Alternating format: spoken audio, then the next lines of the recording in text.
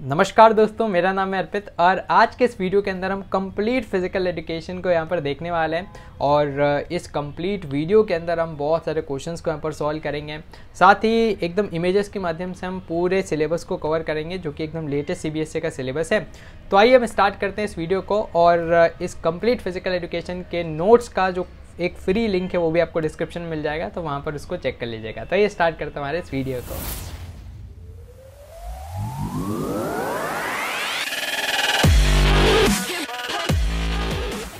तो आज के इस वीडियो के अंदर हम सी e के लेटेस्ट सिलेबस के हिसाब से इस चैप्टर को कवर करने वाले हैं और साथ ही यार यहाँ पर मैं आपको बहुत सारे इंपॉर्टेंट क्वेश्चंस भी बताऊँगा, जिससे आपकी एक मस्त वाली प्रैक्टिस सुनिश्चित हो जाएगी। तो आइए स्टार्ट करते हैं हमारे इस वीडियो को।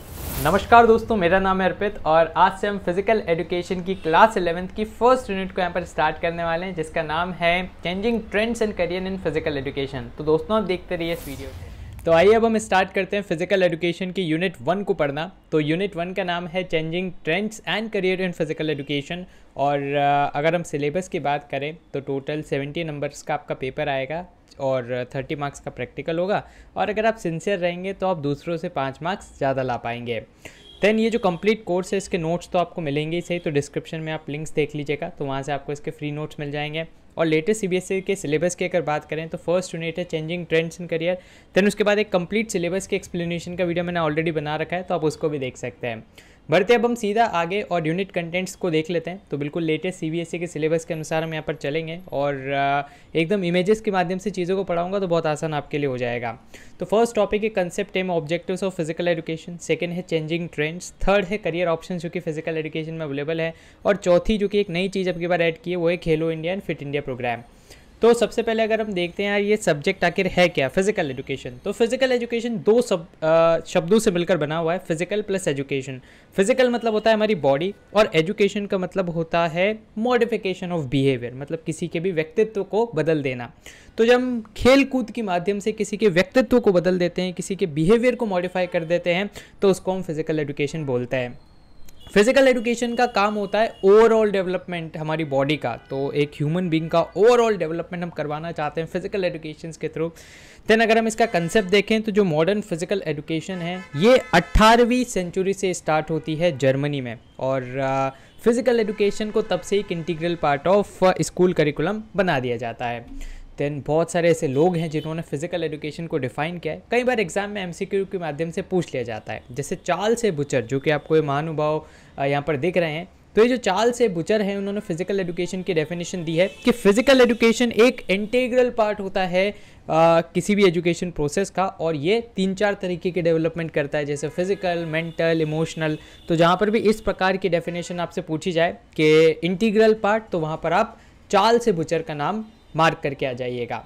देन इसके बाद और कुछ डेफिनेशन है, जैसे जे बी नैश ने एक डेफिनेशन दी है कि फ़िज़िकल एजुकेशन एक ऐसा फ़ेज़ है एजुकेशन का जो कि डील करता है बिग मसल एक्टिविटीज़ से। तो इसका कीवर्ड है बिग मसल एक्टिविटीज़ है ना? डायरेक्टली आपको याद नहीं रखनी, बस थोड़ा सा कीवर्ड याद रखना है ताकि एमसीक्यू बाई चांस ये पूछ ले तो आप वहाँ पर आंसर कर पाएँ।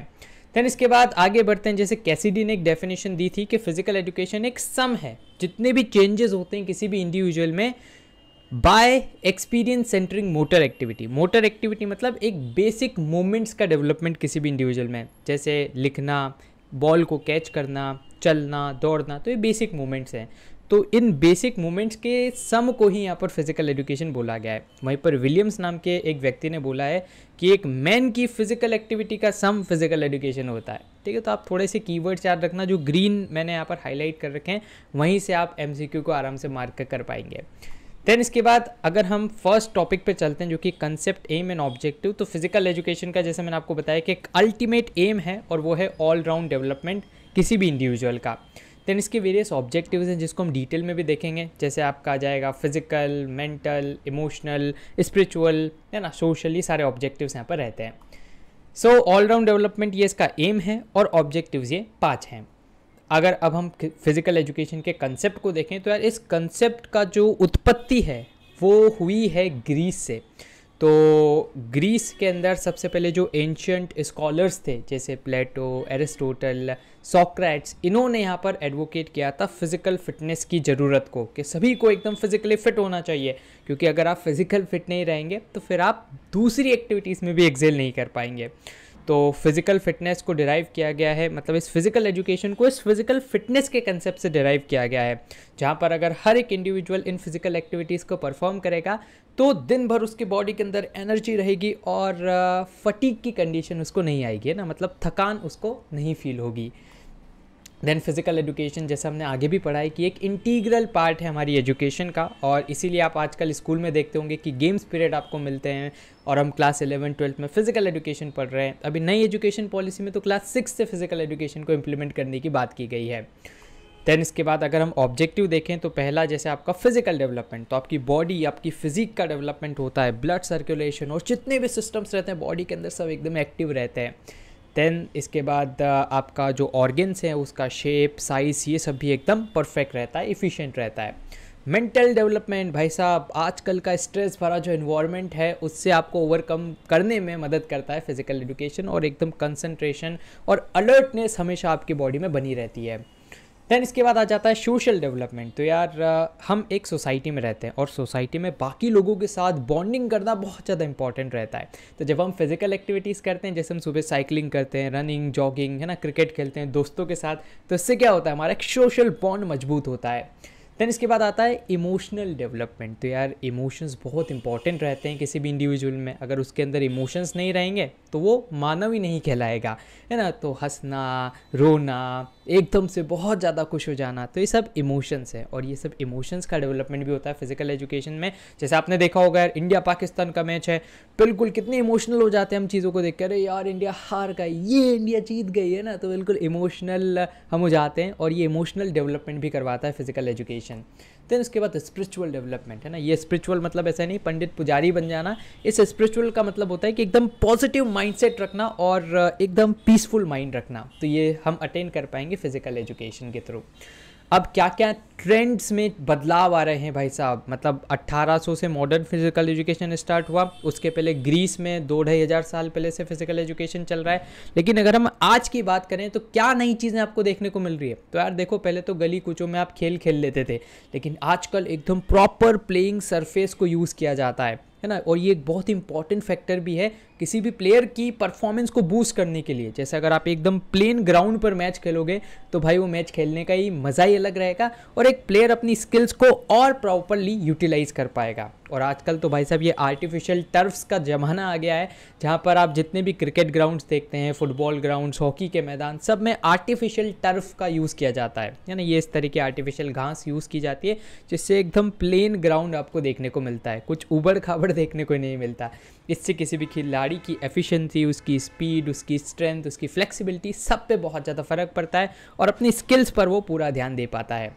देन सेकेंड आ जाता है wearable gears and sports equipment जैसे आप देखेंगे स्मार्ट वॉचेस है ना? देन उसके बाद और भी बहुत सारे गियर्स हैं स्पोर्ट्स इक्विपमेंट्स हैं जो कि खेल के स्तर को एक और ऊपर लेवल ले जाते हैं। जैसे पहले क्रिकेट में हेलमेट्स का ग्लव्स का पैड्स का इनका इस्तेमाल नहीं किया जाता था। तो यार, बहुत संभल के खेलना पड़ता था किसी बैट्समैन को, है ना? उसको सबसे ज़्यादा टेंशन तो ये रहती कि मैं आज सेफली घर जा पाऊँगा या फिर नहीं जा पाऊँगा। लेकिन जब से वियरेबल गियर्स आ चुके हैं, है ना स्मार्ट टेक्स गैजेट्स आ चुके हैं, भाई साहब, तब से तो जो खेल है उसका अंदाज ही पलट चुका है। आजकल आप देखते होंगे टी ट्वेंटी क्रिकेट है ना, कितना फास्ट पेस हो चुका है। मतलब पहले के ज़माने में तो लोग सोच भी नहीं सकते थे कि 20 ओवर में 250 रन बन जाएँगे 200 रन बन जाएँगे। लेकिन भाई आज बन रहे हैं, ठीक है?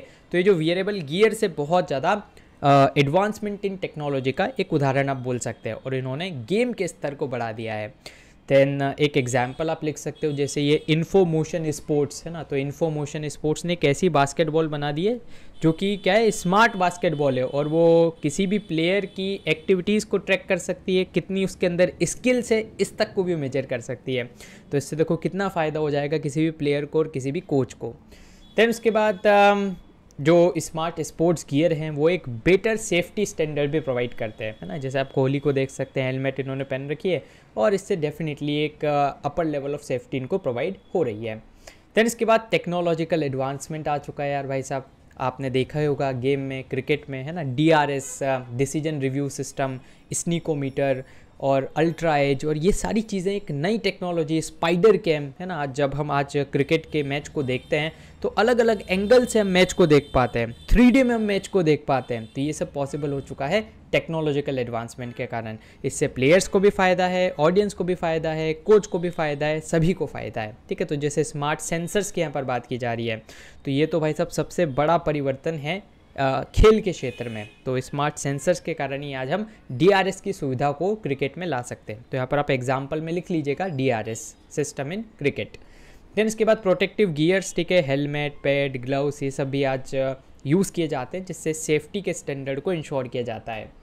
देन क्या क्या करियर ऑप्शन है यार? अगर आप अभी क्लास इलेवंथ में फ़िज़िकल पढ़ रहे हैं, फिर आगे ट्वेल्थ में पढ़ेंगे तो क्या क्या आपके पास ऑप्शन अगर आप चाहते हैं कि नहीं, वैसा मैं फ़िज़िकल में ही आगे बढ़ना चाहता हूँ। तो 1990 से पहले इतनी अपॉर्चुनिटी नहीं थी, क्योंकि खेल के क्षेत्र में ज़्यादा ध्यान नहीं दिया जाता था, लेकिन 1990s के बाद भाई साहब, दो क्षेत्रों में आप अपने करियर्स को बना सकते हो। पहला है ट्रेडिशनल क्षेत्र, है ना, जहाँ पर आप टीचिंग कोचिंग इस फ़ील्ड में जा सकते हो, और दूसरा है थोड़ा सा डायनेमिक क्षेत्र, जैसे स्पोर्ट्स मैनेजमेंट है ना देन स्पोर्ट्स के क्षेत्र में एमबीए कर लेना हेल्थ के क्षेत्र में गाइडेंस करना तो ये सब सेकेंड काइंड में आते हैं, जो कि थोड़े से डायनेमिक है और यहाँ पर आपको ज़्यादा सैलरी भी मिलती है। तो इस टेबल को आप यूज़ कर सकते हो अपनी एग्ज़ाम में कि टीचिंग में कहाँ कहाँ आपके पास स्कोप है ट्रेनिंग में कहाँ कहाँ स्कोप है हेल्थ फिटनेस सेक्टर में आप जाते हो तो आप साइकोलॉजिस्ट न्यूट्रिशनिस्ट जिम में ट्रेनर है ना, ये सब बन सकते हैं। परफॉर्मेंस सेक्टर में जाते हो तो भाई सबसे ज़्यादा पैसा यहीं पर मिलता है मतलब एक प्रोफेशनल खिलाड़ी बन जाना, जैसे विराट कोहली एक प्रोफेशनल प्लेयर है। दैन उसके बाद प्लानिंग ऑफिसर बनना, है ना, सरकारी महकमे में चले जाना फिर रिक्रिएशन स्पोर्ट्स मैनेजर बन जाना। मीडिया सेक्टर में आप जाओगे तो आप पत्रकार बन सकते हो, आप किसी किताब के ऑथर बन सकते हो, आप आज तक पर जाकर एंकरिंग कर सकते हो, है ना? टीवी मतलब जो भी खेल के क्षेत्र की खबरें उनको लोगों तक सुना सकते हो स्पोर्ट्स इंडस्ट्री में जा सकते हो। तो इतने सारे आपके पास ऑप्शंस देखने को मिलते हैं। देन अगला टॉपिक है अपने पास खेलो इंडिया प्रोग्राम तो यार खेल की जो इम्पोर्टेंस है, उसको हमारे जो प्रधानमंत्री जी है, उन्होंने समझा और खेलो इंडिया प्रोग्राम की स्टार्टिंग उन्होंने की। तो जो खेलो इंडिया प्रोग्राम है, इसको 2018 में 31 जनवरी को नरेंद्र मोदी जी ने दिल्ली के स्टेडियम से इसको स्टार्ट किया, है ना? गुरु शिष्य परंपरा का यहाँ पर ध्यान रखा गया और खेलो इंडिया जो प्रोग्राम है, सबसे पहले जो प्रोग्राम्स थे वो दिल्ली में आयोजित किए गए थे, इकतीस जनवरी से लेकर आठ फरवरी तक। और इसमें अंडर 17 के एथलीट्स ने पार्टिसिपेट किया, है ना? बहुत सारे डिसिप्लिन ऑफ़ द गेम जैसे आपका टेबल टेनिस, बैडमिंटन, है ना? बहुत सारे गेम्स को यहाँ पर रखा गया। तो यार, अब ये वाला डायग्राम आप ज़रूर से बना के आना एग्ज़ाम में। ये सारे ऑब्जेक्टिव्स है खेलो इंडिया प्रोग्राम के, जो कि सीधे मैंने खेलो इंडिया की वेबसाइट से निकाले हैं, है ना? जैसे प्ले फ़ील्ड का development community coaching state level पे खेलो इंडिया के सेंटर्स बनाना then annual sports competition organise करना टैलेंट का सर्च करना देन उसके बाद जो अभी एग्जिस्टिंग इंफ्रास्ट्रक्चर है उसको और अपग्रेड करना। नेशनल, रीजनल लेवल पे अकेडमीज़ क्रिएट करना, स्कूल चिल्ड्रन को फ़िज़िकल फिटनेस का महत्व बताना वुमेन को स्पोर्ट्स में शामिल करना देन स्पोर्ट्स अमॉन्ग्स डिसेबल्स ठीक है, जो दिव्यांगजन हैं, उनके लिए भी स्पोर्ट्स को फ्रेंडली बनाना दैन पीस एंड डेवलपमेंट के लिए स्पोर्ट्स को यहाँ पर यूज़ करना। जैसे भारत पाकिस्तान का मैच होता है तो क्या है? खिलाड़ी एक शांति का प्रतीक रहते हैं वहाँ पे। देन प्रमोशन करना रूरल इंडिजीनियस ट्राइबल गेम्स का ठीक है? जो आदिवासी लोग जो गेम खेलते हैं जो गाँव में खेल खेले जाते हैं उनको भी प्रचार करना उनको नेशनल लेवल पर लाना। सो so, ये सब ऑब्जेक्टिव्स है ठीक है? देन इसके बाद अगर हम आगे बढ़ें तो खेलो इंडिया प्रोग्राम 2018 से स्टार्ट हुआ। Ministry of youth affairs and sports के अंदर ये आता है। और वेरियस इसकी वेन्यूज़ ये रही हैं आज तक 2018 में दिल्ली 19 में पुणे 20 में गुवाहाटी 21 में हरियाणा और बाईसवा जो अभी होने वाला है वो भोपाल, मध्य प्रदेश में होगा। देन इसके बाद फिट इंडिया मूवमेंट भी आपके सिलेबस का हिस्सा है, जिसको हमारे माननीय प्रधानमंत्री जी ने ही ट्वेंटी नाइन्थ ऑफ़ अगस्त 2019 को स्टार्ट किया था। और इसका मतलब मेन एम था बिहेवियरल चेंज लाना लोगों के अंदर फिटनेस के प्रति एक जागरूकता क्रिएट करना। वेरियस इसके ऑब्जेक्टिव्स हैं जैसे फिटनेस को एकदम फन और फ्री बना देना स्प्रेड करना अवेयरनेस इंडिजीनियस मतलब जो आपके भारत के लोकल स्पोर्ट्स हैं उनको प्रमोट करना उनको इनक्रेज करना और हर एक स्कूल कॉलेज यूनिवर्सिटी पंचायत गाँव गाँव तक फिटनेस को पहुंचाना। बढ़ते अब हम आगे और कुछ कमाल के क्वेश्चंस को हम यहाँ पर देख लेते हैं। फाउंडेशन जो फ़िज़िकल एजुकेशन का उसको ले किया गया था ग्रीस के अंदर। देन uh, क्या इसमें से ऑब्जेक्टिव नहीं है फ़िज़िकल एजुकेशन का? टेक्निकल डेवलपमेंट क्योंकि बाकी तो हमने पढ़े हैं। Career option through physical education कहाँ कहाँ पे करियर ऑप्शन है? इन सारी जगह पे all of these fit India movement start हुआ था कब? अगस्त 2019 के अंदर. देन वर्ल्ड कप भारत ने कब होस्ट किया था? तो 2011 में होस्ट भी किया था और जीता भी था. Then physical education some of changes है तो ये अपनों ने देखी थी. ये डेफिनेशन है कैसी डी की. वहीं पर ये जो motor physical education some of man's physical activity selected as to kind ये विलियम्स की डेफिनेशन है. कितने ऑब्जेक्टिव्स है फ़िज़िकल एजुकेशन में? तो टोटल पाँच ऑब्जेक्टिव्स हैं. देन इसके बाद एम uh, होता है फ़िज़िकल एजुकेशन का all round development option the reporter के लिए क्या क्वालिटी रिक्वायरमेंट रहती है? एक्सीलेंट स्पीकिंग स्किल्स उसकी होनी चाहिए। देन फ़िज़िकल एजुकेशन का एम होता है इसमें जो फ़िज़िकल एजुकेशन है to improve the physique by the activities physical activities करके आप अपनी फिजिक अपनी बॉडी को डेवलप कर सकते हैं। एक्सरसाइज इंपॉर्टेंट है सभी के लिए every one then physical education build करता है आपके अंदर एक कॉपरेशन की भावना। वर्ड फ़िज़िकल एजुकेशन को यूज़ किया जाता है to describe movements of the body then इसके बाद आ जाता है फ़िज़िकल एजुकेशन क्रिएट करता है coordination between the mind and the body. कुछ इंपॉर्टेंट क्वेश्चन अब हम देख लेते हैं। एम फ़िज़िकल एजुकेशन का ऑलराउंड डेवलपमेंट होता है। स्पोर्ट्स जर्नलिज्म मतलब ऐसे फ़िज़िकल एजुकेशन टीचर्स जो कि जिनके पास कम्युनिकेशन के स्किल्स हैं, है ना? और वो यहाँ या तो ओरल वे में या रिटर्न वे में फ़ील्ड ऑफ़ स्पोर्ट्स के बारे में लोगों तक जानकारी पहुँचाते हैं। एडेप्टिव फ़िज़िकल एजुकेशन क्या होता है, जहाँ पर हम डिसेबल लोगों को भी इनक्रेज करते हैं पार्टिसिपेट करने के लिए स्पोर्ट्स में। एक प्रैक्टिस क्वेश्चन आपके लिए आपको कमेंट बॉक्स में बताना है कि खेलो इंडिया कब स्टार्ट हुआ था। तीन मार्क्स का अगर हम क्वेश्चन देखें तो आपको short term long term courses बताना है जो कि पी में अवेलेबल रहते हैं। तो शॉर्ट टर्म कोर्सेज की बात करें तो diploma certificate courses long term courses की बात करें तो आप बैचलर ऑफ़ आर्ट्स कर सकते हैं पी में मास्टर ऑफ़ आर्ट्स कर सकते हैं एम कर सकते हैं। देन उसके बाद स्पोर्ट्स जर्नलिज्म क्या होता है, अभी हमने आगे देखा ही है। देन उसके बाद हेल्थ रिलेटेड करियर्स कौन कौन से हैं, ये आपको बताना है है ना? इसके आंसर्स आपको मिल जाएँगे यहाँ पर। फ़िज़िकल एजुकेशन के पाँच ऑब्जेक्टिव्स उसको एक्सप्लेन करना है। देन लॉन्ग आंसर क्वेश्चंस की बात करें हम तो यहाँ पर short note on the following book publishing and sports photography तो इन दोनों के भी आंसर्स आपको यहाँ पर से मिल जाएँगे। नमस्कार दोस्तों, मेरा नाम है अर्पित और आज के इस वीडियो के अंदर हम फ़िज़िकल एजुकेशन की सेकेंड यूनिट ओलंपिज्म को पढ़ने वाले हैं। तो दोस्तों देखते रहिए इस वीडियो को और इस वीडियो के अंदर हम बहुत ही कमाल धमाल क्वेश्चन को भी सॉल्व करने वाले हैं। तो आइए अब हम स्टार्ट करते हैं फ़िज़िकल एजुकेशन की सेकेंड यूनिट को। सेकेंड यूनिट का नाम है ओलंपिज्म तो इस यूनिट के अंदर हमें क्या क्या पढ़ना है वो देख लेते हैं। हमें सबसे पहले देखना है कि एंशंट और मॉडर्न ओलंपिक्स क्या है। देन इसके बाद हमें देखना है ओलंपिज्म का कंसेप्ट क्या है। फिर हम देखेंगे वेरियस ओलंपिक के सिंबल्स जैसे ओलंपिक फ्लैग ओलंपिक का मोटो एंथम देन इसके बाद हम ओलंपिक का मूवमेंट देखेंगे, उसका स्ट्रक्चर देखेंगे I O C N O C I F S ये सब क्या है, इन सारी चीज़ों को हम बहुत ही अच्छे से देखने वाले हैं। तो आइए स्टार्ट करते हैं। फ़र्स्ट अपना जो टॉपिक है वो है ancient and modern Olympics ancient मतलब आज से कई सौ साल पहले और मॉडर्न मतलब आज से 100-200 साल पहले जो मॉडर्न ओलंपिक से स्टार्ट हुआ था, उसकी बात की गई है।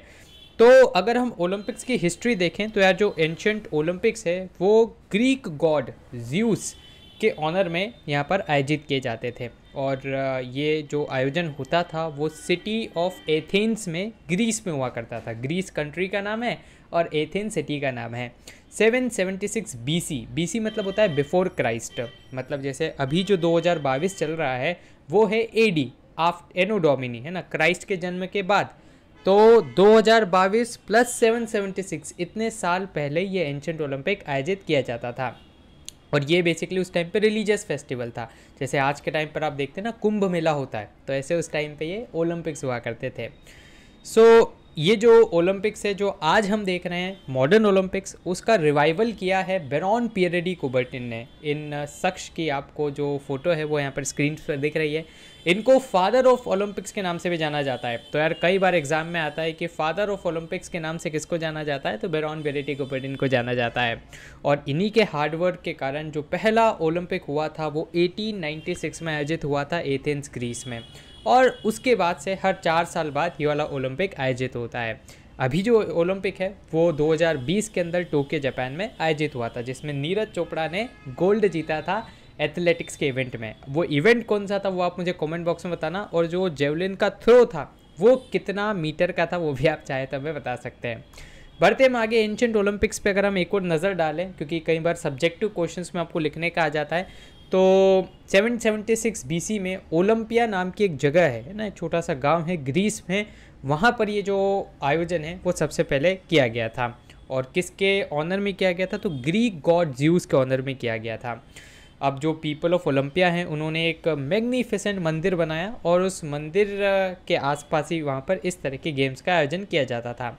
हरक्यूलस जो कि सन था जियस का, है ना जीसस का उन्होंने या ज्यूस का, उन्होंने यहाँ पर इसको स्टार्ट किया था। तो किसने स्टार्ट किया था? हरक्यूलस ने किया था और अपने पिता के ऑनर में इसको किया गया था। ये जो गेम थे, सबसे पहले आयोजित किए गए थे ओलंपिया के अंदर और हर चार साल बाद इन गेम्स का आयोजन उस टाइम पे भी किया जाता था। लेकिन फिर इस ट्रेडिशन को तोड़ दिया गया रोमन एम्पर थियोड्यूसिस के द्वारा। 394 एडी के अंदर इन्होंने ये मॉडर्न ओलंप मतलब जो एंशंट ओलंपिक्स है, उसकी प्रथा को बंद कर दिया था। मॉडर्न ओलंपिक्स की बात करें तो पियरे, बेरॉन पियरेडी कुबर्टिन ने इनको वापस से यहाँ पर जीवित किया। इनका जन्म 1862 में एक इटालियन फैमिली में हुआ था। बाद में आकर फ्रांस में बस गए थे और इन्होंने बिलीव किया था कि अगर हमें इंटरनेशनल प्रॉब्लम्स का हल निकालना है, सभी नेशंस को हमें एक प्लेटफॉर्म पर एक पोडियम पर लाना पड़ेगा। और ये काम सबसे बेहतर तरीके से किया जा सकता है गेम्स के माध्यम से। तो फिर इन्होंने बहुत सारे कंट्रीज़ को एक साथ लाए और नाइन एटीन नाइन्टी थ्री में एक मीटिंग रखी गई, जहाँ पर कुछ कंट्रीज़ ने एक्सेप्ट किया इस प्रपोज़ल को और बहुत सौ ने इस प्रपोज़ल को रिजेक्ट भी कर दिया। तो एफर्ट्स लगाए गए और बहुत से लीडर्स ने इस टाइम पे सपोर्ट भी किया गया और नौ कंट्रीज़ ने पहले ओलंपिक्स में पार्टिसिपेट किया एथेंस ग्रीस में। फिर उसके बाद नेक्स्ट जो ओलंपिक्स है वो पेरिस में हुए 1900 में, जहाँ पर धीरे धीरे धीरे संख्या बढ़ती गई। 2016 रियो डी जनवरी के ओलंपिक्स में 206 कंट्रीज़ ने पार्टिसिपेट किया, जो कि एक बहुत ही बड़ी बात है। दैन इसके बाद तीन बार ये जो ओलंपिक्स है, वो नहीं हुए थे। वर्ल्ड वॉर्स के कारण। वर्ल्ड वॉर वन के टाइम पे 1916 में ओलंपिक नहीं हुआ और 1940 और 1944 में आयोजित नहीं हो पाया because of the world war second then इसके बाद ओलंपिज़म क्या होता है, इसको हम देख लेते हैं। तो ओलंपिज़म बेसिकली एक फ़िलोसफी है ओलंपिक गेम्स की।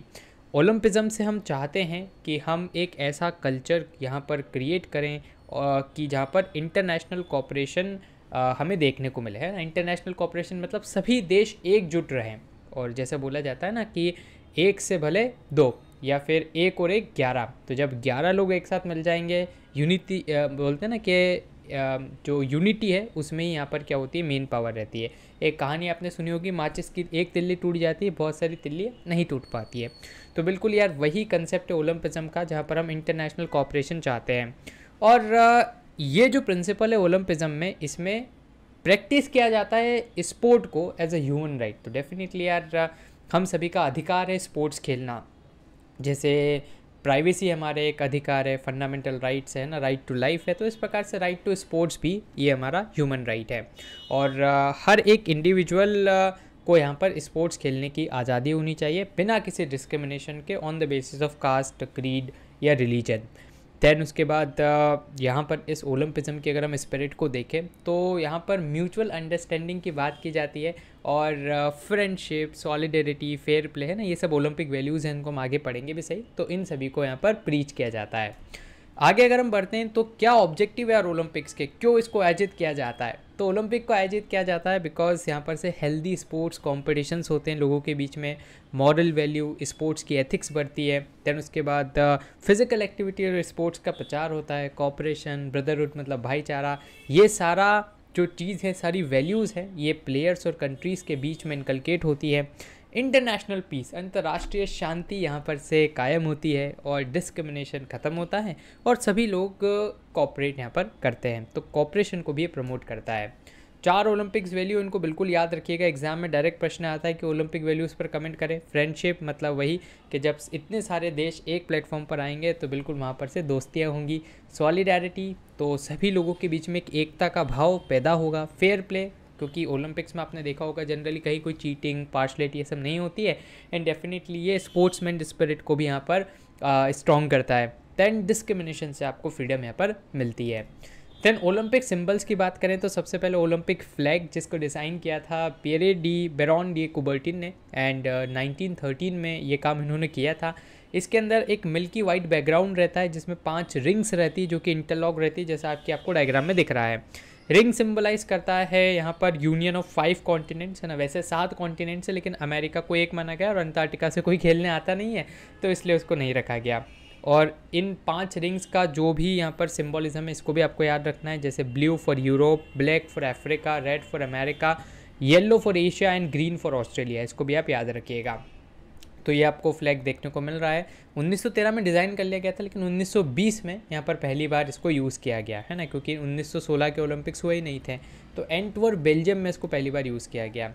अब आती है ओलंपिक मशाल। तो ओलंपिक मशाल जो है, इसका जो कंसेप्ट यार, ये एंशंट ओलंपिक्स यहाँ पर चल रहा है और ये एक सिंबल है कंटिन्यूटी का from the ancient to the modern Olympics है ना? तो तभी से इस ट्रेडिशन को यहाँ पर कंटिन्यू किया जाता है। सबसे पहले ओलंपिक फ्लेम के कंसेप्ट को इंट्रोड्यूस किया गया था 1928 के गेम्स में, जो कि एम्स्टर्डम नेदरलैंड्स में हुए थे एंड सिंस देन इस फ्लेम को यहाँ पर यूज़ किया जाता है और ये सिम्बलाइज करती है the light of spirit knowledge and life then इस ओलंपिक टॉर्च को लिट किया जाता है ओलंपिक विलेज ऑफ़ ग्रीस में, है ना? तो जहाँ से ओलंपिक्स की स्टार्टिंग हुई है, वहीं पर इसको जलाया जाता है। फिर इसको वेरियस कंट्रीज़ में घुमाया जाता है है ना? देन ओपनिंग सेरेमनी में भी ये वाले आपको देखने को मिलते हैं टॉर्च। फिर लास्ट में जैसे गेम्स ख़त्म हो जाते हैं, इस टॉर्च को एक्सटिंग्विश कर दिया जाता है, बुझा दिया जाता है। अब आता है अगला ओलंपिक मोटो। तो ओलंपिक मोटो क्या है? तीन शब्दों से मिलकर ये बना है, जिसको अगर हम देखें तो इसको प्रपोज किया था बेरॉन पेरडी कोबर्टी ने, जो कि फादर ऑफ़ ओलंपिक्स है, और इसका मोटो है साइटस एल टी एस फोर्टियस। साइटस मतलब होता है फास्टर एल टी एस मतलब हायर एंड फोर्टियस मतलब स्ट्रॉन्गर तो इसको याद रखना लाइन्स है। देन इसके बाद आ जाता है ओलंपिक मूवमेंट का स्ट्रक्चर अब यार इतना बड़ा अगर गेम है, इतने तगड़े लेवल पे ऑर्गेनाइज किया जा रहा है तो कौन वो ऑर्गेनाइजिंग बॉडी है जिसको ऑर्गेनाइज कर रही है? तो पहली आ जाती है इंटरनेशनल ओलंपिक कमेटी तो मॉडर्न गेम्स को ऑर्गेनाइज किया जाता है इस कमेटी के द्वारा, जिसका हेडक्वार्टर आपको लूजैन स्विट्जरलैंड में देखने को मिलेगा। है ना? स्विट्जरलैंड का एक शहर है लूजैन देन uh, ये यहाँ पर बिल्कुल uh, जितना भी अपना ओलंपिक्स है जहाँ पर भी होते हैं उनको कंडक्ट करवाने का काम आईओसी का ही होता है। और आईओसी uh, को इस्टेब्लिश भी फेरॉन पेरेडी को बर्टिन ने किया था तेईस जून 1894 में और इसके दो साल बाद फिर ओलंपिक्स का आयोजन किया गया था। इसके पहले चेयरमैन थे डेमेट्रियस विकेलास जो कि इसके प्रेसिडेंट थे और अभी फ़िलहाल इसके 105 एक्टिव मेंबर्स हैं और 32 इसके ऑनररी मेंबर्स हैं। देन ऑर्गेनाइज करता है समर और विंटर दोनों ही प्रकार के ओलंपिक्स यही डिसाइड करता है कि किन डेट्स को ओलंपिक होंगे, किस वेन्यू पे होंगे कौन कौन से गेम्स होंगे, सारा डिसीज़न आईओसी का ही होता है। जो आईओसी के प्रेसिडेंट रहते हैं, उनको इलेक्ट किया जाता है आठ सालों के लिए and four vice presidents are elected for four years है ना? तो एक प्रेसिडेंट चार वाइस प्रेसिडेंट प्रेसिडेंट आठ सालों के लिए इलेक्ट किया जाता है, जबकि वाइस प्रेसिडेंट को चार सालों के लिए इलेक्ट किया जाता है। आपको कमेंट बॉक्स में बताना है कि अभी करंट प्रेसिडेंट कौन है आईओसी के। देन इसके फ़ंक्शन क्या है? तो ओलंपिक को ऑर्गेनाइज करवाना स्मूथ फ्लू ऑफ़ इवेंट्स को इंश्योर करना गाइडलाइंस इशू करना फेयर प्ले को इंश्योर करना, और डोपिंग तो नहीं हो रही है ना? डोपिंग मतलब अपनी बॉडी के अंदर कुछ ऐसे स्टेरॉइड्स को ले लेना जिससे परफॉर्मेंस बूस्ट हो जाए। तो क्या ऐसा तो नहीं कर रहे हैं एथलीट्स एक अनफेयर एडवांटेज लेने के लिए। तो इसको भी यहाँ पर इंश्योर किया जाता है। देन इसके बाद भारत के अंदर है इंडियन ओलंपिक एसोसिएशन जो कि आईओसी के अंतर्गत ही काम करती है। और इसको 1927 में फाउंड किया गया था sir Dorabji Tata and doctor Noehren के द्वारा। सर दुराबजी टाटा इसके प्रेसिडेंट बने जबकि जो डॉक्टर नोरहन है वो इसके सेक्रेटरी जनरल बन गए। So so, sir Dorabji Tata थे। वो पहले मेंबर बने इंटरनेशनल ओलंपिक कमेटी के। And its members are chosen every once in every four year तो हर चार साल में इसके चुनाव होते हैं। अगर इस कमेटी की हम बात करें तो उसमें एक प्रेसिडेंट, नौ वाइस प्रेसिडेंट और छः सेक्रेटरी होते हैं और एक ट्रेजरर होता है ना। ट्रेजरर मतलब जो कि पूरे फंड्स की देखभाल करता है। इंडिया ने पहली बार पार्टिसिपेट किया था 1928 में एम्स्टर्डम ओलंपिक गेम्स में, है ना? मतलब पहली बार पदक जीता था 1928 के अंदर और यहाँ पर इन्होंने गोल्ड मेडल जीता था हॉकी के अंदर। देन uh, ये आई ओ का ही काम है जो कि कोऑर्डिनेट करता है आई ओ सी के साथ और इंडिया के एथलीट्स को आई ओलंपिक्स में पार्टिसिपेट करने के लिए भेजता है। देन इसके बाद हर एक देश की अपनी अपनी नेशनल ओलंपिक कमेटी होती है जो कि कोऑर्डिनेट करती है आई के साथ और अपने देश में ओलंपिक्स के हिसाब से माहौल बनाती है और स्पोर्ट्स को प्रमोट करती है। वहीं पर इंटरनेशनल स्पोर्ट्स फेडरेशंस होती हैं जो कि ये इंटरनेशनल एन होते हैं ना नॉन गवर्नमेंटल ऑर्गेनाइजेशंस जिनको आई ओ रिकॉग्निशन देती है। और इनका काम क्या होता है? इनका काम होता है कि अपने अपने लेवल पे आ, मतलब पूरे विश्व के लेवल पे जिनसे इंटरनेशनल फेडरेशन है तो विश्व के लेवल पे ये स्पोर्ट्स का प्रचार प्रसार करती है। पढ़ते अब हम आगे और कुछ इंपॉर्टेंट क्वेश्चंस को देख लेते हैं तो आईओसी कब फॉर्म हुआ था? तो 1894 में हुआ था। एंशंट ओलंपिक गेम्स ऑर्गेनाइज किए जाते थे in the honour of god Zeus option D कितने रिंग्स होती है? पाँच रिंग्स होती है ऑप्शन नंबर सी हेडक्वार्टर कहाँ है आईओसी का? स्विट्जरलैंड शहर का नाम आप मुझे कमेंट बॉक्स में बताइएगा। पहले प्रेसिडेंट कौन है आईओए के? सर दुराबजी टाटा। आईओए को स्टैब्लिश किया गया था 1927 option D father of modern Olympics कौन है? तो फादर हैं यार अपने baron Pierre de Coubertin P B D Coubertin option C 2021 के जो ओलंपिक्स है वो कहाँ पर आयोजित हुए? तो टोक्यो में आयोजित हुए हैं। और करेक्ट ऑप्शन अपने को चूज़ करना है। ओलंपिक गेम्स को रिवाइव किया गया था कब? 1896 में मॉडर्न ओलंपिक गेम्स अपने आयोजित किए गए थे। फादर ऑफ़ ओलंपिक्स कौन है, आप मुझे कमेंट बॉक्स में बताइएगा। लास्ट प्रश्न है ओलंपिक मोटो साइटियस एल्टियस फोर्टियस मतलब क्या होता है? फास्टर हायर स्ट्रॉन्गर मतलब जिसका जो है वही आपको लिखना है रेस्पेक्टिवली में, है ना? तो इसलिए option A is the right answer अब कुछ इंपॉर्टेंट क्वेश्चंस देख लेते हैं। शॉर्ट नोट लिखना है अपने को ओलंपिक फ्लैग में। तो बहुत ही अच्छे से यार अपने इसको पढ़ा है है ना? आप आराम से इसको लिख सकते हैं। और ओलंपिक फ्लैग का सिंबल भी आप बना के आ जाइएगा परीक्षा में। एक्सप्लेन करना है डेवलपमेंट ऑफ़ वैल्यूज़ तो जो चार वैल्यूज़ हमने पढ़ी थी friendship solidarity fair play freedom from discrimination यही अपने को लिखना है डिस्क्रिमिनेशन ओलंपिक ओथ क्या होती है? देखो ओथ मतलब होता है शपथ। तो ओलंपिक के स्टार्ट होने के पहले जितने भी प्लेयर हैं कोचेस हैं, उनको एक शपथ दिलाई जाती है कि वो एकदम फेयर प्ले वहाँ पर दिखाएँगे और बिल्कुल कोई लड़ाई झगड़ा नहीं करेंगे पीस के एम्बेसडर वो बनेंगे स्पोर्ट्समैनशिप को दिखाएँगे। तो आप ये वाली जो लाइन्स मैंने यहाँ पर लिख रखी है इनको लिख सकते हैं ना। इसमें मैंने पूरी ओथ भी लिख रखी है। तो याद नहीं करनी है और एग्ज़ाम में भी नहीं लिखनी है। बस एक बार पढ़ लेना है कि क्या क्या बेसिक वैल्यूज़ वहाँ पर ओथ में ली जाती है। ऑब्जेक्टिव्स क्या है? C B S E sports के ना। इस प्रकार के क्वेश्चन कई बार आ जाते हैं कि आ, कोई भी स्पोर्ट्स हो रहे हैं उनके ऑब्जेक्टिव क्या हैं? तो ऑब्जेक्टिव जनरली सेम ही रहते हैं कि कॉपरेशन है ना? स्पोर्ट्स के वैल्यूज़ को बढ़ाना जो वैल्यूज़ हैं उनको इनकलकेट करना एथिक्स स्पोर्ट्समैनशिप तो वही सब आपको यहाँ पर भी लिखना है। दैन एक्सप्लेन करना है वैल्यू थ्रू ओलंपिक मूवमेंट ठीक है वन मार्क में देखा थ्री मार्क में आपको वैल्यूज़ को एलोबरेट करना रहेगा। फाइव मार्क्स क्वेश्चन है कि आई ओ ए का क्या इंपॉर्टेंट फ़ंक्शन है? तो वही आई ओ ए के बारे में थोड़ा सा लिख लेना, फिर उसके बाद आई ओ ए के फ़ंक्शंस क्या क्या होंगे, वही क्यों डिसाइड करता है वेन्यू वेन्यू ये सब, है ना? इंडिया में स्पोर्ट्स के इंफ्रास्ट्रक्चर को बिल्ड करना डेवलप करना वैल्यूज़ को प्रमोट करना तो ये सब काम हो जाएगा आपका आई ओ ए का। इंडियन ओलंपिक एसोसिएशन ठीक है तो वही आई ओ आप वहाँ पर वापस पूछ लिया है तो ये भी आप आराम से बता सकते हैं। नमस्कार दोस्तों, मेरा नाम है अर्पित, और आज के इस वीडियो के अंदर हम फ़िज़िकल एजुकेशन के चैप्टर योग को पढ़ने वाले हैं। तो दोस्तों हम देखते रहे इस वीडियो को, और इस वीडियो के अंदर हम कुछ बहुत इंपॉर्टेंट क्वेश्चन को भी यहाँ पर सॉल्व करने वाले हैं। तो आइए अब हम स्टार्ट करते हैं unit three of the physical education तो यूनिट थ्री है योग, और यार ये बहुत ही कमाल की यूनिट है, और हमारे डे टू डे लाइफ में भी इसका बहुत ज़्यादा इंपॉर्टेंस है। तो आपके सिलेबस में ये तीन टॉपिक्स हैं जिनको हमें यहाँ पर पढ़ना है। पहला है importance and meaning of yoga. Second है introduction to Ashtanga yoga and third introduction to yogic क्रियाएँ। तो सबसे पहले एक बेसिक सा इंट्रोडक्शन मैं आपको दे देता हूँ योग का। तो यार, आपने अपने आसपास योग को होते हुए देखा होगा। और 21 जून को हर साल इंटरनेशनल योग डे मनाया जाता है 2015 से। जो हमारे भारत के प्रधानमंत्री जी हैं, श्री नरेंद्र मोदी जी, उन्होंने यूनाइटेड नेशन जनरल असेंबली के अंदर ट्वेंटी सेवन्थ ऑफ़ सेप्टेम्बर 2014 को ये प्रस्ताव रखा था और उसके बाद 2015 से इंटरनेशनल योग डे मनाया जा रहा है। इसको ट्वेंटी फ़र्स्ट ऑफ़ जून को इसलिए मनाया जाता है क्योंकि नॉर्दर्न हेमिस्फीयर के अंदर ये जो ट्वेंटी फ़र्स्ट जून रहता है, ये लॉन्गेस्ट डे रहता है। ये आपने जोग्राफी में ज़रूर से पढ़ा होगा।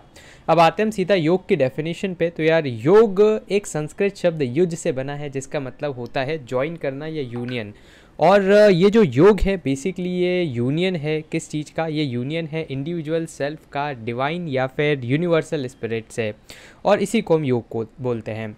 मॉडर्न एरा की हम बात करें तो मॉडर्न एरा में स्वामी विवेकानंद जी ने योग को इंट्रोड्यूस किया था वेस्टर्न वर्ल्ड से, और इनकी एक बहुत ही फ़ेमस स्पीच है। 1893 में जो इन्होंने दी थी शिकागो के अंदर वर्ल्ड पार्लियामेंट ऑफ़ रिलीजन में, और इसके अंदर इन्होंने योग का परिचय वेस्टर्न वर्ल्ड से करवाया था, और आज आप देखते हैं कि पूरे विश्व में योग को प्रैक्टिस किया जाता है। कुछ इंपॉर्टेंट बेनिफिट्स मैं आपको बता देता हूँ। योग के डेली लाइफ में पहला है रिड्यूस मेंटल टेंशन तो अगर आपको यार टेंशन रहती है तो आप योग करेंगे तो सारी टेंशन छू हो जाएगी। आपकी जो डिज़ीज़ है, इसको प्रिवेंट करता है क्योर करता है बॉडी को एकदम ब्यूटीफाई कर देता है ग्लोइंग बना देता है। आपकी सेल्फ अवेयरनेस को इंक्रीज़ करता है स्पिरिचुअल डेवलपमेंट होता है आपका फ्लेक्सिबिलिटी बढ़ जाती है और स्ट्रेस एंड एनजाइटी क्या होती है, ये तो आपको पता भी नहीं चल पाएगा। तो बहुत ज़्यादा फ़ायदे होते हैं योग के और अगर आपसे परीक्षा में पूछा जाता है what are the various benefits of yoga? तो आप ये सारे पॉइंट ज़रूर से वहाँ पर लिख के आइएगा। बढ़ते फिर हम आगे और आपसे अगर पूछा जाता है कि योग का इम्पॉर्टेंस क्या है, क्या महत्व है योग का? तो फिर आप उसको इस तरह से डिवाइड कर सकते हैं physical social mental and spiritual तो फ़िज़िकल बेनिफिट क्या होता है योग का? कि आपको फिजिकली प्योर कर देता है। देन उसके बाद डिज़ीज़ को प्रिवेंट करता है बॉडी को ब्यूटिफाई करता है। अगर आप योग करते हो तो आपका पॉस्चर जो रहता है बॉडी का एकदम करेक्ट रहता है। दैन उसके बाद मसल्स का डेवलपमेंट होता है फ्लेक्सिबिलिटी बढ़ती है हार्ट लंग्स इंटरनल सारे ऑर्गेन स्वस्थ रहते हैं। सोशली आपको ये फ़ायदा होता है कि आपको सोशल क्वालिटीज़ डेवलप होती है, क्योंकि योग जब आप करते हैं तो बहुत सी बार आप, बहुत से लोगों के साथ मिलकर योग करते हैं तो एक सोशल रिलेशनशिप भी बढ़ती है। मेंटल अपनों ने देख ही लिया कि बिल्कुल आपको कहीं कोई मेंटल दिक्कत टेंशन एनजाइटी नहीं होगी, आपका कंसनट्रेशन और विल पावर बढ़ेगा। देन स्पिरिचुअल डेवलपमेंट मतलब क्या होगा, आपकी जो मेडिटेटिव पावर है, वो बढ़ेगी। आप मॉरली और ज़्यादा स्ट्रांग होंगे एथिकली आप स्ट्रांग होंगे और एकदम पीस ही आपको प्रोवाइड करेगा। देन बढ़ते हम आगे। सेकेंड जो अपना है, वो है इंट्रोडक्शन टू द योग के जो एलिमेंट्स हैं, अष्टांग योग। तो यार देखो, योग एक कंटिन्यूस प्रोसेस है, ये एक प्रक्रिया है। और इसके अंदर टोटल एट स्टेप्स होते हैं। मतलब अगर आपको योग प्रैक्टिस करना है तो आपको इन एट स्टेप्स को फॉलो करना पड़ेगा, तब आप अपनी इंडिविजुअल सेल्फ को डिवाइन बीइंग से कनेक्ट कर पाएँगे। है ना? ये अपनों ने देखा था कि योग का मतलब क्या होता है, जब हम इंडिविजुअल सेल्फ को डिवाइन बीइंग है ना? मतलब जिस भी बॉडी में हम मानते हैं, जिस भी ईश्वर, गुरु, पीर, जिसमें भी हम मानते हैं, अगर हमें उसके साथ यूनिफाई करना है, एक मेंटल पीस अगर हमें चाहिए तो हमें इन आठ स्टेप्स को फॉलो करना पड़ेगा।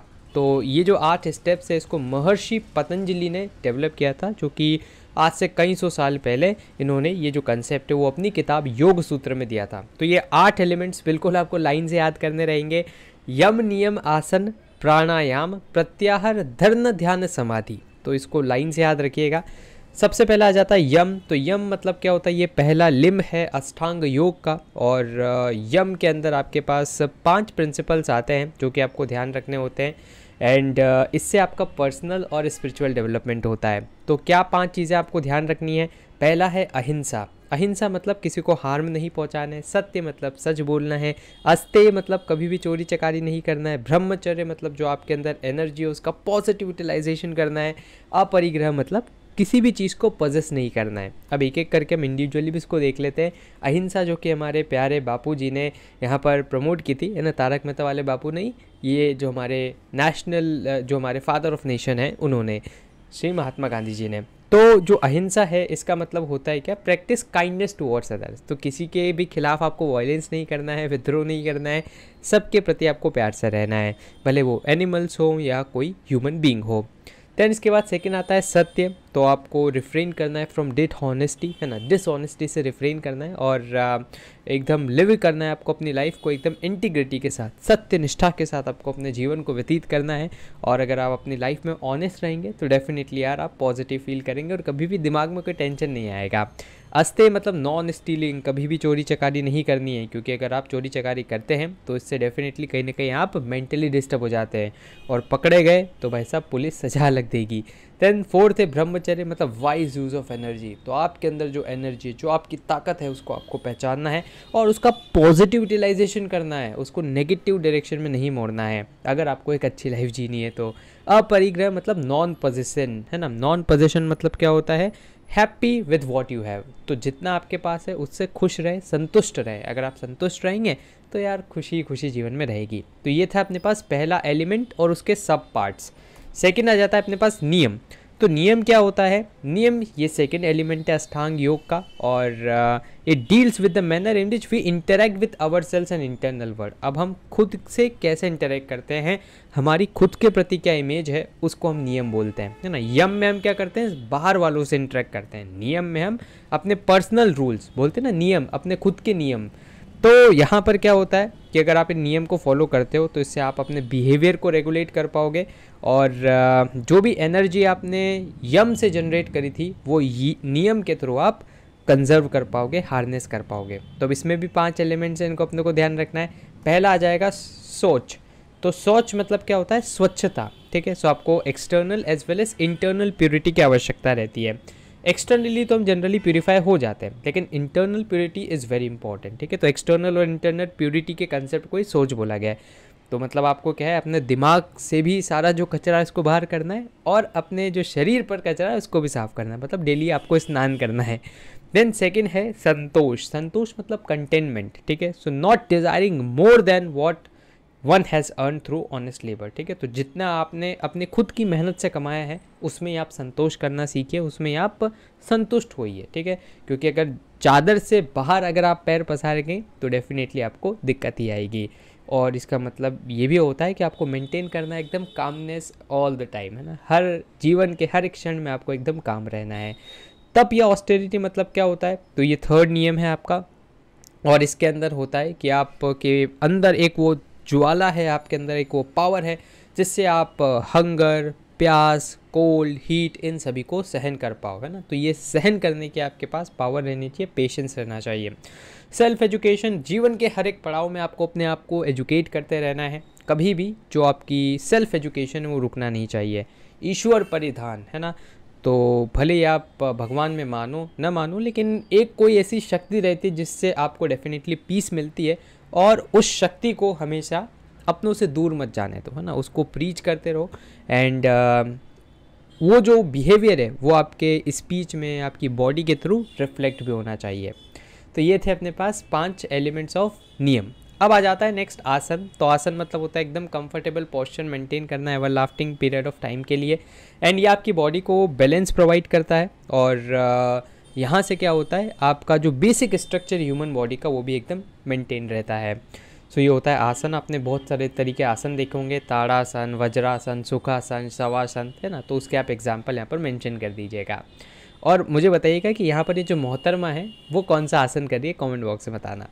नेक्स्ट आ जाता है प्राणायाम। सो so, प्राणायाम दो शब्दों से मिलकर बना है। प्राण प्लस आयाम। प्राण मतलब क्या होता है? आपकी श्वास है ना? आपकी सांस ब्रीदिंग और आयाम मतलब कंट्रोल तो जब आप अपनी ब्रीदिंग पर कंट्रोल हासिल कर लेते हो तो उसको हम प्राणायाम बोलते हैं. है ना जैसे कपाल भाती अनुलोम विलोम भ्रामरी उद्गीत शीतली प्राणायाम जैसे यहाँ पर ये मोहतरमा शीतली प्राणायाम कर रही है. सो so, जो यार आपकी प्राण है वो बेसिक है टू द लाइफ है ना अगर आप सांस लेना बंद कर दोगे तो आपका काम तमाम हो जाएगा.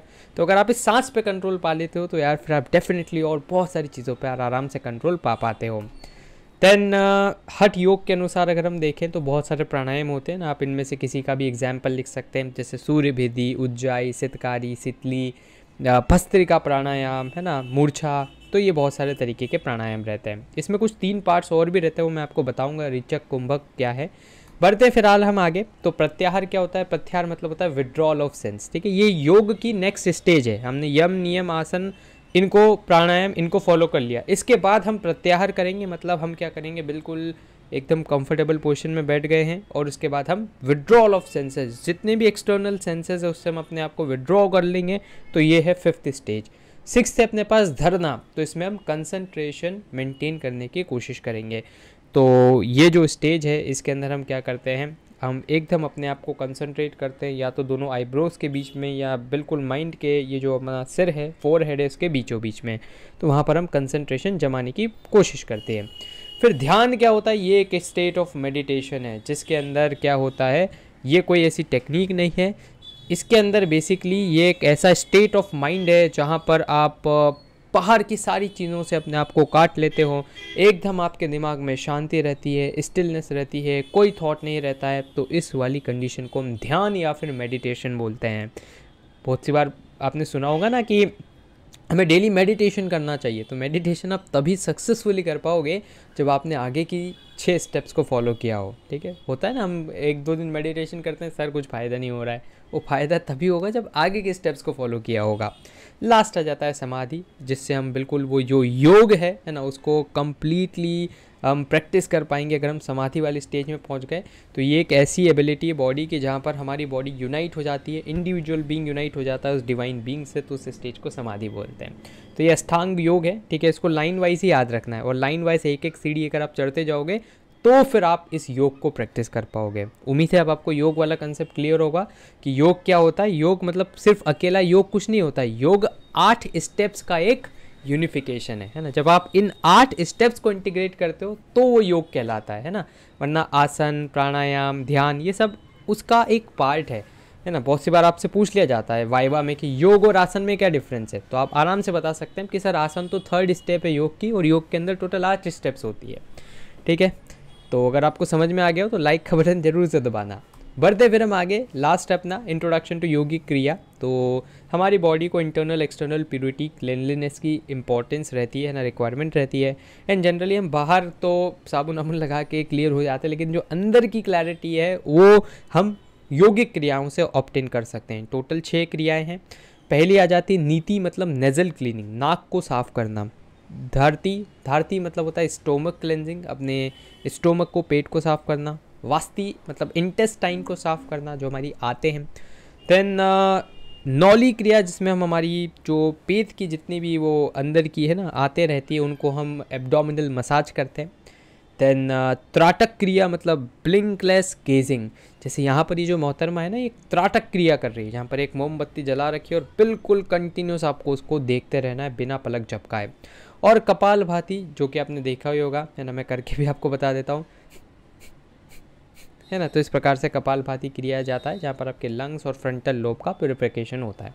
तो बहुत ज़्यादा डिटेल में नहीं देखना है बस इनके नाम आपको याद रखना है छः के छः के देन क्या बेनिफिट्स होते हैं? तो बहुत सारी डिज़ीज़ आपकी ओवरकम हो जाती है अगर आप योगी क्रियाएँ कर ओ देन आपकी हारमोनी क्रिएट होती है बैलेंस क्रिएट होता है है ना? बॉडी एकदम सिस्टम प्योरीफाई हो जाता है और आपकी जो कार्य करने की क्षमता है वो भी बढ़ जाती है। क्वेश्चंस को देख लेते हैं। राइटर कौन है? योग सूत्र का। तो मैंने आपको बताया था महर्षि पतंजलि। कंपोनेंट्स ऑफ़ योग कितने हैं? आठ कंपोनेंट्स है या आठ है ना? एलिमेंट्स हमने पढ़े थे। Then not part of yama सबसे पहले हमने पढ़ा था यम तो यम का पार्ट क्या नहीं है? तो सत्य परिग्रह तो है लेकिन संतोष नहीं है। वो नियम का था। देन उसके बाद uh, आठ लिम्ब ऑफ़ अष्टांग योग का एट्थ लिम्ब कौन सा है? सबसे लास्ट में आती है समाधि। So option number C then following is not a body building asana. तो किससे बॉडी आपकी नहीं बनेगी? शवासन है ना? वो तो एक कामिंग आसन है रिलैक्सिंग आसन है। कितनी योगिक क्रियाएँ हैं? तो टोटल छः योगिक क्रियाएँ हैं। आप सब, आपको उन सभी का नाम मुझे कमेंट बॉक्स में बताना है। Dharana is the concentration of mind दिमाग का कंसंट्रेशन है। ट्रू फॉल्स बताना है। पॉजिटिव हेल्थ का मतलब होता है फ्रीडम फ्रॉम डिज़ीज़ तो बिल्कुल भाई साहब डिज़ीज़ से फ्रीडम तो ये होती है positive health true then none is the yogic breathing pranayama, प्राण पर आयाम, प्राण पे कंट्रोल ठीक है तो option number C then true false बताना है। The term asan means sitting in a particular posture, comfortable and could maintain steadily for a long time. सही बात है। ये आसन की डेफिनेशन ही तो इट इज़ ट्रू अब कुछ long answer short answer question देख लेते हैं। तो पहला प्रश्न पूछा गया कि कौन से एपिक्स में और एंशंट संस्कृत टेक्स्ट में आपको योग का मेंशन मिलेगा? तो रामायण महाभारत उपनिषद यहाँ पर आपको मिल जाएगा योग का मेंशन योग का मतलब क्या होता है? तो योग हमने देखा ही था है ना? संस्कृत शब्द युद्ध से डिराइव किया गया है। यूनियन इसका मतलब होता है और यूनिफिकेशन होता है किसका physical mental intellectual spiritual aspects of human being का। लॉन्ग आंसर क्वेश्चन जो मैंने आपको पहले बताया था कि प्राणायाम और उसके तीन पार्ट्स कौन थे तो प्राणायाम की डेफिनेशन आपको लिखनी है सबसे पहले। फिर तीन पार्ट्स इसके होते हैं ना। प्राणायाम कैसे आप श्वास लेते हो? पूरक, सबसे पहले इनहेल करना। फिर कुंभक मतलब उसको रिटेन करना, है ना? आप खुद प्रैक्टिकल करके देखो। सांस लेना, फिर उसको रोक के रखना, फिर उसको छोड़ देना। छोड़ने को बोलते हैं रिचक। तो इस तरह से तीन पार्ट्स होते हैं प्राणायाम के। उम्मीद है आपको ये वाला लेक्चर अच्छा लगा होगा। नमस्कार दोस्तों, मेरा नाम है अर्पित और आज के इस वीडियो के अंदर हम फ़िज़िकल एजुकेशन की fourth unit physical education and sports for children with special needs को देखने वाले हैं। तो दोस्तों, आप देखते रहिए इस वीडियो को और इस वीडियो के अंदर हम कुछ बहुत ही कमाल धमाल क्वेश्चंस को सॉल्व करने वाले हैं, जिनके एग्ज़ाम में आने की प्रॉबिलिटी बहुत ही ज़्यादा है। तो आइए अब हम स्टार्ट करते हैं unit four of the physical education और इस यूनिट का नाम है physical education and sports for children with special needs तो जल्दी से हम देख लेते हैं कि क्या क्या हमें इस यूनिट के अंदर पढ़ना है।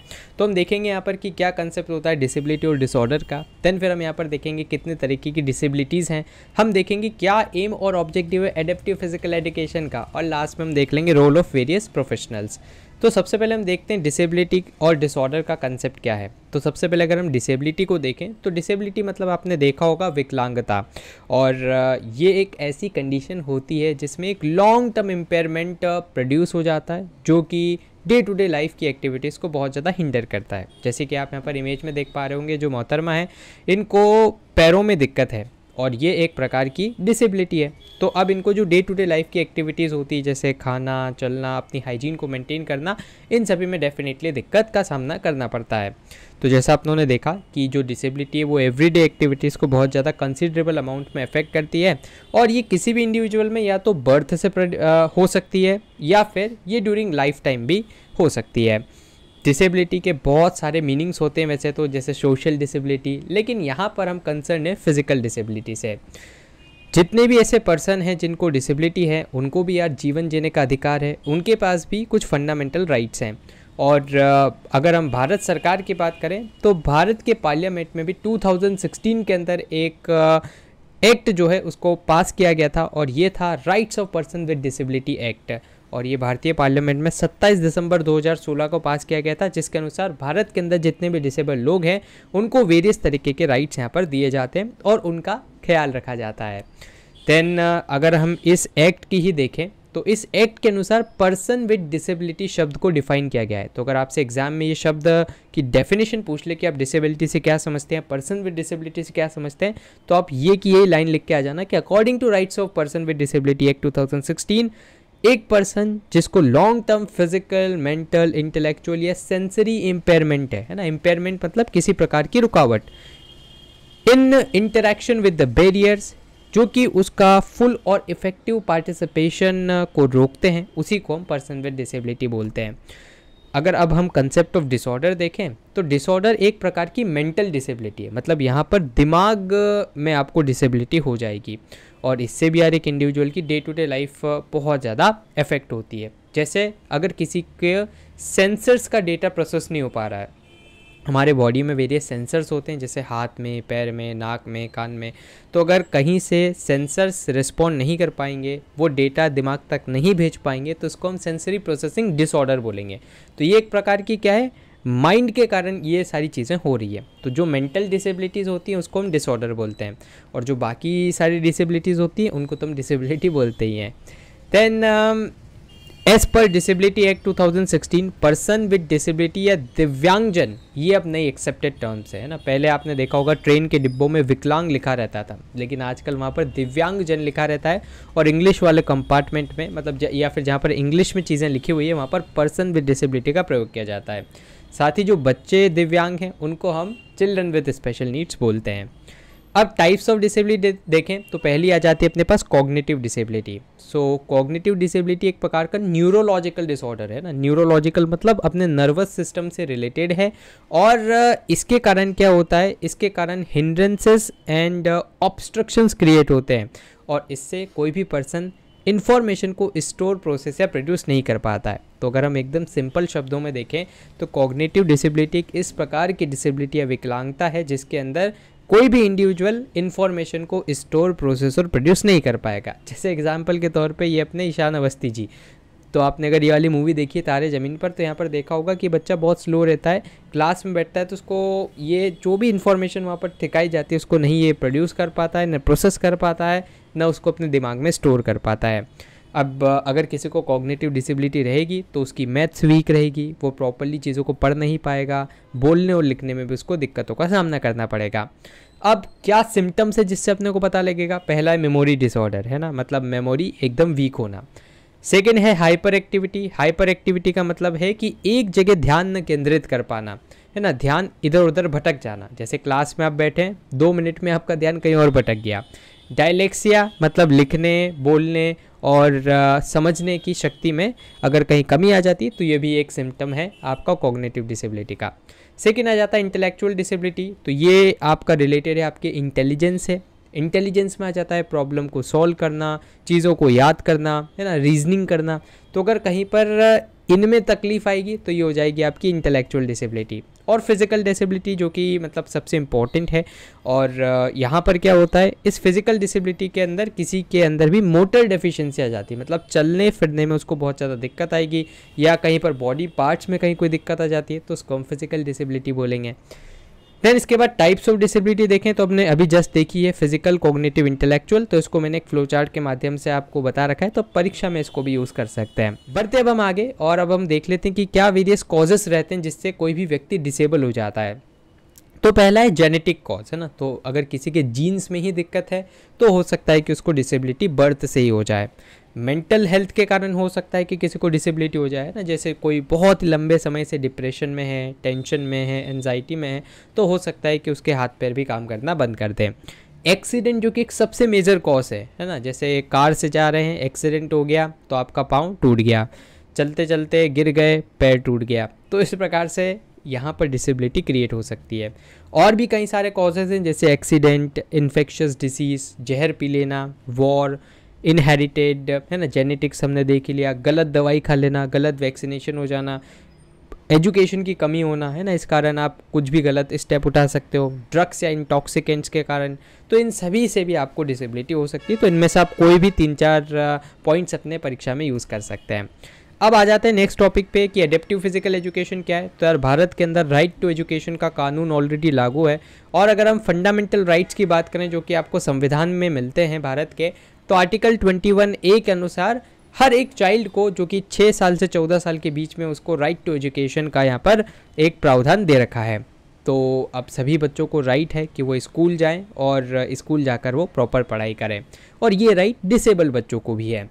अब एडेप्टिव फ़िज़िकल क्या हो जाता है? तो फ़िज़िकल एजुकेशन मतलब तो जाए फ़िज़िकल एजुकेशन की या फ़िज़िकल एक्टिविटीज़ के माध्यम से एजुकेट हो जाना।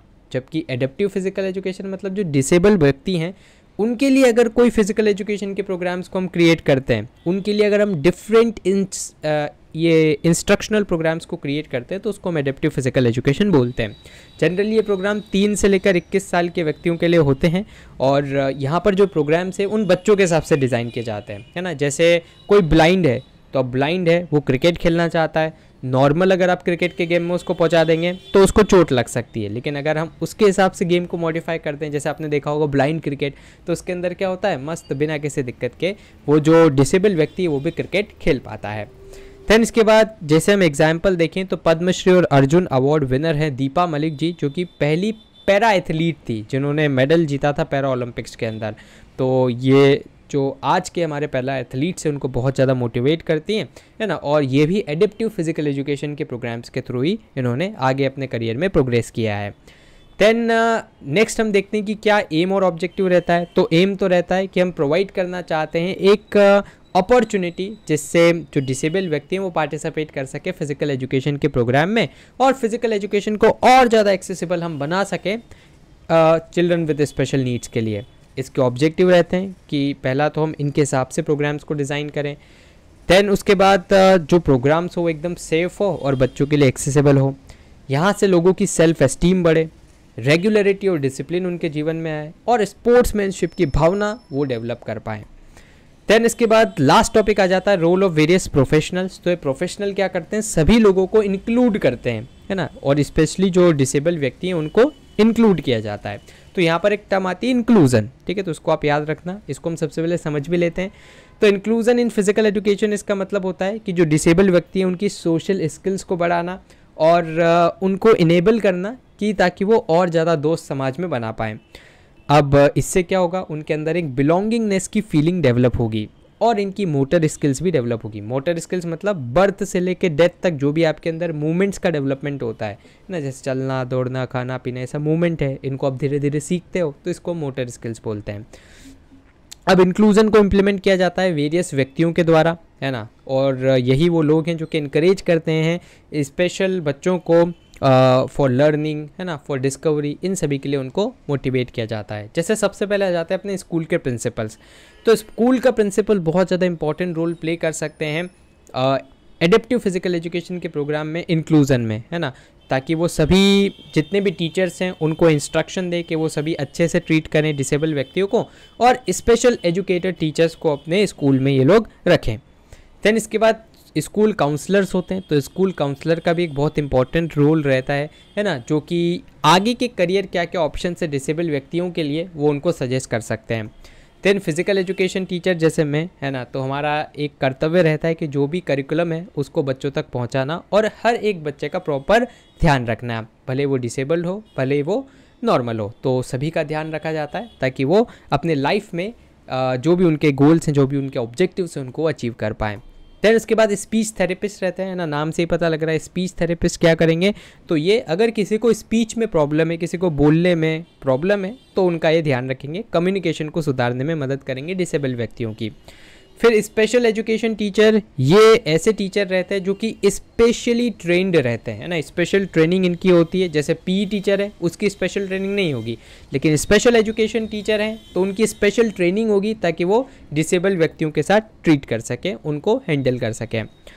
अब आ जाते हैं कुछ एम की तरफ़, कि क्या एम होता है इसका? तो एम रहता है यार डिफरेंशली एबल्ड स्टूडेंट्स को ट्रीट करना ऑप्शन नंबर बी देन क्या रोल है फिजियोथेरेपिस्ट का? तो फिजियोथेरेपिस्ट का क्या रोल हो जाएगा? ये मैनेज करता है स्पेशल नीड्स चिल्ड्रन को, अगर उनमें कहीं मूवमेंट का डिसऑर्डर है ना। फिजियोथेरेपी कब की जाती है? जब आपको चलने फिरने में दिक्कत आती है। तो मूवमेंट डिसऑर्डर है तो फिजियोथेरेपिस्ट वहाँ पर come into play then which are the following term is defined as a blip in the usual functioning तो ब्लिप मतलब एक छोटी सी दिक्कत, और जनरली मेंटली तो वो होती है disorder option C regular physical exercise result in improve functional status quality of life cognitive ability तो option D all of the above which type of instructional strategy must be use for performing various types of physical activities तो यहाँ पर verbal visual पीर teaching मतलब होता है दोस्तों के साथ टीच uh, सीखना।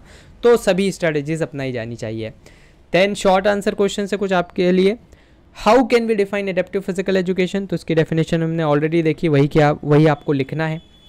एडेप्टिव स्पोर्ट्स कैसे डिफरेंट रहते हैं? नॉर्मल स्पोर्ट्स से तो जब नॉर्मल स्पोर्ट्स में मॉडिफिकेशन कर दिया जाए तो वो हो जाते हैं एडेप्टिव स्पोर्ट्स देन इसके बाद लॉन्ग आंसर क्वेश्चन है। पाँच स्ट्रेटेजीज आपको बतानी है जिससे हम फ़िज़िकल एक्टिविटीज़ को एक्सेसिबल बना सके चिल्ड्रन विद स्पेशल नीड्स के लिए। तो रेगुलर उनका मेडिकल चेकअप करवाया जाए।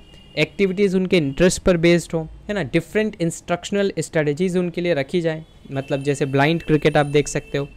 देन मॉडिफाई कर दिया जाए रूल्स को और उनको एक स्पेसिफिक इन्वायरमेंट प्रोवाइड किया जाए, जिससे वो बहुत अच्छे से सोसाइटी का हिस्सा बन सके और फ़िज़िकल एजुकेशन प्रोग्राम में पार्टिसिपेट कर सके।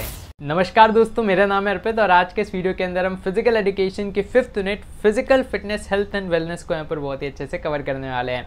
तो दोस्तों, आप देखते रहिए इस वीडियो को और इस वीडियो के अंदर हम कुछ बहुत ही कमाल कमाल क्वेश्चन को यहाँ पर सॉल्व करने वाले हैं, जिनके एग्ज़ाम आने की प्रोबेबिलिटी बहुत ही ज़्यादा है। तो आइए अब हम स्टार्ट करते हैं unit five of physical education और इस यूनिट का नाम है physical fitness health and wellness तो इसको बिल्कुल लेटेस्ट सी के सिलेबस के हिसाब से हम यहाँ पर कवर करने वाले हैं। तीन टॉपिक्स हैं टोटल जिसमें सबसे पहले हम देखेंगे क्या मीनिंग और इंपॉर्टेंस होता है वेलनेस हेल्थ और फ़िज़िकल फिटनेस का। देन फिर हम इसके वेरियस कॉम्पोनेंट्स देखेंगे। और फिर एक छोटा सा, लड्डू सा टॉपिक है traditional sports and regional games for promoting wellness तो इसको भी हम देखने वाले हैं। तो फ़र्स्ट टॉपिक अपने पास मीनिंग इंपॉर्टेंस क्या होता है? तीन चीज़ों का वेलनेस हेल्थ और फ़िज़िकल फिटनेस का। तो तीनों को इंडिविजुअली हम देखते हैं। सबसे पहले आ जाती है फ़िज़िकल फिटनेस जो कि यार सबसे इंपॉर्टेंट चीज़ है हमारी डे टू डे लाइफ में। क्योंकि फ़िज़िकल फिटनेस एक ऐसी कैपेसिटी होती है जिससे हम रूटीन के काम कर पाते हैं, बिना किसी थकान के। फटीक मतलब होता है थकान। देन थकान तो नहीं होगी, साथ ही जब आप उस कार्य को कर लोगे तो उसके बाद भी आपके पास कुछ एनर्जी रहेगी, कुछ पावर रहेगी, जिससे आप कुछ और काम भी कर सको छोटा मोटा और उसके बाद फिर रिकवरी भी क्विक हो जाए। तो ये तीन चीज़ों का आपको याद रखना है। पहला तो कि capacity to do routine work second work second point है कि आप उस काम को करने के बाद भी छोटा मोटा कुछ काम कर लो और तीसरा है कि रिकवरी भी फास्ट हो। एग्ज़ाम्पल के तौर पे फॉर एग्ज़ाम्पल आपके घर पे बन रहा है भाई साहब छोले टिकिया और आपकी मम्मी ने बोला, जा बेटा, जल्दी से नीचे से सिलेंडर लेके आ, गैस की टंकी लेके आ। तो आप भाई साहब मेहनत करके गैस की टंकी लाए, थोड़ी बहुत थकान हुई, इतने मम्मी ने बोला, बेटा यार, धनिया भी लाना है। दौड़ के गए, सब्ज़ी मंडी से धनिया लेके आ गए। ठीक है, अब थकान हो गई है, लेकिन वो फिर रिकवरी भी अगर फास्ट हो जाए तो उसको बोलते हैं कि हाँ भाई फ़िज़िकल फिटनेस तो है बंदे में। देन इसके बाद आ जाता है, क्या इसकी इंपॉर्टेंस है? तो पहली बात तो अगर आप फिजिकली फिट रहेंगे तो लंबी और हेल्दी लाइफ जी पाएँगे। एनर्जी आपके अंदर रहेगी। डिज़ीज़ होने की चांसेस बहुत कम हो जाएगी और बिल्कुल मस्क्यूलर सिस्टम स्केलेटन सिस्टम एकदम हेल्दी रहेगा। देन इसके बाद आपकी रिकॉल कैपेसिटी माइंड की भी बढ़ेगी मेंटल हेल्थ स्ट्रांग होगी बॉडी के अंदर अगर एक्सेस फैट है तो वो भी शेड ऑफ़ हो जाएगा और आप एक खुशनुमा लाइफ जी पाएँगे। सेकेंड है वेलनेस तो वेलनेस का मतलब क्या होता है कि यार एक कैपेसिटी होती है किसी भी इंडिविजुअल की, जिससे वो एकदम बैलेंस ज़िंदगी जी पाता है।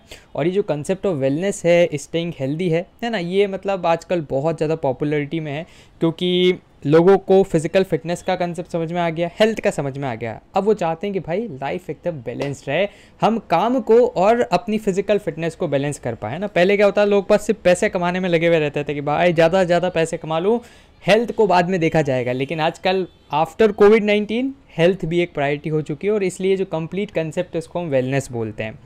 देन क्या इसकी इंपॉर्टेंस है यार? अगर आप वेलनेस रहेगी आपके जीवन में तो आप एक हाई क्वालिटी लाइफ जी पाएँगे ना? पैसा और हेल्थ दोनों का बैलेंस रहेगा। एग्ज़ाम्पल के तौर पे भाई साहब, आप बहुत करोड़पति, अरबपति, लेकिन आपकी हेल्थ आपका साथ नहीं दे रही है। आपको 30 में से 25 दिन हॉस्पिटल में जाना पड़ रहा है। तो क्या ही काम का वो पैसा, है ना? इससे बड़ा लिमिटेड पैसा हो, लेकिन भाई हेल्थ भी मस्त हो तो भाई जीवन बहुत अच्छा चलेगा। आप एक अच्छे सिटीजन एक अच्छे नागरिक बन पाएँगे। स्ट्रेस फ्री आपकी लाइफ रहेगी।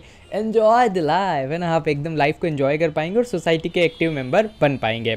तीसरा टॉपिक था, अपने पास हेल्थ क्या होता है? तो यार आप इसको बिल्कुल इसी तरह से कोड कर सकते हैं कि according to World Health Organization विश्व स्वास्थ्य संगठन के अनुसार हेल्थ एक ऐसी स्टेट होती है जहाँ पर हम फिजिकली मेंटली और सोशली फिट होते हैं।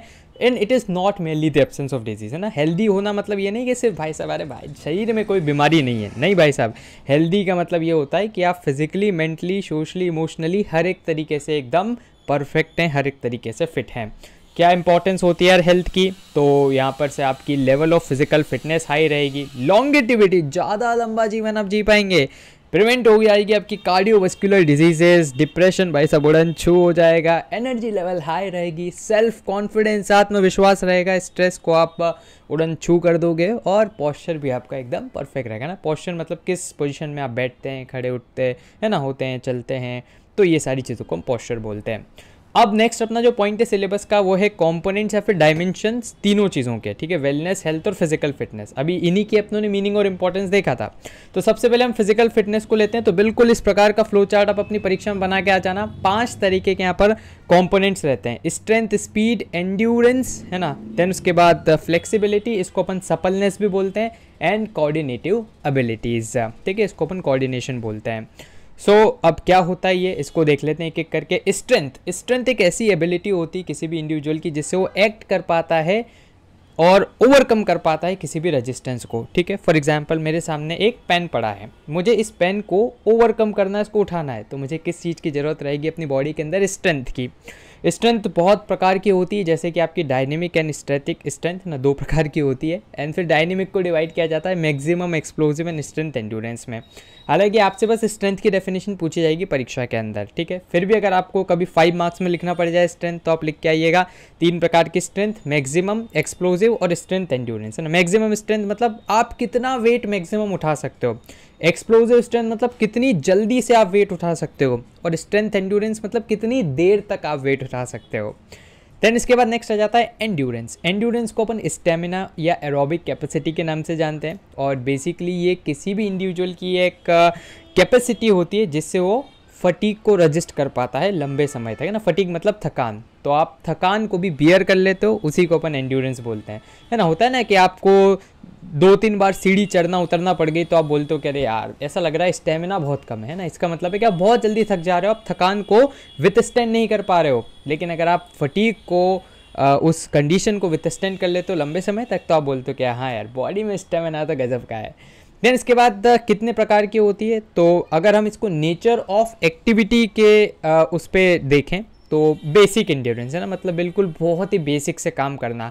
देन इसके बाद जनरल एंड्योरेंस जनरल एंड्योरेंस मतलब आ, हर एक प्रकार की आपके अंदर बॉडी में एबिलिटी होना। फॉर एग्जांपल कोई व्यक्ति क्रिकेट खेल रहा है तो और वो पर्टिकुलरली एक बैट्समैन है। तो सबसे ज़्यादा उसको एंड्योरेंस किस चीज़ में चाहिएगा? अपनी बैटिंग में, है ना? स्पेसिफिक एंड्योरेंस की ज़रूरत उसको पड़ेगी बैटिंग करते वक्त। लेकिन फील्डिंग करना बॉलिंग करना कैच करना तो ये सब क्या हो जाएगी? उसके लिए जनरल एंड्योरेंस हो जाएगी, ठीक है? और स्पेसिफिक मतलब क्या? एक स्पेसिफिक चीज़ पर बहुत ज़्यादा फोकस करना, है ना? उसमें तो उसकी एंड्योरेंस बहुत ज़्यादा होना। जैसे अगर आप विराट कोहली को बोलोगे तो भाई वो रनिंग बिटवीन द विकेट बहुत अच्छी करता है। अब उसको उस चीज़ का इंड्योरेंस बिल्ड करके रखना पड़ेगा। तो वो उसके लिए स्पेसिफिक इंड्योरेंस हो जाएगा। लेकिन हाँ बॉलिंग उसको ज़्यादा करनी नहीं होती, है ना? भूले भटके कभी वो करता है तो उसके लिए वो स्पेसिफिकली ट्रेनिंग नहीं लेगा। नाउ नेक्स्ट आ जाता है, अगर ड्यूरेशन की बात करें तो स्पीड एंड्योरेंस मतलब बिल्कुल 45 सेकंड तक आपको बस फटीक को रजिस्ट करना है। शॉर्ट टर्म में आपको दो मिनट तक रजिस्ट करना है फटीक को। मीडियम टर्म में आपको 11 मिनट के आसपास तक करना पड़ सकता है, जैसे जो लंबी रेस होती है। और भाई साहब लॉन्ग टर्म एंड्योरेंस मतलब वो जो मैराथन रनर्स रहते हैं, जिनको बहुत ज़्यादा टाइम तक अपनी एंड्योरेंस या स्टेमिना को मेंटेन करना पड़ता है। अगली आ जाता है स्पीड बहुत ही आसान है। स्पीड एक एबिलिटी होती है जिससे आप मूवमेंट को एज फास्ट एज पॉसिबल कर पाते हो। पाँच तरीके की स्पीड होती है reaction acceleration locomotor movement and speed endurance syllabus का अगर हम बात करें तो मोस्ट प्रॉब्ली क्वेश्चन होंगे स्पीड से आएँगे, लेकिन अगर फिर भी आपसे पूछ लेता है कहीं कि भाई आप स्पीड पे ही फाइव मार्क्स में आंसर लिखो तो फिर आप इन पाँचों को भी लिख देना। रिएक्शन मतलब आप कितनी स्पीड से किसी भी सिग्नल के अगेंस्ट रिएक्ट करते हो। फॉर एग्ज़ाम्पल कोई आपको मुक्का मार रहा है तो आपको फटाक से अपना हाथ आगे लाना पड़ेगा, खुद को हटाना पड़ेगा। तो उसको बोलते हैं रिएक्शन स्पीड एक्सेलरेशन मतलब वही, जब आप स्कूटी चलाते हो बाइक चलाते हो कार चलाते हो तो आप एक्सेलरेट करते हो ना। ज़ीरो से अपनी स्पीड को बढ़ाना, उसी को एक्सेलरेशन बोलते हैं।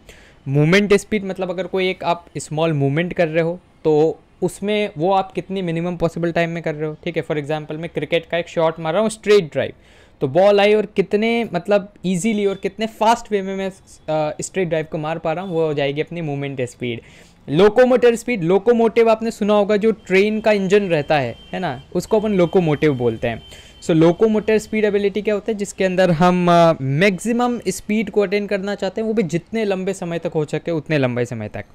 देन स्पीड एंड्योरेंस है ना और लोकोमोटर स्पीड के एग्ज़ाम इस चीज़ की आपको ज़रूरत पड़ती है एग्ज़ाम लिखते वक्त, है ना? तब आप चाहते हो कि भाई जितनी ज़्यादा हम, जितनी लंबी टाइम तक स्पीड मेंटेन कर पाए, उतना बढ़िया। आप स्पीड एंड्योरेंस मतलब क्या हो जाता है कि एक ऐसी एबिलिटी होती है जिससे आप एज क्विकली एज पॉसिबल अपने मूवमेंट को कर पाते हो।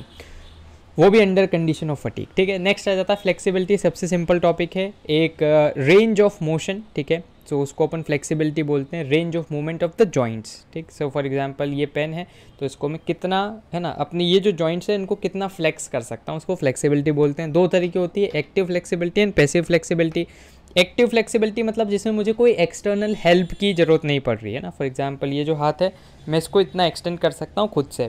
लेकिन अगर मैं एक्सटर्नल हेल्प ले लेता हूँ तो ये शायद थोड़ा सा और ज़्यादा बेंट हो जाए। ठीक है? तो उसको हम फिर फ्लेक्स पैसिव फ्लेक्सिबिलिटी बोलेंगे।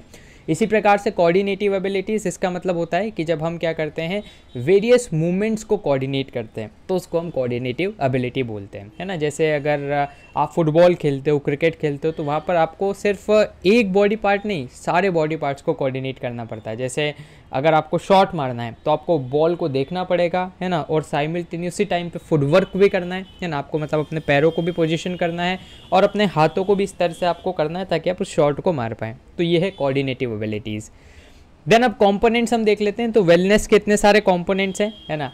आप अपनी परीक्षा में बिल्कुल इसी तरह का फ्लो चार्ट बना के आ सकते हैं। पहला आ जाता है सोशल वेलनेस तो सोशल वेलनेस होता है बेसिकली किसी भी इंडिविजुअल की एबिलिटी जिससे वो दूसरे लोगों से कनेक्ट कर पाए. इमोशनल वेलनेस में क्या होता है?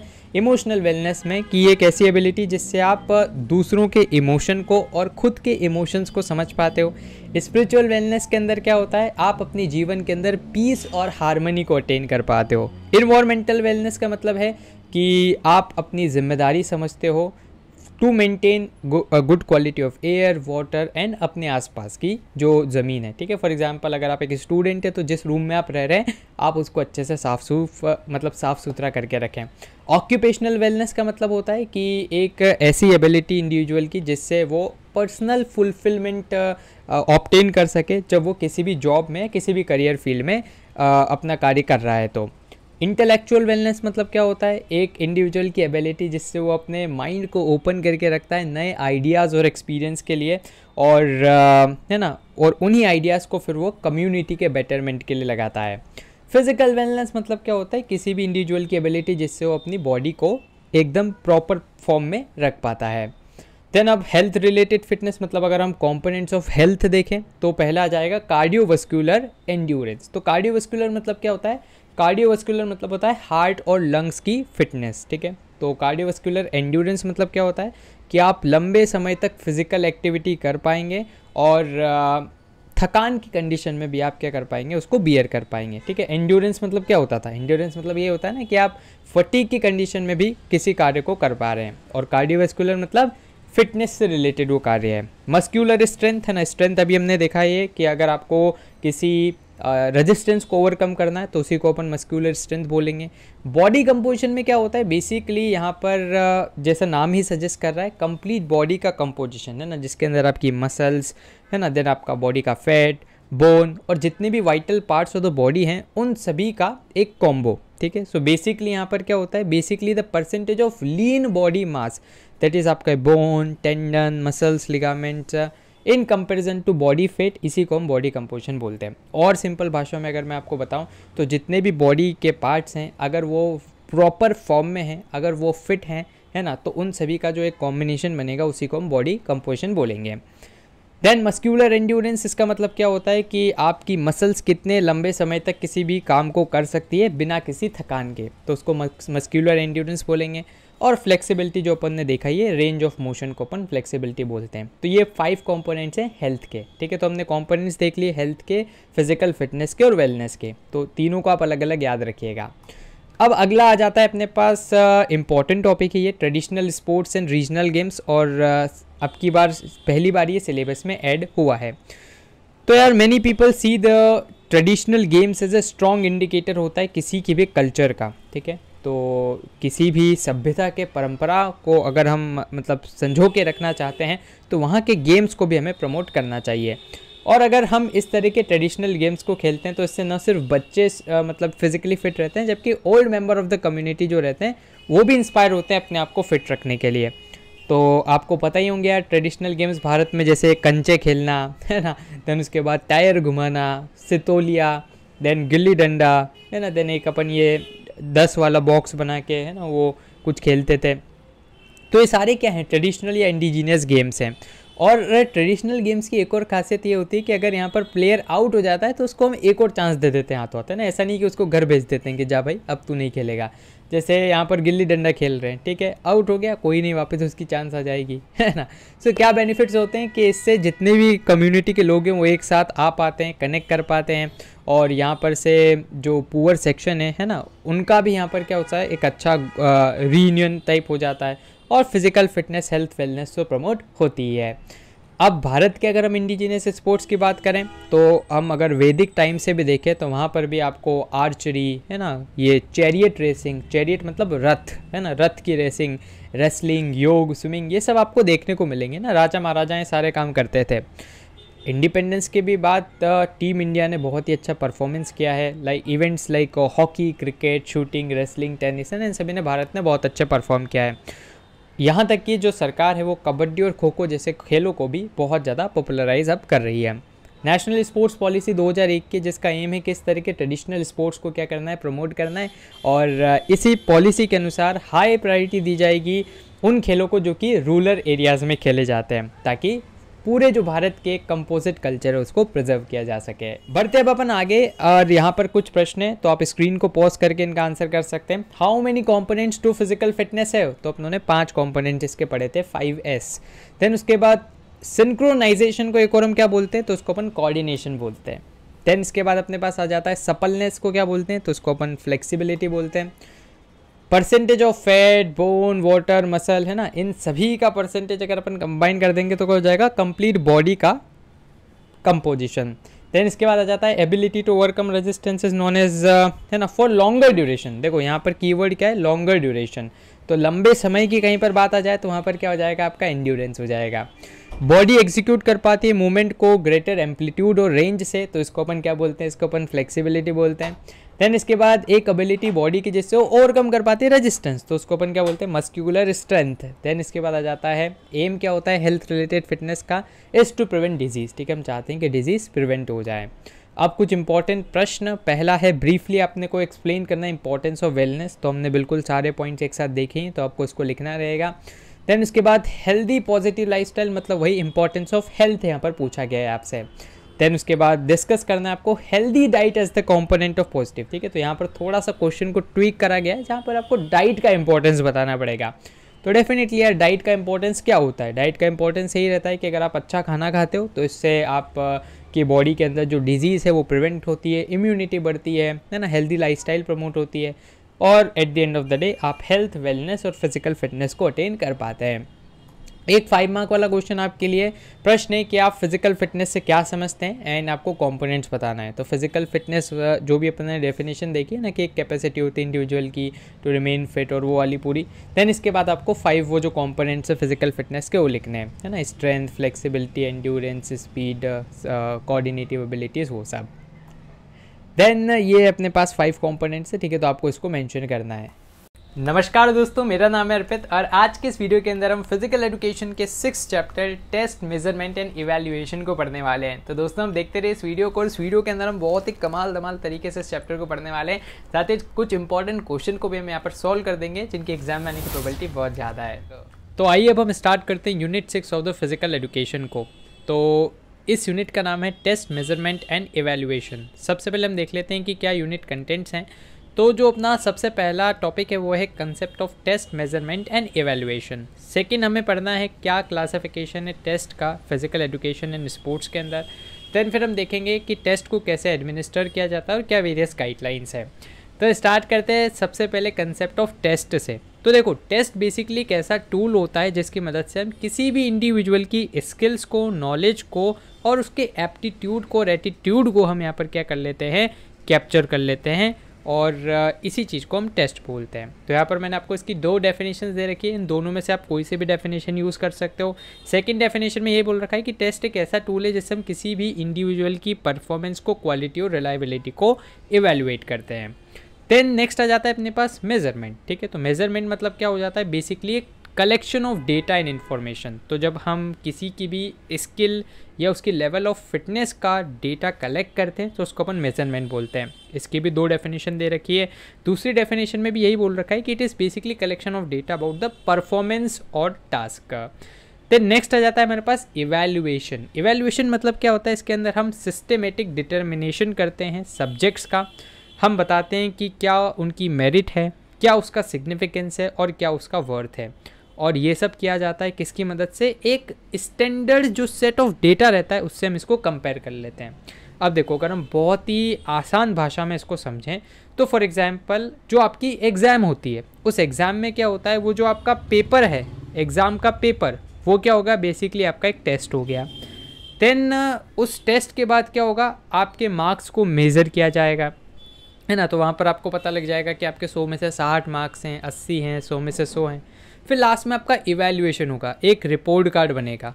और रिपोर्ट कार्ड के अंदर क्या होगा? हर एक सब्जेक्ट के लिए आपको ग्रेड दे दी जाएगी कि अच्छा अगर आपके 90 प्लस मार्क्स हैं तो आपको ए प्लस ग्रेड मिलती है। अगर आपके 80 से 90 के बीच में मार्क्स हैं तो आपको बी ग्रेड मिलती है ए ग्रेड मिलती है। तो इवेल्युएशन में क्या हो रहा है? हमने पहले के एक स्टैंडर्ड बना रखा है कि भाई 90 से 100 के बीच में मार्क्स है तो ए प्लस हो जाएगा। तो अब उससे हमने कंपेयर किया आपके मार्क्स को कि भाई, इसके 89 मार्क्स आ रहे हैं। मतलब 80 से 90 वाली ब्रैकेट में ही है तो इसको ए ग्रेड दे दो, ठीक है? तो वो होता है इवेल्युएशन उम्मीद है आपको तीनों चीज़ें समझ में आ जाए आ गई होगी और तीनों में क्या क्या डिफरेंस है वो समझ में आ गया होगा. अब बढ़ते अपन आगे, क्या इंपॉर्टेंस है भैया इस प्रोसेस का? तो इससे हम ऑब्जेक्टिव्स बना सकते हैं अपने करिकुलम के, या फिर स्पोर्ट्स के भी. देन इसके बाद इससे हम किसी भी प्लेयर को सिलेक्ट कर सकते हैं। जैसे आपने देखा होगा, एक यो यो फिटनेस टेस्ट होता है क्रिकेट के अंदर। तो उसमें क्या होता है? हम किसी भी क्रिकेट खिलाड़ी की फिटनेस को पहले ही जान लेते हैं कि भाई ये खेलने लायक है या नहीं है। नहीं है तो उसको रिजेक्ट करो। देन उसके बाद आप लर्नर्स को इवेलुएट कर सकते हो। आप कंप्लीट टीचिंग प्रोग्राम को इवेलुएट कर सकते हो। फॉर एग्ज़ाम्पल मैंने आपको फ़िज़िकल पढ़ाई, फिर मैंने टेस्ट लिया, सारे बच्चे फेल हो गए। तो इसका मतलब क्या हो कि शायद मैंने अच्छे से नहीं पढ़ाया है। देन इसके बाद क्या है? Know the capabilities and capacities abilities है ना? ये सब आप किसी भी प्लेयर की पता लगा सकते हो। अब आ जाता है भाई साहब क्लासिफिकेशन ऑफ़ टेस्ट तो देखो, शिक्षा के क्षेत्र में ये जो टेस्ट रहते हैं, चार प्रकार के आपको देखने को मिलते हैं। एक होता है डायग्नोस्टिक टेस्ट एक होता है formative test benchmark test and summative test इसको याद रखना सीधा सीधा प्रश्न आपकी परीक्षा में आ सकता है कि कितने तरीके के टेस्ट होते हैं। है ना? हमने टेस्ट की इंपॉर्टेंस देख लिया, अब हम टाइप्स ऑफ़ टेस्ट देख रहे हैं। तो पहला आ जाता है अपने पास डायग्नोस्टिक टेस्ट डायग्नोस्टिक टेस्ट के अंदर हम क्या करते हैं? हम किसी भी स्टूडेंट के लेवल को पता लगाते हैं कि भैया कोर्स चालू होने से पहले इस बच्चे का कितना लेवल है? जैसे आपने देखा होगा, कभी भी आप किसी नए स्कूल में एडमिट होने जाते हो तो वहाँ पर आपका एक एडमिशन टेस्ट लिया जाता है. और वो जो एडमिशन टेस्ट लिया जाता है, वो इसलिए लिया जाता है ताकि पता लगाया जाए, भैया, ये जो बच्चा आ रहा है किस लेवल का है? अगर इसका लेवल छठी क्लास इतना है तो उसको छठी में रखो। अगर पाँचवीं इतना है तो उसको पाँचवीं में रखो। ठीक है तो इस तरह से टेस्ट लिया जाता है। तो इसी को अपन डायग्नोस्टिक टेस्ट बोलते हैं। ठीक है तो याद रखना, हमेशा कब लिया जाएगा? जब कोर्स आपका स्टार्ट हो रहा होगा, उसके पहले। तो ये स्टार्टिंग में ही ले लिया जाता है, जिससे पता लग जाता है भाई साहब, किस लेवल का वो स्टूडेंट है और किस तरह से उस पर आगे काम करना है हमें, है ना? तो स्पोर्ट्स के क्षेत्र में भी, जैसे फॉर एग्जांपल किसी को आपको इंटरनेशनल लेवल पे क्रिकेट खिलाना है तो आप उसको दो तीन बॉल्स फेंकोगे, है ना, उसको बैटिंग करवाओगे बाई चांस उस लेवल का नहीं होगा तो फिर आपको उस उस हिसाब से आपको उस पर काम करना पड़ेगा। ठीक है तो ये होता है अपना डायग्नोस्टिक टेस्ट और इसको टीचर्स यूज़ करते हैं जिससे उनको पता लग जाता है कि किस ऑडियंस को उनको कैटर करना है, किस तरह के बच्चों को उन्होंने पढ़ाना है, और किस पॉइंट पे बच्चे ज़्यादा कमज़ोर हैं। ठीक है फॉर एग्जांपल एक करिकुलम है, जिसके अंदर थोड़ा सा एनालिटिकल पार्ट है, थोड़ा सा याद करने वाला पार्ट है मतलब फैक्चुअल पार्ट है अब टीचर ने देखा कि भाई साहब फैक्चुअल तो इन सभी को आ रहा है, ये कर रहे हैं, इसमें अच्छा स्कोर है, लेकिन एनालिटिकल में फंस रहे हैं। तो फिर टीचर क्या करेगा? एनालिटिकल पार्ट पे ज़्यादा फोकस करेगा। और यही टूल आपको मतलब हेल्प कर सकता है पेरेंट्स को भी, है ना? वो भी अपने बच्चों के लेवल्स को पता लगा सकते हैं और फिर उस हिसाब से उनकी कोचिंग्स लगवा सकते हैं कि अच्छा भाई, तू मैथ्स में वीक है, जा बेटा, पहली फुर्सत में कोचिंग लगा ले। देन इसके बाद सेकेंड आ जाता है अपने पास फॉर्मेटिव टेस्टिंग तो फॉर्मेटिंग टेस्टिंग में क्या होता है? तो ये यार इस तरीके की टेस्टिंग है जिसके अंदर हम क्या करते हैं? ड्यूरिंग द लेसन किसी भी बच्चे का टेस्ट लेते हैं। ठीक है तो टीचर पढ़ाएगा, पढ़ाने के बाद हाथ क्या टेस्ट ले लेगा? जैसे अभी ये जैसे लेक्चर मतलब अपना मैं आपको पढ़ा दूँगा, उसके बाद मैं आपका टेस्ट लूँगा कि भाई आपको कितना आपने रिटेन किया है। तो इसमें क्या होता है? इससे टीचर को पता लग जाता है कि भैया मटेरियल की क्वालिटी कैसी है? मतलब जो मैंने आपको कंटेंट डिलीवर किया है, क्या उसके बेसिस पे आप आंसर कर पा रहे हो, नहीं कर पा रहे हो? नहीं कर पा रहे हो तो फिर क्या? वो एक फीडबैक मैकेनिज्म की तरह सर्व होगा और अगली क्लास में फिर उस चीज़ को कवर किया जाएगा।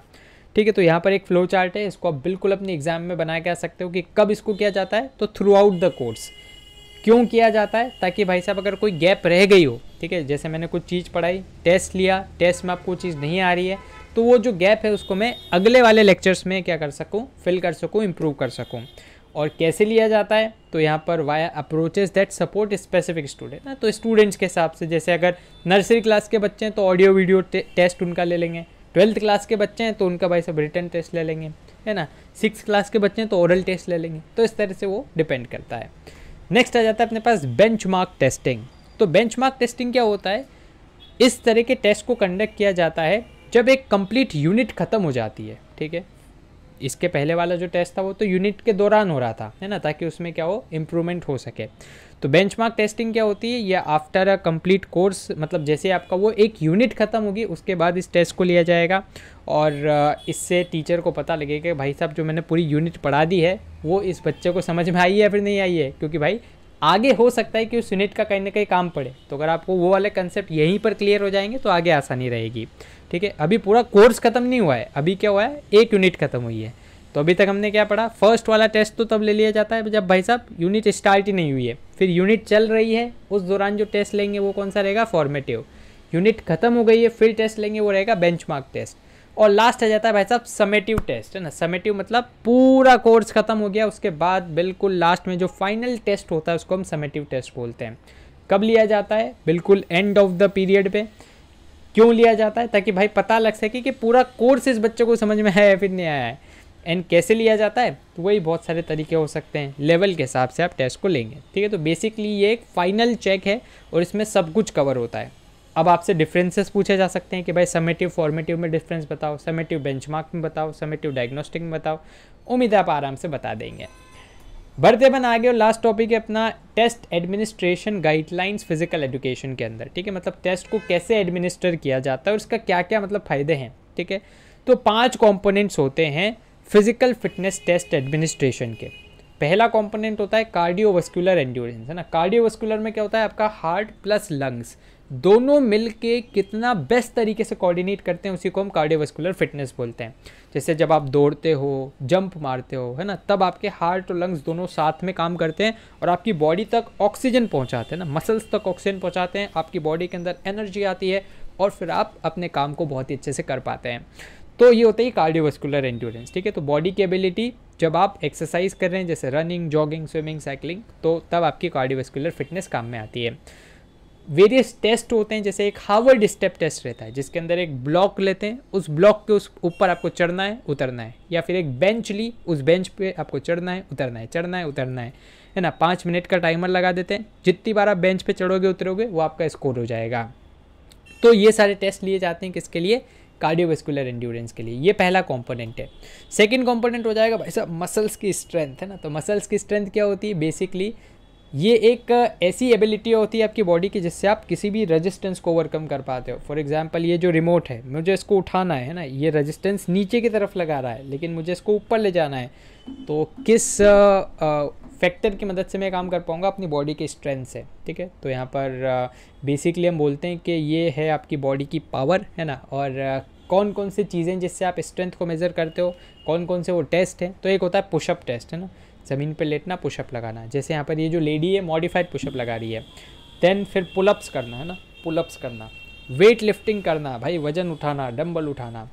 देन आ जाता है मस्क्यूलर एंड्योरेंस एंड्योरेंस क्या होता है? ये होता है किसी भी इंडिविजुअल की कैपेसिटी कि वो फटीग या थकान की कंडीशन में भी अपने काम को जारी रख सके। ठीक है? फॉर एग्जांपल भाई आप दौड़ रहे हो दौड़ते दौड़ते थक गए हाफने लग गए। लेकिन उस टाइम पे भी अगर आप अपनी बॉडी को पुश कर पा रहे हो कि नहीं भाई, अभी एक और राउंड मार लूँगा मैं तो उसको अपन एंड्योरेंस स्टेमिना बोलते हैं। और इसको टेस्ट हम कैसे करते हैं कि आप कितने सिटअप्स कर पा रहे हो, कितने आप पुशअप्स कर पा रहे हो, कितने पुलअप्स कर पा रहे हो, कितने आप दौड़ पा रहे हो, है ना, कितने डिस्टेंस कवर कर पा रहे हो तो वो सारे इसके टेस्ट हो जाएँगे। देन अगला आ जाता है फ्लेक्सिबिलिटी है ना। फ्लेक्सिबिलिटी मतलब एक रेंज ऑफ़ मोशन आपके जो जॉइंट है, कितना रेंज ऑफ़ मोशन उसमें है, इसके लिए वेरियस टेस्ट हैं, जैसे सिट एंड रीच टेस्ट है ना? तो इसमें आप क्या करते हो? एक बॉक्स लेते हो, आप नीचे बैठ जाते हो, फिर अपने दोनों हाथों से अपने पैरों को टच करते हो। तो ये सिट एंड रीच टेस्ट रहता है, एक फ्लोर टच टेस्ट रहता है टो टेस्ट रहता है। ठीक है बेसिक टेस्ट रहते हैं, जो कि आपकी फ्लेक्सिबिलिटी को मेज़र करते हैं टेस्ट करते हैं। फिर बॉडी कंपोजिशन मतलब क्या होता है? ये आपके परसेंटेज ऑफ़ बॉडी वेट रहता है। या फिर आप इसको दूसरी भाषा में बोल सकते हैं कि ये क्या रहता है? ये आपका फैट रहता है as compared to bone muscle ligament etcetera ठीक है? मतलब पूरी बॉडी का कंपोजिशन जिसमें आपके सारे बॉडी पार्ट्स आ जाते हैं। अब कैसे आपको पता लगेगा कि भाई आपकी बॉडी एकदम मस्त फॉर्म में है परफेक्ट फॉर्म में है? तो इसके लिए आप बीएमआई टेस्ट ले सकते हैं ना। बीएमआई होता है बॉडी मास इंडेक्स जिसके अंदर हम क्या करते हैं? हाइट को मेज़र कर सकते हैं। जैसे यहाँ पर ये डॉक्टर मैडम क्या कर रही है? इसकी हाइट को मेज़र कर रही है। नीचे इसके वेट को मेज़र किया जाएगा।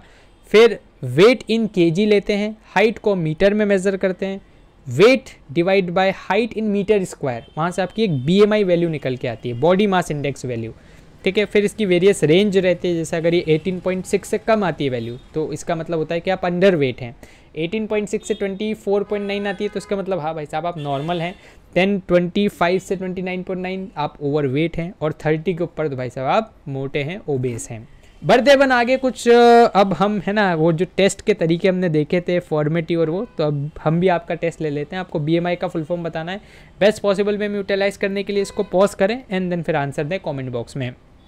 बीएमआई की फुल फॉर्म क्या होती है? बॉडी मास इंडेक्स फॉर्मूला क्या होता है? तो ये भी हमने देखा था भाई वेट होता है आपका के में मतलब weight of the body divide by height in metre और उसका स्क्वायर तो option number D Harvard step test measure क्या करता है? मैंने आपको बताया था, एक बेंच लेते हैं, उस पर चढ़ते हैं, उतरते हैं, चढ़ते उतरते हैं तो ये आपकी कार्डियोवस्कुलर फिटनेस को टेस्ट करता है, या कार्डियोवस्कुलर एंड्योरेंस को टेस्ट करता है।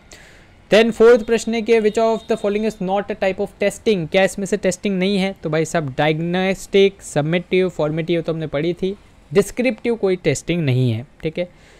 पांचवा प्रश्न है कि which type of testing typically happen the start starting में क्या हम करते हैं? तो वो करते हैं डायग्नोस्टिक टेस्टिंग के बच्चों को कितना आता है। शॉर्ट आंसर प्रश्न तो यहाँ पर आपसे पूछा जा सकता है कि आप टेस्ट से क्या समझते हैं मेज़रमेंट से क्या समझते हैं इवेल्युएशन से क्या समझते हैं। तो हर एक के मैंने आपको दो दो डेफिनेशन दिए, जो आपको याद रहे, उसको आप लिख के आ जाना। लॉन्ग आंसर प्रश्न की बात की जाए तो यहाँ पर आपसे पूछा गया है, पाँच कंपोनेंट्स कौन से फ़िज़िकल फिटनेस के? तो आपको वही बताना है बॉडी कंपोजिशन है ना एंड्योरेंस कार्डियोवस्कुलर वो जो पाँच हमने देखा एज इट इज़ आपको यहाँ पर उसको लिखना है। एक प्रैक्टिस प्रश्न आपके लिए यहाँ पर लिखा हुआ है कि रविशंकर नाम के एक फ़िज़िकल एजुकेशन के टीचर हैं और वो किसी प्रोजेक्ट पर काम कर रहे हैं जहाँ पर उनको डेटा को कलेक्ट करना है ताकि वो फ़िज़िकल फिटनेस को, बच्चों की क्या फ़िज़िकल फिटनेस उसको देख सकें। है ना? वो प्लान करते हैं कि भाई मैं मस्क्यूलर स्ट्रेंथ देखूँगा बच्चों की। तो लिस्ट आपको करना है कि कौन कौन से टेस्ट वहाँ पर कंडक्ट किए जा सकते हैं और क्या प्रोसीजर है। ठीक है? तो आसान है। मस्क्यूलर टेस्ट अपनों ने देखा था। मस्क्यूलर स्ट्रेंथ आपको टेस्ट करना है तो आप पुशअप्स करवाओ पुलअप्स कराओ। है ना? ये सब अगर आप काम कराओगे तो आप मस्कुलर स्ट्रेंथ को टेस्ट कर सकते हो। अब कैसे पुशअप्स करते हैं, उसकी प्रोसीजर बस आपको लिखनी है, ठीक है? मन से भी लिख सकते हो और आपका काम हो जाएगा। और स्कोरिंग कैसे होगी? तो number of pushups in one minute number of pullups in one minute वही आपका स्कोर हो जाएगा। तो इसको आप अटेम्प्ट करना कमेंट बॉक्स में आप इसका आंसर करना, मैं आपके सारे आंसर्स को चेक कर नमस्कार दोस्तों, मेरा नाम है अर्पित और आज के इस वीडियो के अंदर मैं आपको बताने वाला हूँ फ़िज़िकल एजुकेशन के chapter seven fundamentals of anatomy and physiology in sports के बारे में। तो दोस्तों, आप देखते रहिए इस वीडियो को और इस वीडियो के अंदर हम बहुत सारे इंपॉर्टेंट क्वेश्चन को भी सॉल्व करने वाले हैं, जिनके एग्ज़ाम में आने की प्रॉबिलिटी बहुत ही ज़्यादा है। तो आइए अब हम स्टार्ट करते हैं unit seven of physical education और इस यूनिट का नाम है fundamentals of anatomy and physiology in sports. तो यार, ये जो यूनिट है, वो कम्प्लीटली बायोलॉजी के ऊपर बेस्ड है। हालाँकि हमें एक फाइन बैलेंस बना के चलना पड़ेगा बायोलॉजी और फ़िज़िकल एजुकेशन के अंदर। तो सबसे पहले देख लेते हैं कि यार क्या क्या हमें इस यूनिट के अंदर पढ़ना है। तो हमें देखना है कि क्या डेफिनेशन और इम्पोर्टेंस होती है एनेटोमी एंड फिजियोलॉजी की। और पर्टिकुलरली अपने को फोकस रखना है एक्सरसाइज और स्पोर्ट्स के फ़ील्ड में। देन फिर हमें देखना है स्केलेटल सिस्टम के क्या फ़ंक्शंस होते हैं, कैसे हम बोन्स को क्लासीफाई करते हैं टाइप्स ऑफ़ जॉइंट्स कितने होते हैं। तो यहाँ पर भी हमें ध्यान रखना पड़ेगा कि हम बहुत ज़्यादा बायोलॉजी में ना घुस जाएँ। देन इसके बाद हम देखेंगे function and structure of the circulatory system और हार्ट का। एंड देन रेस्पिरेटरी सिस्टम को हम यहाँ पर देखेंगे। तो सबसे पहले स्टार्ट करते हैं हम एनाटॉमी के साथ। तो यार एनाटॉमी एक ब्रांच होती है बायोलॉजी की, जो कि डील करती है with the study of body structure of an organism जिसके अंदर आपका सिस्टम ऑर्गेन्स टिश्यूज ये सब आ जाते हैं। ये जो वर्ड एनाटॉमी है, इसको डिराइव किया गया है एक ग्रीक शब्द एनाटॉम से, जिसका मतलब होता है डाइसेक्ट या फिर किसी भी चीज़ को कट अपार्ट कर देना। जैसे आपने सुना होगा पोस्टमार्टम के बारे में तो उसमें क्या होता है कि पूरी बॉडी को एकदम कट अपार्ट कर दिया जाता है और वहाँ पर देखा जाता है कि क्या पॉसिबल कॉज ऑफ़ डेथ हो सकता था।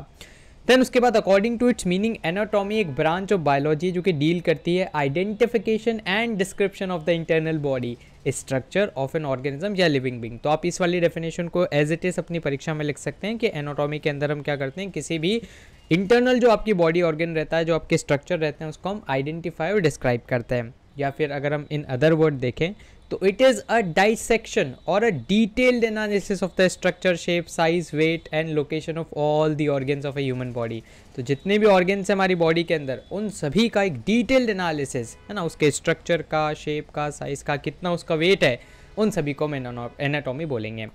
देन इसके बाद नेक्स्ट शब्द था, वो है फिजियोलॉजी फिजियोलॉजी मतलब क्या होता है? ये डिराइव किया गया है शब्द फिजिक्स से, है ना? या फिर फिजियो से. और फिजियो का मतलब होता है नेचर एंड लॉजी का मतलब होता है स्टडी तो अगर हम देखें फिजियोलॉजी तो इसको डिफाइन किया जा सकता है as a branch of biology जो कि डील करता है with the function and activity of all the system ठीक है?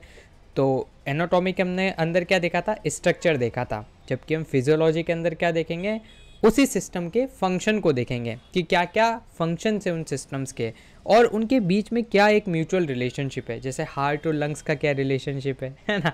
तो इसको हम यहाँ पर देखने वाले हैं।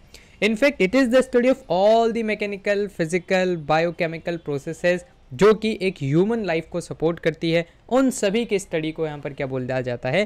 फिजियोलॉजिकल स्टडी या फिर ह्यूमन फिजियोलॉजी अब हम देख लेते हैं कि यार क्या इंपॉर्टेंस होता है एनाटॉमी और फिजियोलॉजी पढ़ने का। तो अगर किसी एथलीट को उसकी एनाटॉमी और फिजियोलॉजी के बारे में पता है तो हम या फिर वो जो एथलीट है अपनी बॉडी को और बेहतर तरीके से समझ सकता है। वो अगर कोई स्पोर्ट्स इंजरीज हो सकती है उसको आगे फ्यूचर में तो उसको अभी से प्रिवेंट कर सकता है।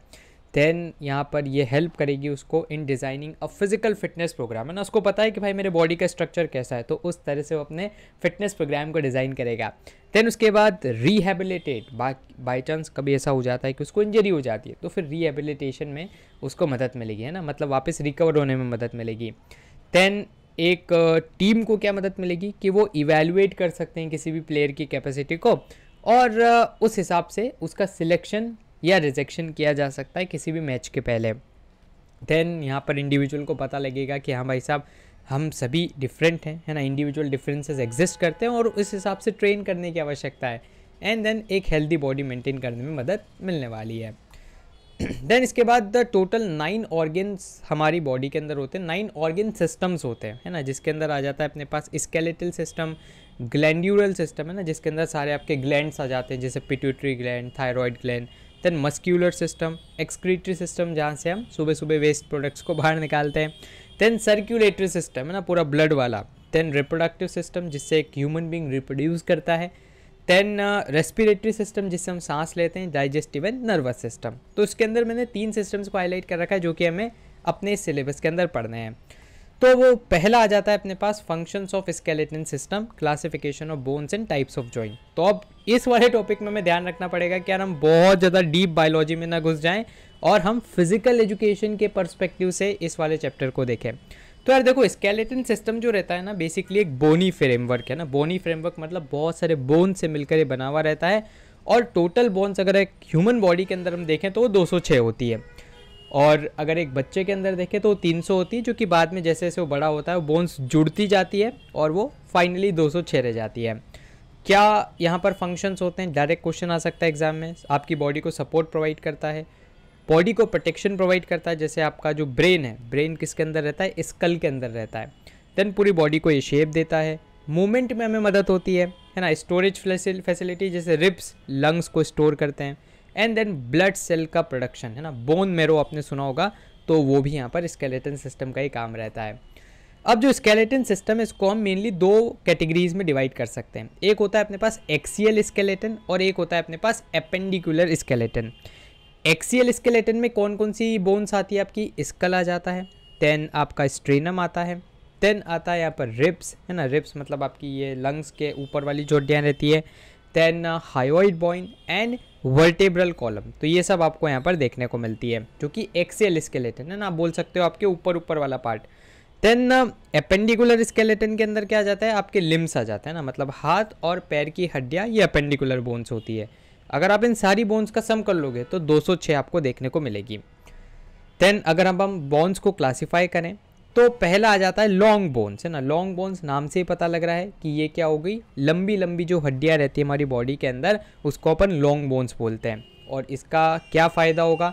पहली बात तो ये हमारी पूरी बॉडी को एक स्ट्रक्चर प्रोवाइड करेगी और दूसरा है कि ये मूवमेंट में हमारी मदद करेगी ना? जैसे हाथों की हड्डियाँ, पैरों की हड्डियाँ।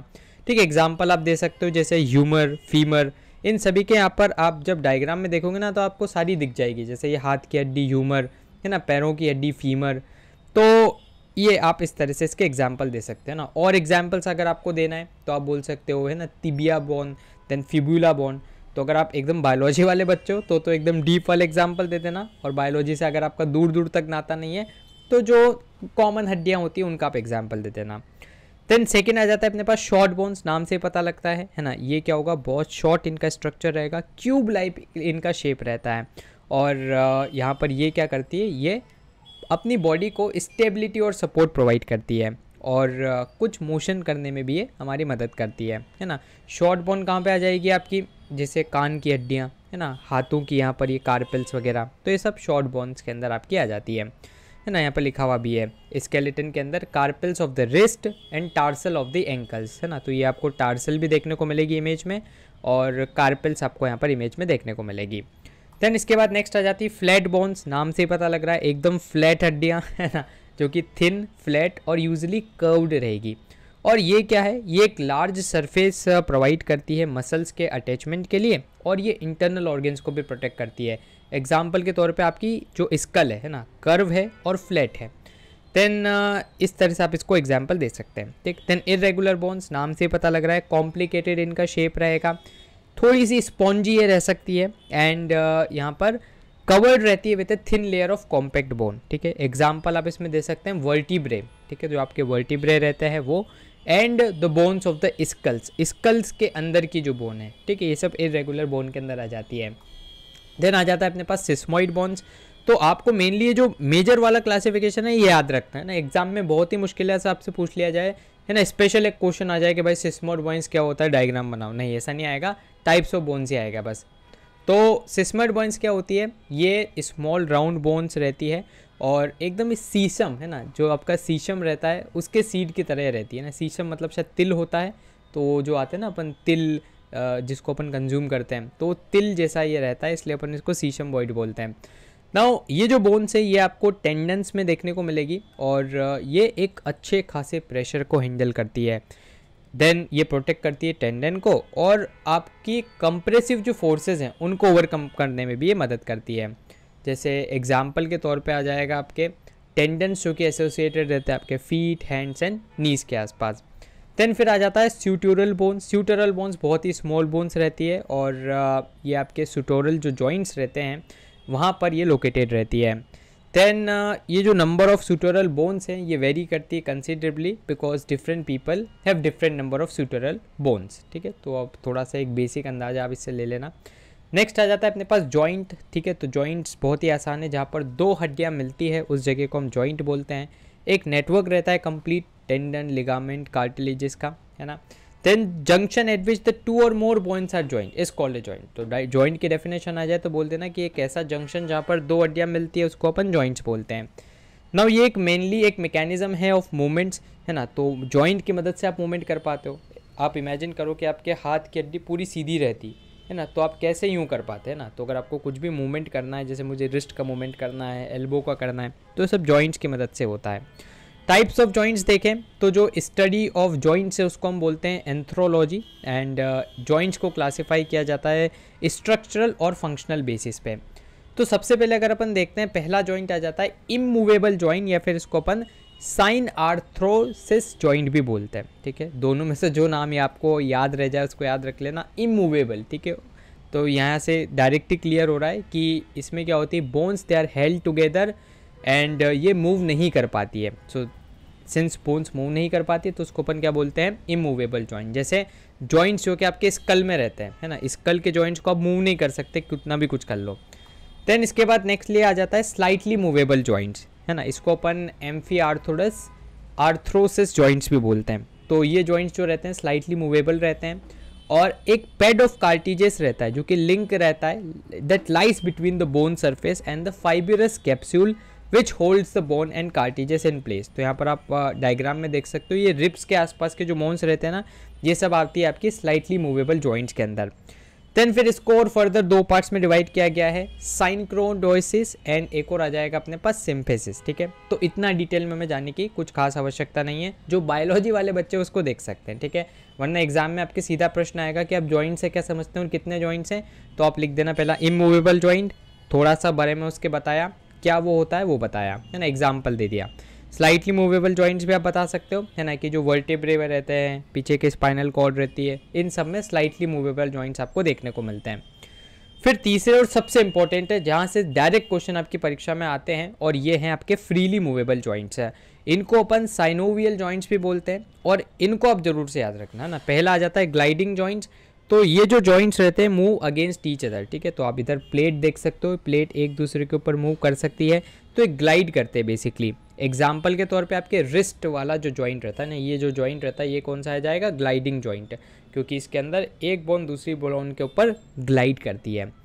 देन इसके बाद नेक्स्ट आ जाता है हिंज जॉइंट है ना? हिंज कहाँ पर रहता है? दरवाजे में आपने देखा होगा, पीछे एक कब्जा लगा हुआ रहता है, उसी को अपन हिंज बोलते हैं। तो हिंज जॉइंट के अंदर क्या होता है? Basically one end of such joint has a concave shape तो एक एंड इसका कैसा रहेगा? कॉनकेव शेप का रहेगा while other has convex shape तो ये कई डायग्राम आप एग्ज़ाम में बना के आ सकते हो जो साइड में बना हुआ है है ना? एक एंड है कॉनकेव एक एंड है कॉन्वेक्स और इसके कारण मूवमेंट पॉसिबल हो पाता है.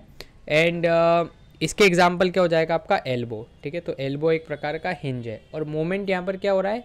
एक ही वे में आप कर सकते हो ना? जैसे मैं इसको यूँ करके यूँ उल्टा मूवमेंट नहीं कर पाऊँगा ठीक है? मतलब ये जो जॉइंट है, बस ये ऐसे ही जाएगा, है ना? ये यूँ करके, यूँ ऊपर की साइड नहीं जाएगा, करके देख लेना। फिर आ जाता है अपने पास कॉन्डिलॉइड जॉइंट्स कॉन्डिलॉइड जॉइंट्स ये सिमिलर रहते हैं ऑलमोस्ट हिंज जॉइंट से, लेकिन इसमें जो मोमेंट रहता है ना? वो दोनों प्लेन्स पे हो जाता है आपका। एंड uh, इसके कारण आप फ्लेक्शन एक्सटेंशन और सर्कुलर मोशन कर पाते हैं। ठीक है मेन तो आप ध्यान रखना कि कैंडेलॉइड जो जॉइंट्स रहते हैं इसमें सर्कुलर मूवमेंट भी पॉसिबल रहता है। जैसे कलाई का यहाँ पर जो जॉइंट है जिससे आप सर्कुलर मूवमेंट कर पा रहे हो इसको आप मैंशन कर सकते हो। फिर आ जाता है अपने पास सेडल जॉइंट सेडल जॉइंट क्या होता है? ये आपको फ्लेक्शन एक्सटेंशन तो करने देता है है ना? फ्लेक्शन मतलब आपके बोन्स को चेस्ट के पास में लाना। एक्सटेंशन मतलब चेस्ट से दूर ले जाना। तो फ्लेक्शन एक्सटेंशन तो आप कर पाओगे। लेकिन आप इसमें रोटेशन नहीं कर पाओगे, ठीक है? और एग्ज़ाम्पल के तौर पे आपका जो थंब का सेडल जॉइंट है, ठीक है? ये जो थंब का जॉइंट है सेडल जॉइंट तो ये आपका हो जाएगा कौन सा? सेडल जॉइंट के अंदर आप इसको मेंशन कर सकते हो। Then ball in socket joint क्या होता है? ये ऐसे जॉइंट्स रहते हैं जिसको आप फ्रीली रोटेट कर सकते हो किसी भी एक्सेस पे। सबसे बेस्ट इसका एग्ज़ाम्पल हो जाएगा शोल्डर वाला जॉइंट है ना? 360 डिग्री मूवमेंट आप कर सकते हो। फिर पाइवोट जॉइंट क्या होता है? रोटेटरी मूवमेंट जैसे आपकी गर्दन है है ना? यहाँ पर डायग्राम आप इस तरह का बना सकते हो। तो रोटेटरी मूवमेंट इसमें पॉसिबल रहता है और एग्ज़ाम्पल आ जाएगा आपका नेक बढ़ते आगे, अब नेक्स्ट टॉपिक है अपने पास function in structure of circulatory system या हार्ट अब यहाँ पर आ जाता है। तो सर्क्यूलेटरी सिस्टम क्या होता है? ग्रुप ऑफ़ ऑर्गन रहता है जो कि ब्लड को सर्कुलेट करता है और जितने भी न्यूट्रिएंट्स रहते हैं, जैसे amino acid electrolytes oxygen carbon dioxide hormone इन सभी को क्या करता है? वो एक पार्ट ऑफ़ बॉडी से दूसरे पार्ट ऑफ़ बॉडी तक पहुँचाता है। अब, ये एक वास्ट नेटवर्क ऑफ़ ऑर्गेन्स हैं ब्लड वेसल्स हैं, है ना? जो कि एक डिलीवरी सिस्टम की तरह काम करते हैं और कहीं ना कहीं वेस्ट को रिमूव करने में भी मदद करते हैं। सर्कुलेटरी सिस्टम को मेनली दो पार्ट्स में डिवाइड किया जाता है। एक होता है पल्मोनरी सर्किट है ना? ये आपने पढ़ा है क्लास टेंथ के अंदर ठीक है? इतना डिटेल में अलग आपसे शायद ही पूछा जाए फ़िज़िकल में तो। सो so, दो पार्ट्स में डिवाइड किया जाता है। एक है पल्मोनरी सर्किट है ना? और एक है अपने पास सिस्टमेटिक सर्कुलेशन पल्मोनरी सर्कुलेशन में क्या होता है? आपका हार्ट लंग से कनेक्टेड जब रहता है ठीक है? जब हार्ट और लंग के बीच में आ, वो हो रहा है एक्सचेंज हो रहा है तो उसको अपन बोलते हैं पल्मोनरी ठीक? और ये क्या होता है? इट इज़ फॉर ऑक्सीजनेशन जबकि सिस्टमेटिक सर्किट में क्या होता है? जो हार्ट से पूरी बॉडी का कनेक्शन रहता है, ठीक है? तो इसमें आप बस ब्लड को क्या करते हो? ट्रांसफ़र करते हो डिस्ट्रीब्यूट करते हो थ्रू आउट दी बॉडी या टिश्यूज़ तो उसको अपन बोलते हैं सिस्टमेटिक तो दो पार्ट्स में डिवाइडेड है। देन इसके बाद आगे अपन चलते हैं। स्ट्रक्चर अगर हम देखें सर्कुलेटरी सिस्टम का तो तीन मेन पार्ट्स हैं. Heart then blood vessels and blood itself heart जो रहता है, ये एक hollow muscular cone shape organ रहता है। ठीक है तो ये मैंने जो इमेज बना रखी है, इसको आप बिल्कुल अपनी परीक्षा में बना सकते हैं। तो ये क्या है, एक hollow muscular cone shape organ है ये एक ऑर्गेन है, जिसके बिना आप जी नहीं सकते। ठीक है तो दिल धड़कना बहुत ज़रूरी है। जैसे दिल धड़कना स्टॉप होता है तो आदमी ख़त्म हो जाता है। No as the only organ of the circular as the only organ of the circulatory organ heart is responsible for pumping blood. तो ब्लड को पंप करने का काम कौन करता है? ये हार्ट करता है। हार्ट लोकेटेड रहता है just under the rib cage है ना? तो रिप केज के जस्ट अंडर आपको ये हार्ट देखने को मिलेगा। And between the lungs and incline towards the left ठीक है? तो हमेशा आपको याद ही होगा कि हार्ट कौन सी साइड में रहता है? लेफ़्ट हैंड साइड में आपको देखने को मिलता है। इसका वज़न 300 ग्राम के आसपास रहता है। देन uh, एक दिन में हार्ट बीट्स अबाउट पंद्रह हज़ार दो सौ टाइम ठीक है? तो जनरली एक मिनट में सेवेंटी टू टाइम्स और एक दिन में पंद्रह हज़ार दो सौ बार आपका जो दिल है वो धड़कता है। हार्ट का अगर हम स्ट्रक्चर की बात करें तो हार्ट इनक्लोज होता है एक आउटर लेयर में जिसको हम पेरिकार्डियम बोलते हैं and under this layer heart muscles जिसको हम मायोकार्डियम बोलते हैं, वो सिचुएटेड रहती है, ठीक है? अगर गलती से आपसे एमसीक्यू में पूछ लिया जाए तो पूछ लिया जाए। वरना आपको चैम्बर वाला सिस्टम याद रखना है, ठीक है? चार पार्ट्स में इसको डिवाइड किया जाता है। बीच में एक रहता है लाइन जिसको अपन बोलते हैं सेप्टम एंड ऊपर वाले जो दो चैम्बर रहते हैं, उसको अपन बोलते हैं एट्रियम या ऑरिकल और नीचे वाले जो दो चैम्बर्स रहते हैं, उसको हम वेंट्रिकल्स बोलते हैं। तो यहाँ पर मैंने मेंशन कर रखा है left atrium right atrium left ventricle right ventricle बस इतना आपको याद रखना और बीच में रहता है एक सेप्टम तो इस तरह का आप डायग्राम बना सकते हैं, ठीक है? वापस में बोलना चाहूँगा, बहुत डीप बायो में घुसने की ज़रूरत नहीं है। ब्लड वेसल्स क्या रहते हैं? ये ऐसे पैसेजेस रहते हैं, जो कि अलाउ करते हैं ब्लड को फ्लो करने के लिए, ठीक है? अब ब्लड वेसल्स वापस आप तीन तरह के पढ़ेंगे एक होती है आर्टरीज आर्टरीज का काम क्या रहता है? ये ब्लड को हार्ट से दूर ले जाते हैं। ठीक है, अब हार्ट से दूर ले जा रहे हैं तो इसका मतलब वो ब्लड ऑक्सीजनेटेड रहेगा। थोड़ा और डिटेल में अगर आपको जानना है तो ये जो आर्टरीज रहती है, एकदम थिक रहती है है ना, और ज़्यादा प्रेशर इसमें रहता है। देन फिर नेक्स्ट आ जाता है अपने पास वेन्स वेन्स क्या करती है? जो पूरी बॉडी का ब्लड है, उसको हार्ट में वापस लेके आती है। तो अब ये वाला ब्लड रहता है डीऑक्सीजनेटेड और इसका कलर आपको ब्लू देखने को मिलेगा, ठीक है? जबकि आर्टरी का रेड रहता है। देन कैपिलरी जो रहती है, वो एक स्मॉल और सबसे थिनेस्ट है ना common type of blood vessels रहती है। और ये जो ब्लड वेसल्स रहते हैं ना, ये आपके टिश्यूज़ के बहुत ज़्यादा करीब रहती है। तो एकदम पतली दुबली रहती है और इसका एक बहुत ही बड़ा सा नेटवर्क रहता है, जो कि पूरी बॉडी में फैला रहता है। इसका काम रहता है गैसेस को न्यूट्रिएंट्स और वेस्ट प्रोडक्ट्स को एक्सचेंज करना। देन फिर आ जाता है आपका ब्लड तो ब्लड एक स्पेशलाइज फ्लूइड कनेक्टिव टिश्यू है है ना? ये आपने पढ़ा ही होगा। एंड uh, ये एक बहुत ही इंपॉर्टेंट फ़ंक्शन प्ले करता है सर्कुलेटरी सिस्टम में। न्यूट्रिएंट्स ऑक्सीजन इन सभी को एक पार्ट से दूसरे पार्ट में पहुँचाने का ये काम करता है। और इसका एक और काम क्या रहता है? वेस्ट प्रोडक्ट्स को एक्सक्रीशन वाले सिस्टम तक पहुँचाना। तो ये काम भी किसका रहता है? ब्लड का। अब ब्लड को और हम डिवाइड करें तो चार पार्ट्स में आप इसको डिवाइड कर सकते हो। रेड ब्लड सेल्स जो कि क्या करते हैं? ऑक्सीजन कैरी करते हैं टिश्यू तक। वाइट ब्लड सेल्स ये इन्फेक्शन और डिज़ीज़ से आपको बचाते हैं। जैसे अभी कोविड के टाइम पे इम्यूनिटी हमें चाहिए थी तो उसमें सबसे ज़्यादा डब्ल्यू का कॉन्ट्रीब्यूशन था। प्लेटलेट्स क्या करते हैं? प्लेटलेट्स आपके ब्लड को क्लॉट करने में यूज़ होते हैं। जैसे आप खेलते खेलते गिर गए, आपका घुटना छिल गया, हाथ छिल गया तो वहाँ पर आपने देखा होगा, कुछ समय बाद एक पपड़ी जम जाती है। तो वो प्लेटलेट्स जमाने का काम करता है। एंड प्लाज्मा जो रहता है, वो क्या रहता है? वो आपके ब्लड के सेल्स में न्यूट्रिएंट्स में वेस्ट प्रोडक्ट्स को एक पार्ट से दूसरे पार्ट्स तक कैरी करता है। देन इसके बाद अगर हम सर्कुलेटरी सिस्टम के फ़ंक्शन देखें तो पहला इसका फ़ंक्शन है ट्रांसपोर्ट करना। ठीक है, हमने देखा ही है कि ब्लड के टिश्यू मतलब ब्लड को पहुंचाता है ऑलमोस्ट हर एक बॉडी के टिश्यू तक और waste products like carbon dioxide इन सारी चीज़ों को रिमूव भी करता है बॉडी से। देन प्रोटेक्ट करता है ये किससे? तो बॉडी को वेरियस डिजीजेस से प्रोटेक्ट करता है हमारा सर्कुलेटरी सिस्टम जैसे जो आपका डब्ल्यू है है ना, वो आपको इम्यूनिटी प्रोवाइड करता है। देन इसके बाद रेगुलेशन करता है ये तो एक ऐसा इंस्ट्रूमेंट है जो कि क्या करता है? इंटरनल कंडीशंस को रेगुलेट करता है। आपके स्टेबल बॉडी टेम्परेचर को मेंटेन करने में मदद करता है। जैसे अगर आप लद्दाख जाएँगे ना, वहाँ बहुत ज़्यादा ठंड है, फिर भी आपका जो अंडर का सिस्टम है वो एक उसका एवरेज टेम्परेचर मेंटेन रहेगा, ठीक है? देन न्यूट्रिशन प्रोवाइड करता है ये। जो भी इसेंशियल न्यूट्रिएंट्स रहते हैं like vitamin mineral amino acids है ना, इन सभी को ये डिफरेंट डिफरेंट पार्ट्स तक पहुंचाता है ताकि आपकी बॉडी के अंदर एनर्जी बनी रहे। नेक्स्ट आ जाता है अपने पास function in structure of respiratory system तो रेस्पिरेटरी सिस्टम क्या होता है? एक ऐसा सिस्टम रहता है जो कि आपको ब्रीदिंग करने में मदद करता है, आपको सांस लेने में मदद करता है। और बेसिकली क्या होता है इसके अंदर? ऑक्सीजन को लिया जाता है है ना एनवायरमेंट से, और कार्बन डाइऑक्साइड को बाहर छोड़ा जाता है। देन इसमें क्या होता है? स्ट्रक्चर ऑफ़ अगर हम रेस्पिरेटरी सिस्टम देखें तो वही वापस से बहुत डीप बायोलॉजी में नहीं जाना है। बेसिकली अगर हम देखें तो इसको तीन पार्ट्स में हम डिवाइड करते हैं। पहला रहता है एयरवे है ना? जहाँ से आप सांस को अंदर खींचते हो, जैसे नोज़ हो गया माउथ हो गया देन फारनेक्स लारनेक्स है ना? हालाँकि इनका प्रोनाउंसिएशन कुछ और रहता है, लेकिन मैं इसको स्पेलिंग याद करने के लिए फारनेक्स है ना? तो P H A R Y N X तो इसलिए डायरेक्ट याद रहता है फारनेक्स और लारनेक्स तो इससे आप स्पेलिंग गलत नहीं करोगे, है ना? तो ये अलाउ करता है एयर को to enter the body into the lungs ठीक है? तो इससे आपकी जो एयर है, वो लंग्स तक पहुँच जाती है। अब सेकेंड कौन सा आ जाएगा? लंग्स लंग्स क्या करता है? ये वर्क करता है to pass oxygen into the body and remove करता है कार्बन डाइऑक्साइड को।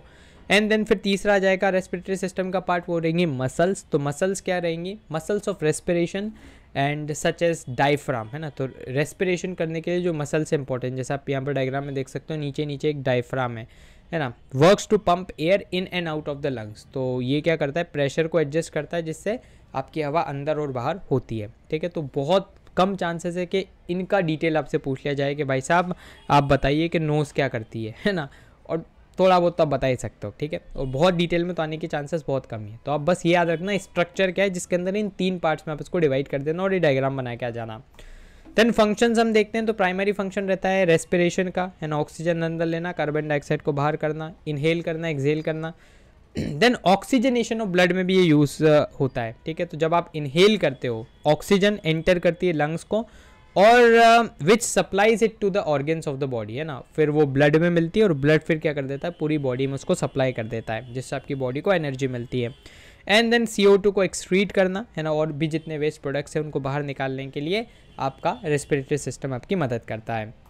अब हम कुछ इंपॉर्टेंट क्वेश्चंस देख लेते हैं। तो एनाटॉमी क्या है? तो एनाटॉमी बेसिकली एक स्टडी uh, है किस चीज़ की? Structure shape size weight of all the organization ठीक है? ऑर्गेनिजम्स तो इनकी स्टडी है। तो option number D then it provides protection to vital organs क्या है वो? स्केलेटल सिस्टम है। देन नेक्स्ट आ जाएगा sesamoid bones are found in wrist में आपको ये सिस्मोइड बॉन्स मिलेंगी। देन द जॉइंट जो कि फैसिलिटेट करता है टर्निंग एंड ट्विस्टिंग मूवमेंट ठीक है? तो टर्निंग ट्विस्टिंग मूवमेंट ये आपका गले वाला जॉइंट पाइवोट जॉइंट देन इसके बाद बॉल एंड सॉकेट जॉइंट कहाँ पर सिचुएटेड है? शोल्डर में। इसको अपन ने देखा ही है।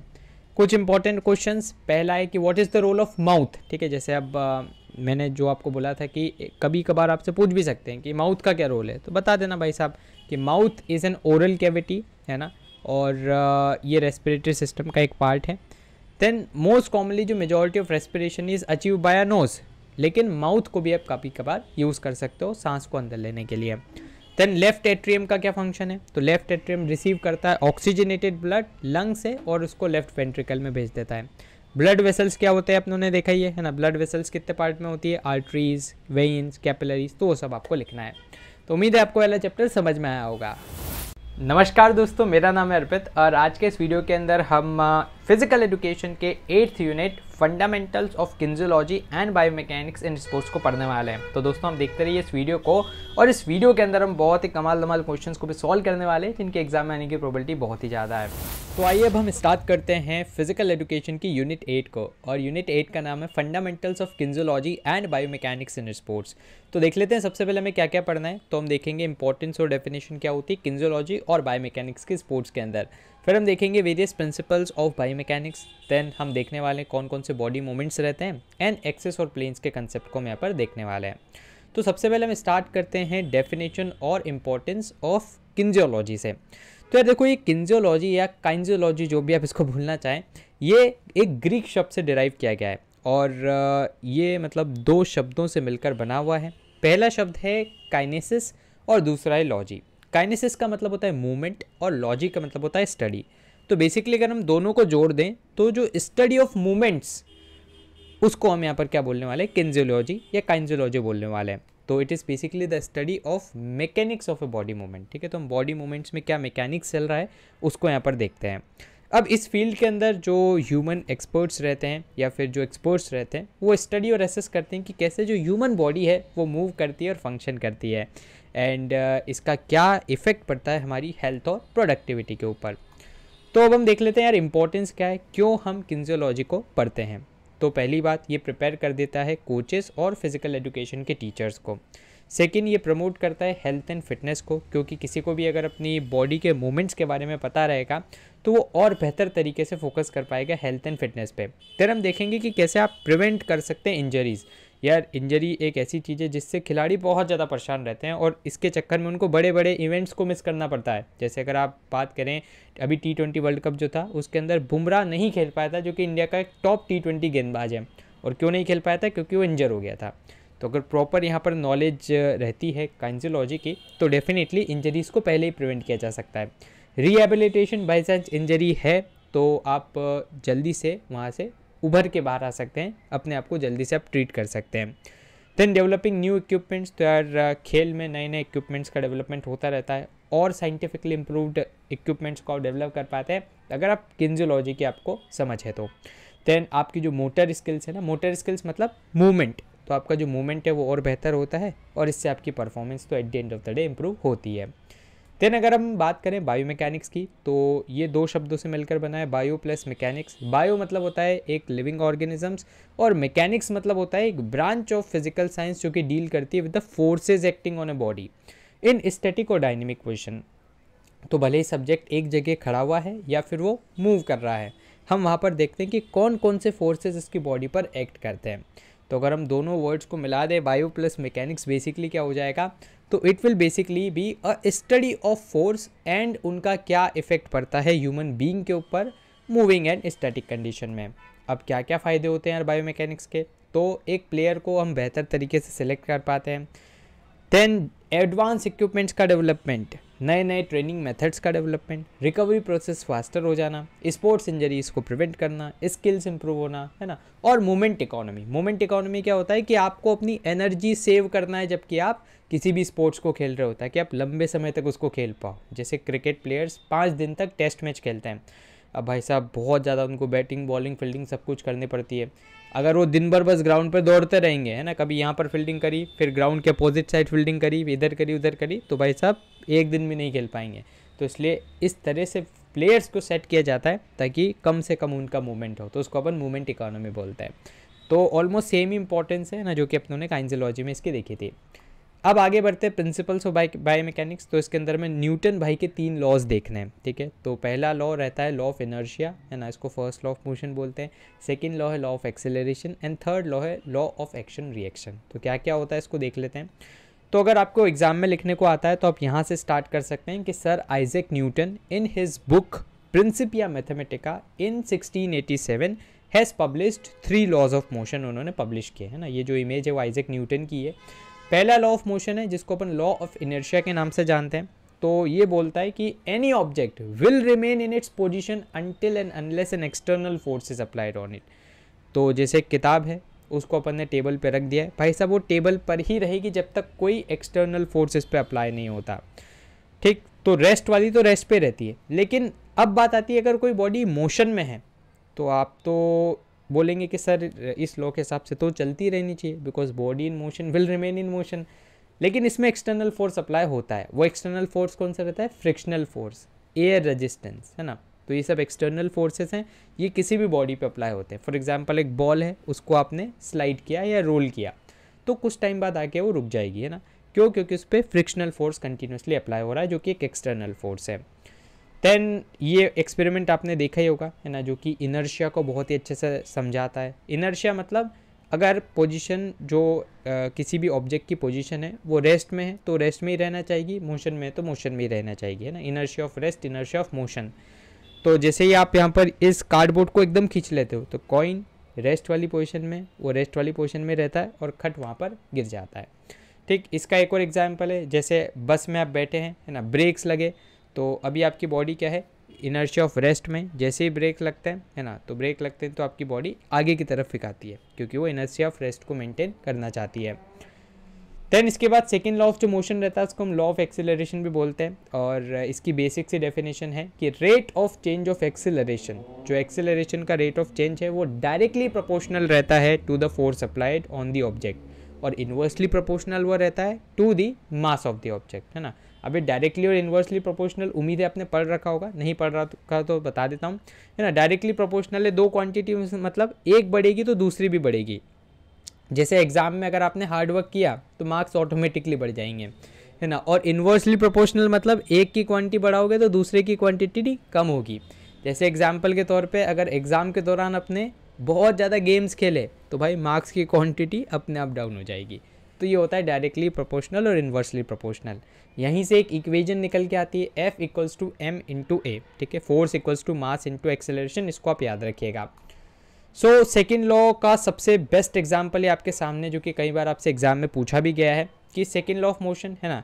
तो अगर एक बॉडी का मास कम है तो वो ज़्यादा एक्सेलरेट होगी अगर उस पर सेम फोर्स अप्लाई होता है, और अगर उसका मास ज़्यादा है तो फिर क्या होगा? उसको एक्सेलरेशन कम मिलेगा। जैसे एग्ज़ाम्पल के तौर पे अगर एक छोटी बॉल को आप मारोगे, दूर जाएगी, बड़ी बॉल है है ना? जैसे बॉलिंग वाली बॉल है, उसको अगर आप मारने की कोशिश करोगे तो वहीं पर रह जाएगी, कम एक्सेलरेशन उसको मिलेगा। अब न्यूटन बाई का तीसरा लॉ है लॉ ऑफ़ एक्शन रिएक्शन का to every action there is equal in opposite reaction जिसको हम डे टू डे लाइफ में बहुत यूज़ करते हैं। है ना? एग्ज़ाम्पल के तौर पे गुब्बारा, उसको आपने हवा से भरा, फिर उसको छोड़ दिया तो गैस नीचे आएगी और ऊपर आपका गुब्बारा चला जाएगा। आप किसी दीवार पे हिट करोगे तो आपको भी चोट लगेगी क्योंकि उस दीवार ने भी आपको वापस से हिट कर दिया है। देन रॉकेट ये भी इसका बेस्ट एग्ज़ाम्पल है। नीचे आपकी एग्जॉस्ट जो इतनी भी गैसेज है, वो नीचे की साइड आती है और रॉकेट ऊपर की साइड चला जाता है। अगर हम स्पोर्ट्स की बात करें तो आप जब फुटबॉल को किक मारते हो ठीक है तो वो आगे की साइड जाता है और आपकी जो पाँव हैं उस पर भी चोट लग जाती है अगर आपने आ, सही टेक्निक से नहीं मारा है ठीक है। स्विमिंग आप पानी को पीछे की तरफ़ धकेलते हो पानी आपको आगे की तरफ़ धकेलता है तो न्यूटन भाई का थर्ड लॉ है। टेन इसके बाद अगर हम नेक्स्ट जो टॉपिक पढ़ें तो सबसे पहले हम एक्सिस एंड प्लेन पढ़ेंगे ठीक है। ये भले 8.4 टॉपिक है लेकिन अगर आपने इस एक्सिस और प्लेन के कंसेप्ट को समझ लिया तो आपको बहुत ज़्यादा आसानी रहेगी मूवमेंट्स को समझने में। तो हमें इसमें तीन प्लेन्स और तीन तरह की एक्सिस को देखना है, ठीक है?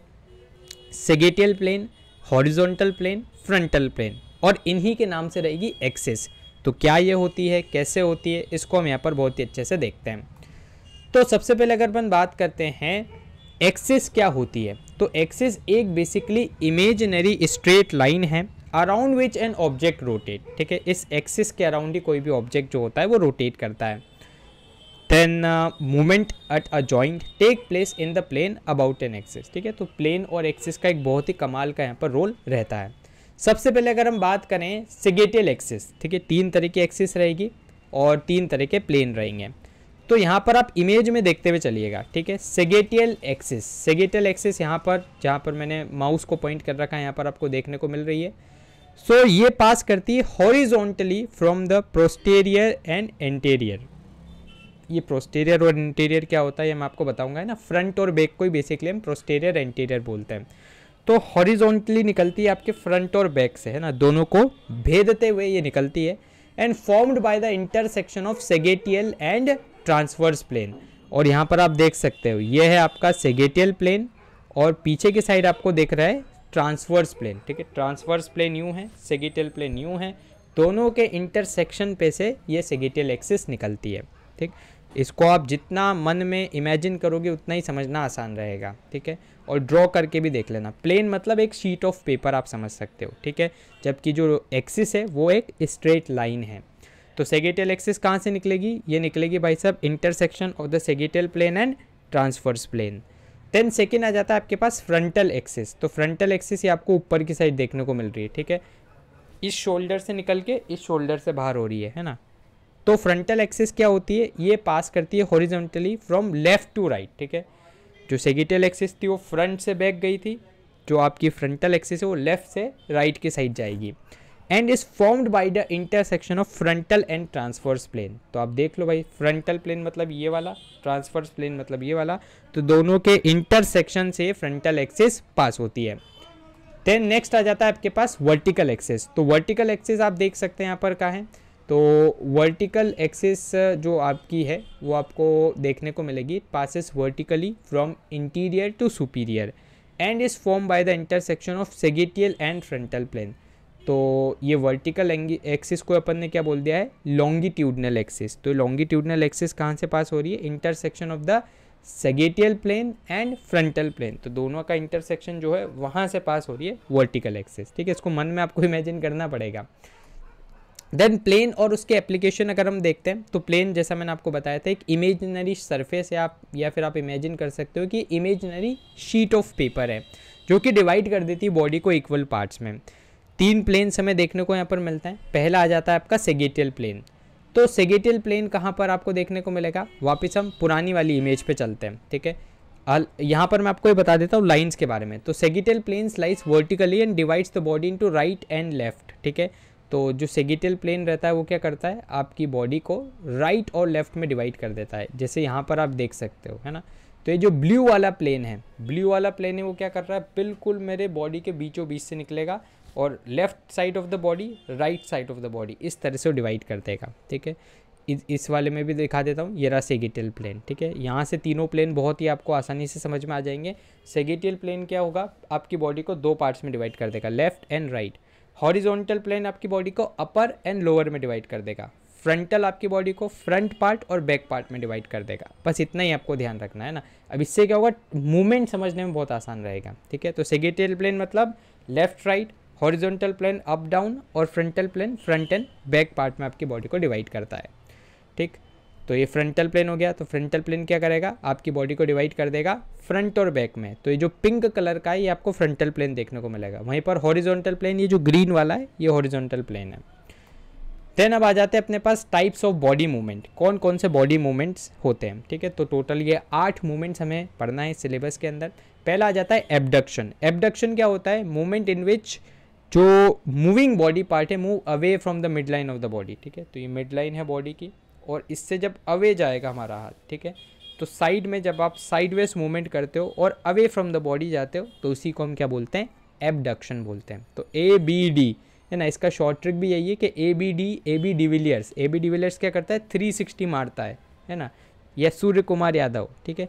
हालाँकि एस के वाई नहीं है, पर ए बी डी से याद रखना है हमें तो A B de Villiers three sixty degree मारता है मतलब आपको थ्री सिक्सटी जाना है ना, ऊपर की साइड जाना है away from the mid line जाना है। तो जब आप away from the mid line जाओगे तो हो जाएगा एबडक्शन कहाँ पर ये होगा? फ्रंटल प्लेन और सेगेटियल एक्सेस ठीक है? फ्रंटल प्लेन मतलब जो आपकी बॉडी को फ्रंट और बैक में डिवाइड कर रहा है, ठीक?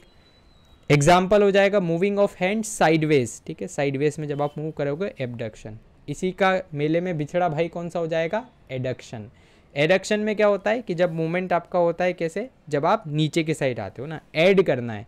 तो एग्ज़ाम्पल इसको भी याद कर दें कि टेक्निक मेरी ऐसी है है ना? कि पहले जब आप, आपके हाथ यूँ थे, ठीक है?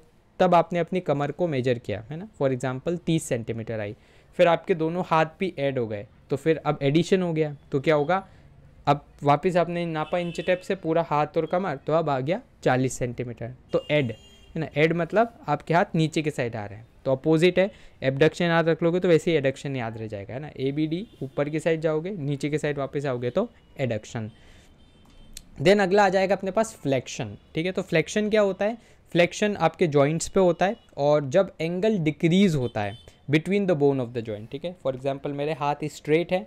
अब जब ये टुवर्ड्स द चेस्ट आएँगे तो इस वाले मोमेंट को हम क्या बोलेंगे? फ्लेक्शन जबकि जब ये अवे फ्रॉम द चेस्ट जाएँगे, है ना? तो एक मोमेंट हो रहा है ये एक मोमेंट हो रहा है ये तो जब towards the chest flexion away from the chest अगर आप जाओगे, है ना, या फिर आपका एंगल इंक्रीज होगा तो इसको हम एक्सटेंशन बोलेंगे।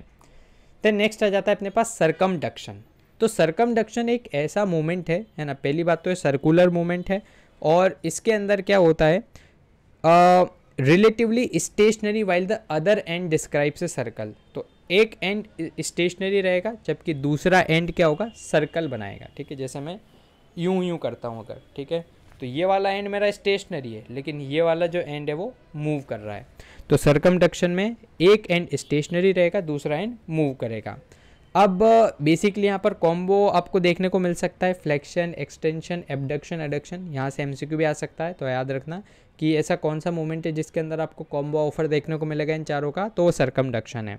है ना? एग्ज़ाम्पल है circumduction occurs at the shoulder during the execution of cricket ball जब आप क्रिकेट बॉल फेंकते हो तो एक शोल्डर तो फिक्स रहता है, जबकि दूसरा जो आपकी जी ना बोलते हैं ना, हाथ घुमा के बॉलिंग फेंकना। तो हाथ घुमा के बॉलिंग फेंकना मतलब वहाँ पर सरकमडक्शन वाला मूवमेंट आपका अप्लाई होगा।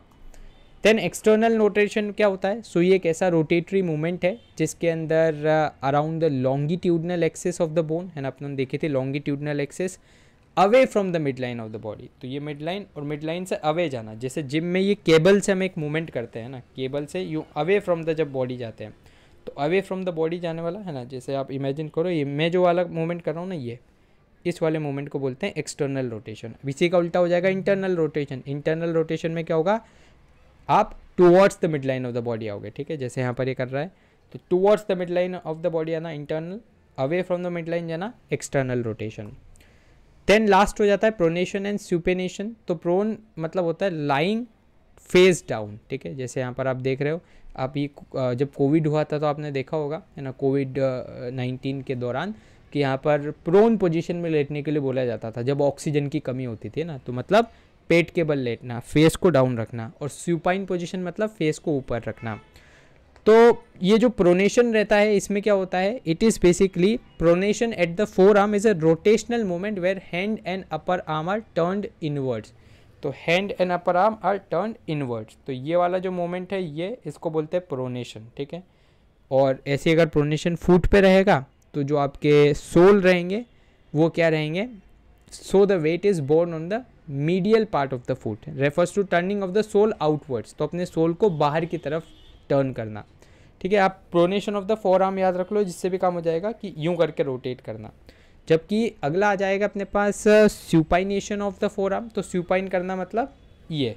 ये सुपाइन पोजिशन और ये वाली प्रोन पोजिशन ठीक है सुपाइन प्रोन तो जैसे इसमें उल्टा लेट रहे हैं, इसमें सीधा है, ठीक है। तो उसको आप सुपाइन और प्रोन से रिलेट कर सकते हो। यहाँ पर इमेज देख लेना सुपाइन मतलब ये प्रोन मतलब ये। बढ़ते अब हम आगे और कुछ एम को देख लेते हैं कि which of the following is the study of system of information related to motion तो अभी हमने देखा था काइंजियोलॉजी बायोमैकेनिक्स प्ले करता है क्रूशियल रोल किस किसमें? इंजरी को प्रिवेंट करने में और परफॉर्मेंस की एनहेंसमेंट में। तो option D that is both A and B understanding proper sports and exercise movements will allow the participants to be more dash for long term तो efficient technically sound good habits तो all of this इसका right answer होगा। Coaches should make use of the methods of dash biomechanics analysis in their everyday practice to produce changes तो quality का यहाँ पर ध्यान रखना पड़ेगा। तो it is the qualitative analysis then sophisticated sports equipment gives advantage to athletes तो elite और रिक्रेशनल है ना, जहाँ पर भी इस तरह का ऑप्शन दिखे तो दोनों ही लगा देना। सोफिस्टिकेटेड स्पोर्ट्स इक्विपमेंट मतलब जो कि बहुत ज़्यादा आप बोल सकते हो कि रिच स्पोर्ट्स इक्विपमेंट्स हैं ना, बहुत साइंटिफिकली डिज़ाइन इक्विपमेंट्स हैं तो ये आपको रिक्रिएशन करने में मदद करेंगे और प्रॉपर एक्सरसाइज करने में मदद करेंगे। Now this type of movement takes place when the angle decrease मैंने आपको बताया था एंगल डिक्रीज हो रहा है तो एंगल जब डिक्रीज होता है तो उसको बोलते हैं फ्लेक्शन एंगल इंक्रीज होता है तो उसको बोलते हैं एक्सटेंशन नेक्स्ट प्रश्न है अपने पास which is not the importance of biomechanics तो अगर आप ऑप्शन नंबर सी देखोगे to understand the physiology of human body ये काम होता है एनाटॉमी का, न कि बायोमैकेनिक्स का। नेक्स्ट प्रश्न है न्यूटन बाई के सेकेंड लॉ को अपन एक और किस नाम से जानते हैं? तो उसको हम लॉ ऑफ़ एक्सेलरेशन के नाम से जानते हैं। नेक्स्ट क्वेश्चन है मैच द फॉलोइंग करना है तो फ्लेक्शन में decrease in angle extension increase in angle A B D मतलब away from the mid line of the body A D D adduction मतलब towards the mid line of the body next प्रश्न है bending of elbow when our hand is going towards the chest flexion away from the chest extension opening of side wise hand away from the body away जा रहे हो A B D तो option है abduction कुछ important question के what do mean by biomechanics तीन important application आपको बतानी है। आप उम्मीद है आराम से बता सकते हैं ना आप लोगों देख लिया है इसको। And discuss in detail any two types of movement आठ तरह के मूवमेंट देखें फ्लेक्शन एक्सटेंशन है ना सरकमडक्शन वो सब, किसी भी दो को आपको एक्सप्लेन करना है। तो ये था अपना एट नंबर का चैप्टर नमस्कार दोस्तों, मेरा नाम है अर्पित और आज के इस वीडियो के अंदर हम फ़िज़िकल एजुकेशन की ninth unit psychology in sports को देखने वाले तो दोस्तों, आप देखते रहिए इस वीडियो को और इस वीडियो के अंदर हम कुछ बहुत ही कमाल दमाल क्वेश्चंस को भी यहाँ पर सॉल्व करने वाले हैं। तो आइए अब हम स्टार्ट करते हैं unit nine of physical education और इस यूनिट का नाम है साइकोलॉजी एंड स्पोर्ट्स तो देख लेते हैं हमें क्या क्या देखना है इसके अंदर। सबसे पहले हम देखेंगे कि क्या डेफिनेशन और इंपॉर्टेंस होती है साइकोलॉजी की फ़िज़िकल एजुकेशन और स्पोर्ट्स के अंदर। फिर हम देखेंगे एडोलेसेंट से रिलेटेड कुछ प्रॉब्लम्स और कैसे उनको मैनेज किया जाए एंड देन फिर हम देखेंगे एक नए टॉपिक को जो कि है टीम कोहेजन एंड स्पोर्ट्स तो पहला अपने पास आ जाता है definition and importance of psychology in physical education तो यार देखो, ये जो साइकोलॉजी शब्द है ना, इसको एक ग्रीक शब्द साइकी से डिराइव किया गया है, जिसका मतलब होता है सोल सोल मतलब आत्मा. और लोगोस का मतलब होता है एक साइंटिफिक स्टडी तो अगर हम दोनों को कंबाइन करें तो psychology is basically scientific study of soul अब यार सोल मतलब होती है आपकी आत्मा। लेकिन अगर आपने आज की तारीख में देखा होगा तो हम साइकोलॉजी का मतलब मानते हैं दिमाग। तो यार कहीं ना कहीं जो हमारी सोल है, वो माइंड से ही कनेक्टेड है। तो at the end of the day इस डेफिनेशन को इम्प्रूव किया गया। और now psychology is basically this science of mind ठीक है? तो मनोविज्ञान इसको हिंदी में बोलते हैं। और क्या आपके दिमाग में चल रहा है है ना? कैसे उसको और बेहतर बनाया जा सकता है, ये सब हम साइकोलॉजी के अंदर देखते हैं। तो वेरियस साइकोलॉजिस्ट ने और बहुत सारी डेफिनेशंस दी है, अपने अपने तरीके से इसको डिफाइन किया है तो वो हम देख लेते हैं। आप एग्ज़ाम में सीधे इनमें से कोई भी एक सोशोलॉजिस्ट को या साइकोलॉजिस्ट को कोट कर सकते हो, ठीक है? जैसे अगर हम सबसे पहले देखें W B Pillsbury and J B Watson की डेफिनेशन को तो उन्होंने बोला है कि भाई साइकोलॉजी एक प्रकार का साइंस है ऑफ़ ह्यूमन बिहेवियर तो हम किसी भी ह्यूमन के बिहेवियर को देखते हैं और उसी की स्टडी को यहाँ पर साइकोलॉजी कहा गया है। जबकि जो वुड्स वर्थ हैं इन्होंने बोला है भाई साहब साइकोलॉजी डील्स करता है with the activity of individual in relation to the environment कि कैसे वो अपने आसपास के इन्वायरमेंट से डील कर रहा है, उसी की स्टडी को यहाँ पर क्या बोला गया है? साइकोलॉजी बोला गया है।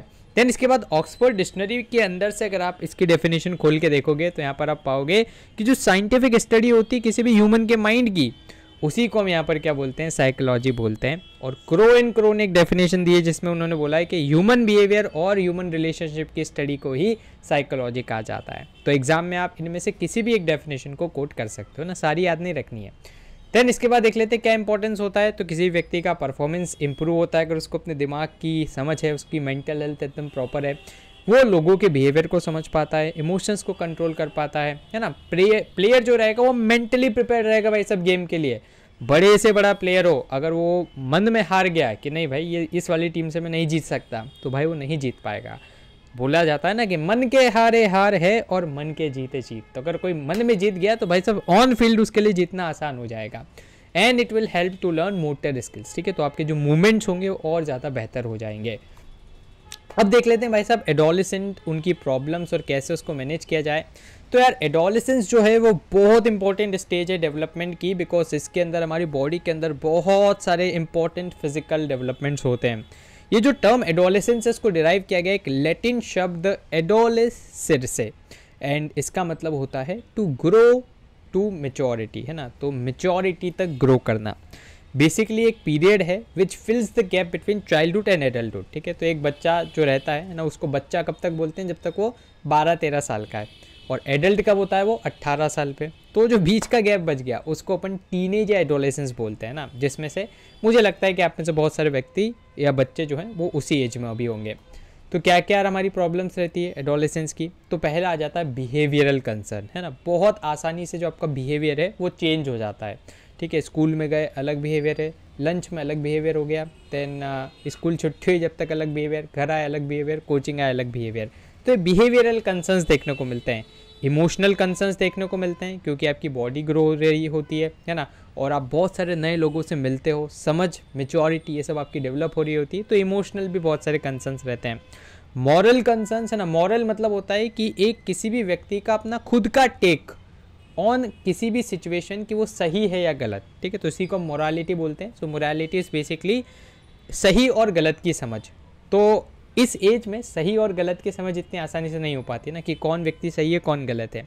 सोशल कंसर्न है ना, लोगों से मिलना जुलना स्कूल में यार मेरे दोस्त नहीं बन पा रहे या बहुत ज़्यादा दोस्त बन गए लड़कियाँ दोस्त नहीं बन पा रही है, लड़के दोस्त नहीं बन पा रहे हैं तो ये सब सोशल कंसर्नस है।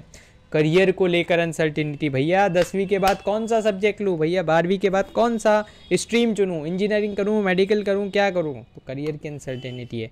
सब्सटेंस अब्यूज़ है ना? सब्सटेंस मतलब क्या होता है? जैसे ड्रग्स को कंज्यूम करना, दारू पीना, है ना? सिगरेट पीना तो ये सब सब्सटेंस अब्यूज़ के अंदर आता है। एंड एंटी सोशल बिहेवियर है ना? एंटी सोशल बिहेवियर मतलब क्या होता है? उठा पटक करना, ठीक है? क्लास में मारा पीटी करना तो वो सब एंटी सोशल बिहेवियर है। ईटिंग डिसऑर्डर है ना जंक फ़ूड में ज़्यादा फोकस होता है देन एक्सरसाइज को ना करना।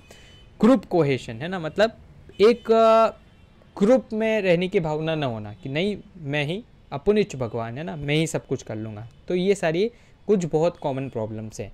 और प्रॉब्लम्स अगर हम देखें तो लो सेल्फ एस्टीम ठीक है तो लो सेल्फ एस्टीम मतलब खुद पे कॉन्फिडेंस ना होना डिप्रेशन हो जाना क्रिमिनल और इस तरह की एक्टिविटीज़ में लिप्त होना, है ना ड्रग अब्यूज़ हमने देख रहा प्री मेरिटियल सेक्स ये ऐसी प्रॉब्लम है जो कि इंडिया में तो कम है, लेकिन अगर आप विदेशों में देखोगे तो वहाँ पर भाई साहब प्री मेरिटियल सेक्स बहुत ज़्यादा है।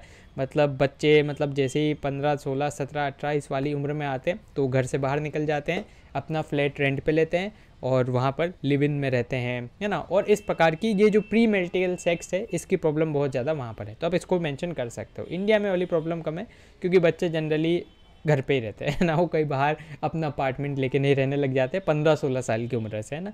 आगे अगर वो करियर में जैसे तीस, पैंतीस साल की उम्र में है ना, उनकी जॉब लग गई, शादी हो गई, फिर वो भले अलग रह सकते हैं, लेकिन अपने भारत में शादी से पहले तो बच्चे माँ बाप के साथ ही रहते हैं।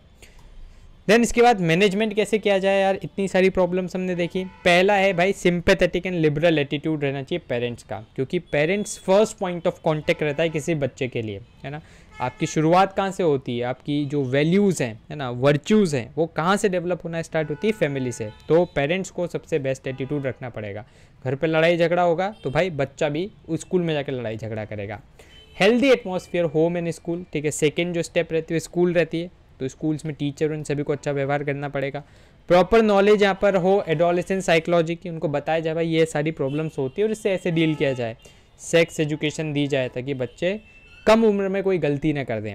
Then channelization of the energy right direction तो बोला जाता है कि भाई जो तेरह से अट्ठारह साल का एक व्यक्ति रहता है, सबसे ज़्यादा उसके अंदर एनर्जी रहती है, सबसे ज़्यादा उसके अंदर पोटेंशियल रहता है। और अगर इस पोटेंशियल को राइट डायरेक्शन में चैनलाइज कर दिया जाए, वैसा मज़ा ही आ जाए। ठीक है तो बहुत बेस्ट अपने करियर में कर सकता है। तो सारी चीज़ों पर ध्यान दिया जाए। अब आ जाते हैं लास्ट टॉपिक जो कि टीम कोहेजन एंड स्पोर्ट्स बहुत इंपॉर्टेंट है। है ना, ये एक साइकिल में आपको बता देता हूँ। Team cohesion. इसका मतलब क्या होता है? इसका मतलब होता है कि एक ग्रुप में रहना, है ना? और पूरे ग्रुप के बारे में सोचना, इंडिविजुअल के बारे में ना सोचना। जैसे आपने देखा होगा महेंद्र सिंह धोनी, है ना? हमेशा वो टीम स्पिरिट के लिए जाने जाते हैं। वो मतलब बहुत सी बार आपने देखा होगा कि विराट कोहली आप सामने, है ना नॉन स्ट्राइकर एंड पे है। बहुत सारे रन उसने ही बनाए ऑलमोस्ट धोनी तो अभी अभी आए क्योंकि पंड्या आउट हो गया था। तो यहाँ पर है ना, वो क्या कर देता है दो तीन बॉल डॉट खेल लेता है कि नहीं अगले ओवर में विराट कोहली का स्ट्राइक देंगे तो ये मैच जिताएगा।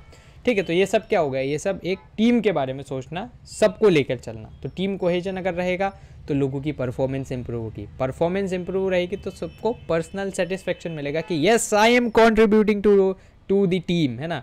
एंड फिर वो मोटिवेटेड रहेंगे मोटिवेटेड रहेंगे तो सब एक साथ रहेंगे। ठीक है तो ये एक साइकिल है।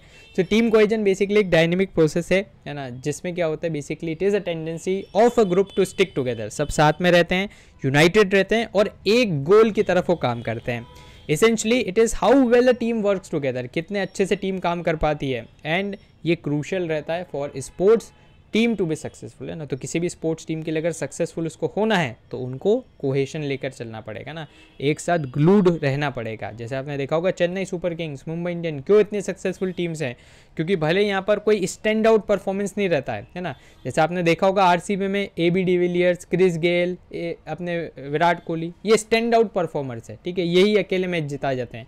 लेकिन आरसीबी हो गया, लेकिन अपना जो एमआई हो गया सी हो गया, उसमें कोई ऐसा नहीं हो गया यार बहुत ज़्यादा स्टैंड आउट परफॉर्मर बस उसी के दम पर टीम जीत रही है। नहीं, सब लोग कंट्रीब्यूट कर रहे हैं ना? चेन्नई के तो क्या पता कौन बॉलर आके विकेट ले जाते हैं, कौन बैट्समैन आके रन बना जाता है, मुंबई में भी ऑलमोस्ट यही होता है। तो टीम कोहेजन से टीम जीतती है। क्या, कैसे स्टेप्स क्या वो स्टेप्स है जिससे आप इम्प्रूव कर सकते हो टीम के कोहेजन को? तो पहला है टीम के कॉमन गोल्स बनाओ, है ना? इंडिविजुअल को उनके टास्क असाइन कर दो फीडबैक्स को समझो। लिसन टू एथलीट्स फीडबैक ना, उनको फीडबैक दो भी और उनके फीडबैक लो भी।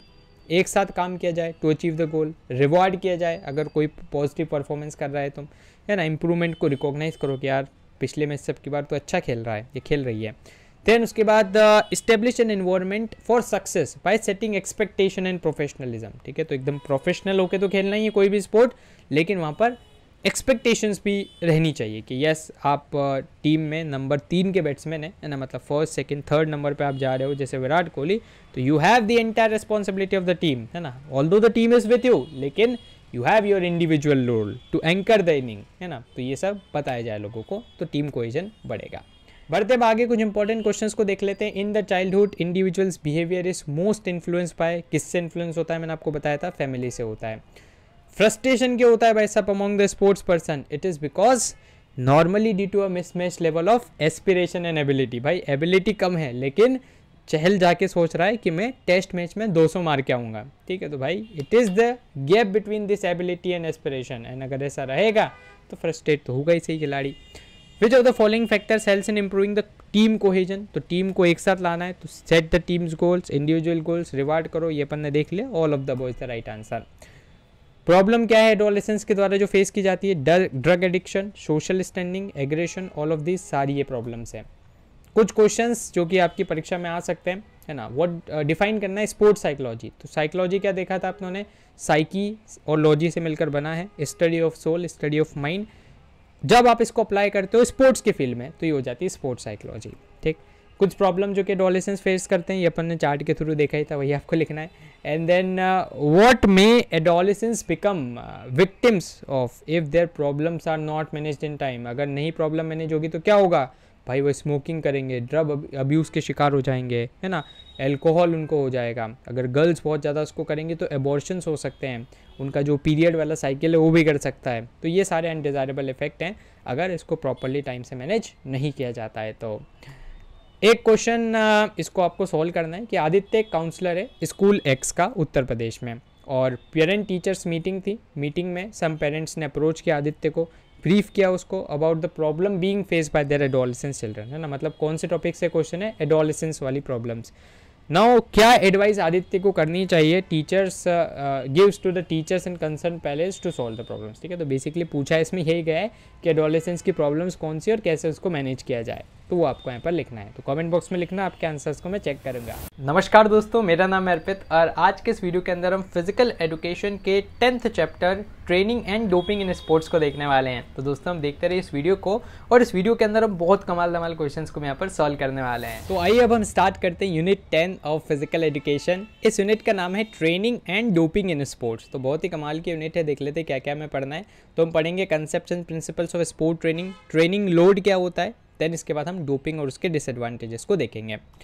तो पहला टॉपिक है अपने पास concept and principle of sports training तो यार आज के इस टाइम में अगर हम देखें तो कंपटीशन हर एक फ़ील्ड में इंक्रीज़ हो गया है। भले वो स्पोर्ट्स हो एजुकेशन हो करियर हो, कुछ भी हो। और इस कंपटीशन से कोप अप करने के लिए मॉडर्न साइंटिफिक ट्रेनिंग की यहाँ पर आवश्यकता है है ना? तो ये जो मॉडर्न स्पोर्ट्स ट्रेनिंग है, इसलिए आजकल बहुत ज़्यादा प्रचलन में है। और it has become very scientific and systematic है ना? पहले क्या होता था भाई सब लोग वड़ा पाव खाते थे और मस्त क्रिकेट के मैदान में जाते थे है ना? लेकिन आजकल uh, ये बहुत कम केसेस में देखने को मिलता है। खिलाड़ी बहुत स्ट्रिक्ट ट्रेनिंग रिजीम को फॉलो करते हैं स्ट्रिक्ट डाइट को फॉलो करते हैं तभी वो इतना बेस्ट परफॉर्मेंस अपना दे पाते हैं।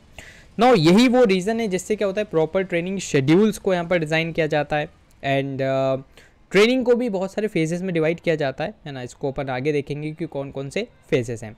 फ़िलहाल अगर आपसे पूछा जाए कि भाई ट्रेनिंग की क्या डेफिनेशन है तो आप इस वाली डेफिनेशन को एग्ज़ाम में लिख सकते हो कि एक ऐसी प्रोसेस है जिसके अंदर हम प्रिपेयर करते हैं ह्यूमन रिसोर्स को किसी भी पर्टिकुलर टास्क को परफॉर्म करने के लिए। है ना? जैसे एग्ज़ाम्पल के तौर पर अगर हम बात करें आपके एग्ज़ाम के बारे में तो आप अपनी एग्ज़ाम के लिए क्या करते हो? पहले थोड़ी सी प्रिपरेशन करते हो ट्रेनिंग करते हो। कह रहे, यार, अगर मुझे एग्ज़ाम में ये वाला आंसर लिखना है तो मैं पहले उसको एक बार रफ में सॉल्व करके देख लेता हूँ, ताकि एग्ज़ाम में मैं लिख पाऊँ। है ना? आपके प्री बोर्ड्स होते हैं। वो क्या होता है? एक प्रकार की ट्रेनिंग होती है।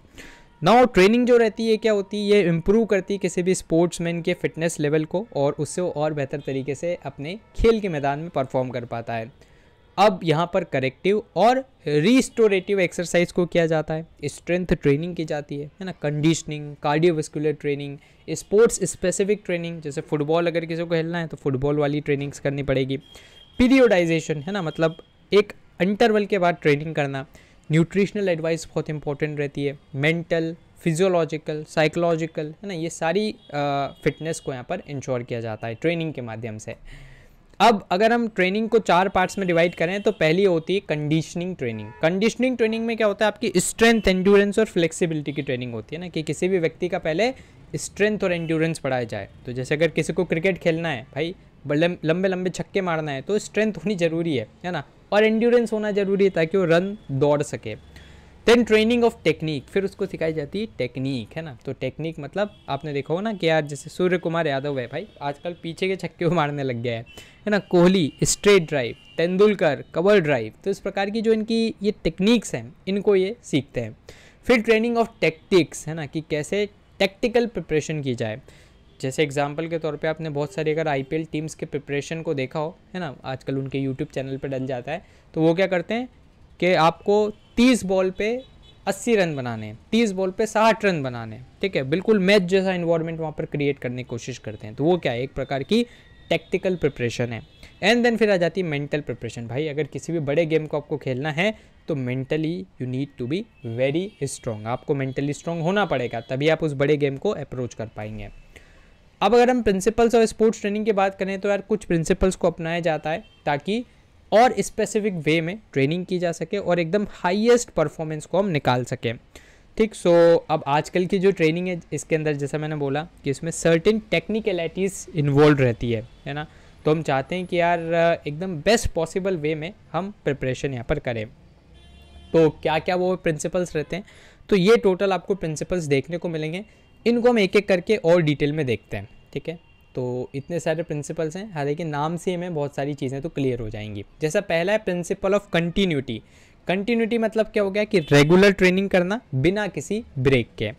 तो अब सिंस ये कंटिन्यूस प्रोसेस है है ना तो इसके अंदर हम, वैसे तो कोई इंटरवल्स नहीं लेंगे। बाई चांस अगर लेना पड़ा तो पहले से वो प्लान रहेगा कि हाँ मैं एक घंटे कंटिन्यूस एक्सरसाइज करूँगा, फिर इंटरवल लूँगा।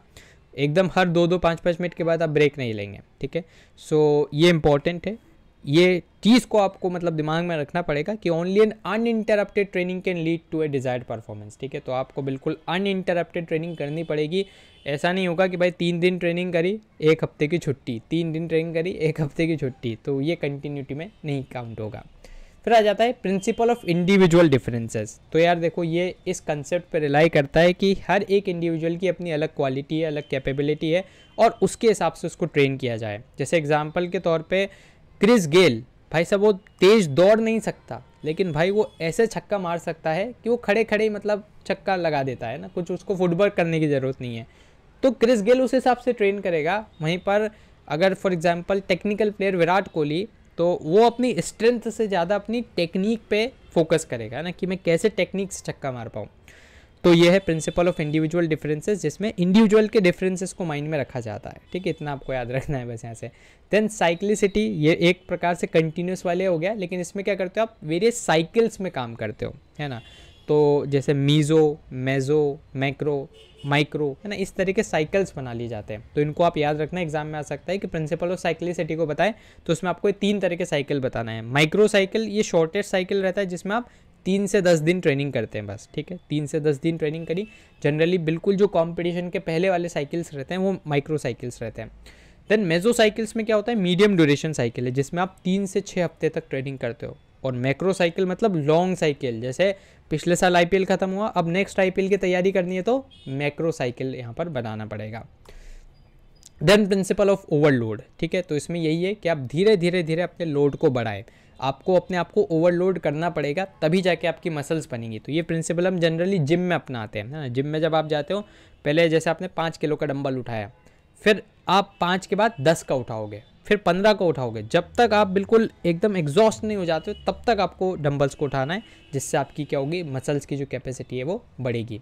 क्योंकि load should be greater than the normal load to aid the adaptation है ना? अगर आप रोज़ जाके पाँच किलो का डंबल उठा के आ जाओगे, भाई, उससे तो आपकी बॉडी अडेप्ट हो चुकी है। अब तो थकेगी नहीं आपकी बॉडी है ना? रोज़ उठा के आ जाओ, कोई दिक्कत नहीं, कोई आपकी मसल्स नहीं बढ़ेगी। लेकिन जैसे आप वेरिएशन करोगे, आप बढ़ाओगे ओवरलोड करोगे अपने आप को तो फिर मसल्स को अडेप्ट करना पड़ेगा कि नहीं भाई, पाँच नहीं, दस उठाना पड़ेगा।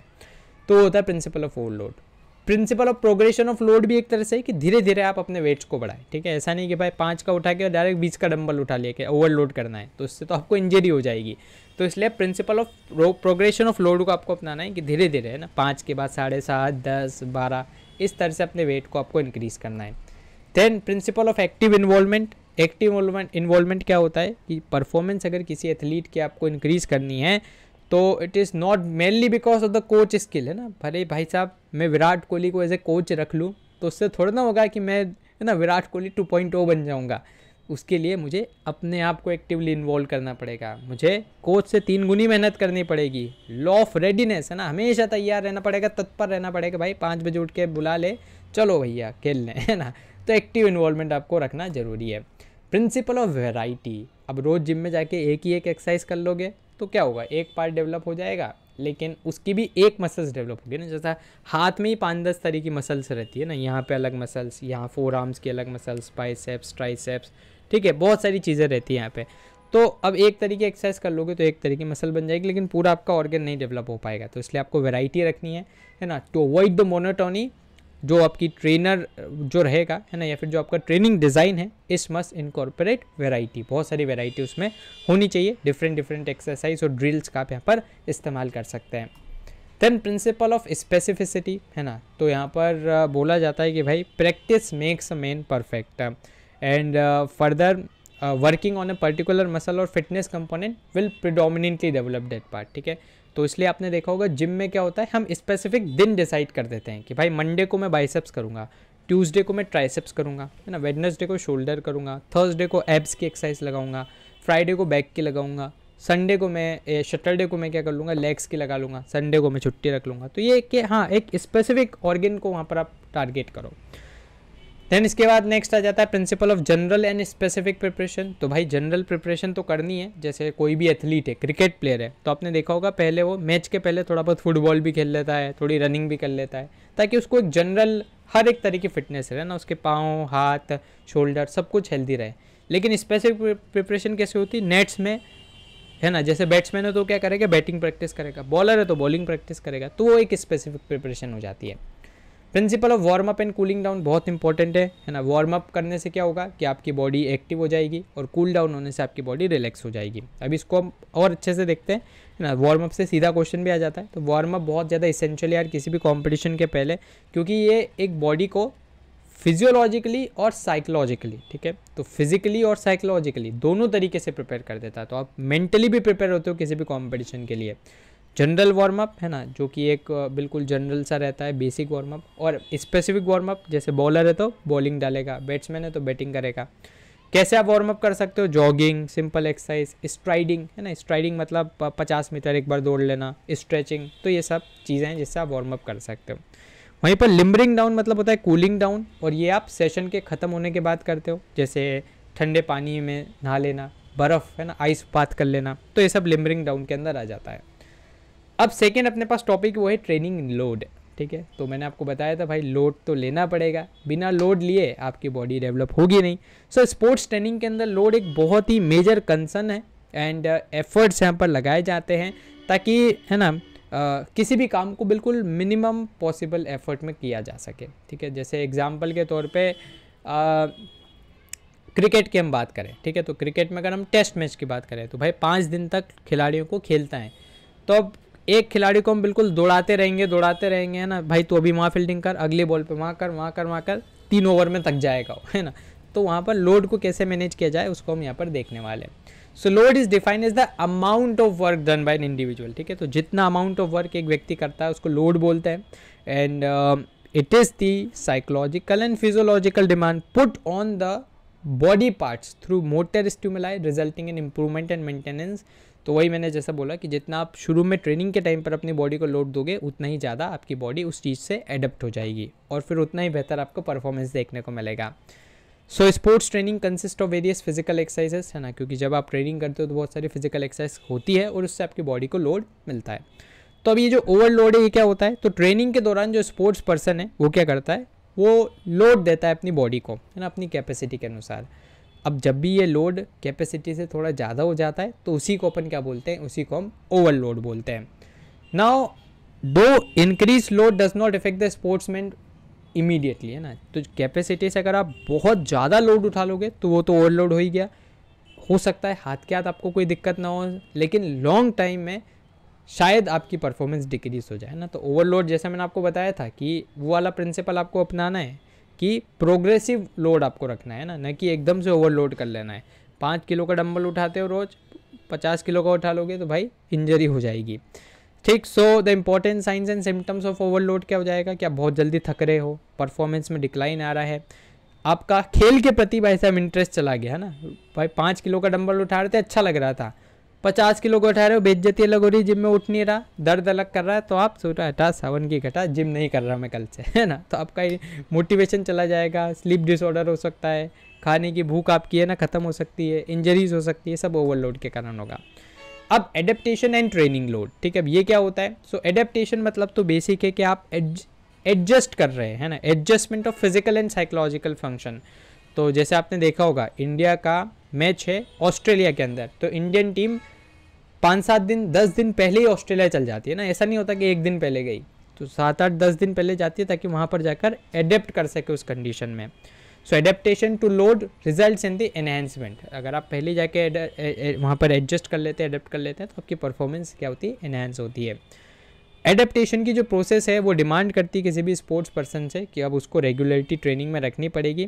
एंड uh, जब भी कोई भी स्पोर्ट्स पर्सन एक्सपोज होता है नए और अनफेमिलियर लोड से इन अ सिस्टमेटिक प्लान वे तो एडेप्टेशन वहाँ पर फास्टर हो जाता है। ठीक है? तो आपने देखा होगा जैसे इंडिया में अलग बॉल से क्रिकेट खेला जाता है है ना? एसजी की बॉल से क्रिकेट खेलते हैं और ऑस्ट्रेलिया में कुकू बरा की बॉल से क्रिकेट खेलते हैं। तो बॉल का ही डिफरेंस है। तो वहाँ पर जाकर खिलाड़ियों को पहले उस बॉल से प्रैक्टिस करवाई जाती है।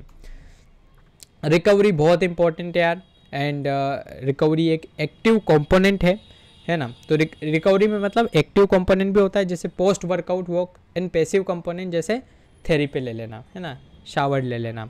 तो टाइप्स ऑफ़ रिकवरी में पहला आ जाता है इमीडिएट रिकवरी जैसे आपने एक्सरसाइज करी, भाई साहब फटाक से रिकवर हो जाओ। जैसे एग्ज़ाम्पल के तौर पर आप रनिंग पे गए, है ना? बहुत तेज़ आप दौड़ रहे हो तो बहुत तेज़ दौड़ने के बाद थोड़ा धीरे आप वॉक करें, ताकि आप रिकवर हो सके ना? एकदम रुक के सो ना जाएँ, एकदम बहुत तेज़ दौड़ के आके सो गए। भाई साहब फेल हो जाएगा आपका सिस्टम देन सेकेंड आता है शॉर्ट टर्म रिकवरी है ना? थोड़ा सा it involve recovery between sets of a given exercise है ना? एक सेट किया, फिर थोड़ा टाइम लिया, एक सेट फिर वापस किया तो उसको शॉर्ट टर्म रिकवरी और ट्रेनिंग रिकवरी मतलब बिटवीन वर्कआउट सेशन एक वर्कआउट सेशन किया, फिर आराम से रिकवर किया, फिर शाम को अगला वर्कआउट सेशन किया।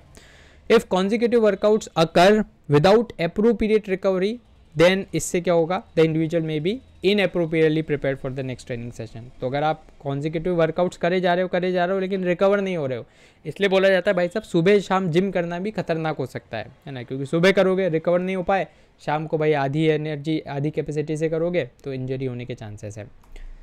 देन लास्ट कंसेप्ट आ जाता है अपने पास कंसेप्ट ऑफ़ डोपिंग और क्या इसके डिसएडवांटेजेस है।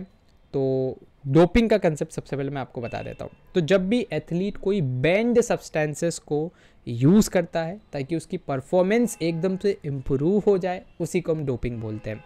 एग्ज़ाम्पल के तौर पे आ जाएगा ड्रग्स एंड स्टीरोइड्स ठीक है? तो बहुत से लोग क्या करते हैं बैंड सब्सटेंसेस बैंड ड्रग्स को लेते हैं ताकि उनकी परफॉर्मेंस एकदम बढ़ जाए। जैसे ओलंपिक से भाई साहब रेस होने वाली है, ऐसी ड्रिंक पी ली कि भाई दस पंद्रह मिनट इतनी तगड़ी एनर्जी आ गई कि क्या ही बताए, थकान ही नहीं हो रही। तो दूसरे लोगों को तो डिसएडवांटेज होगा ना इससे।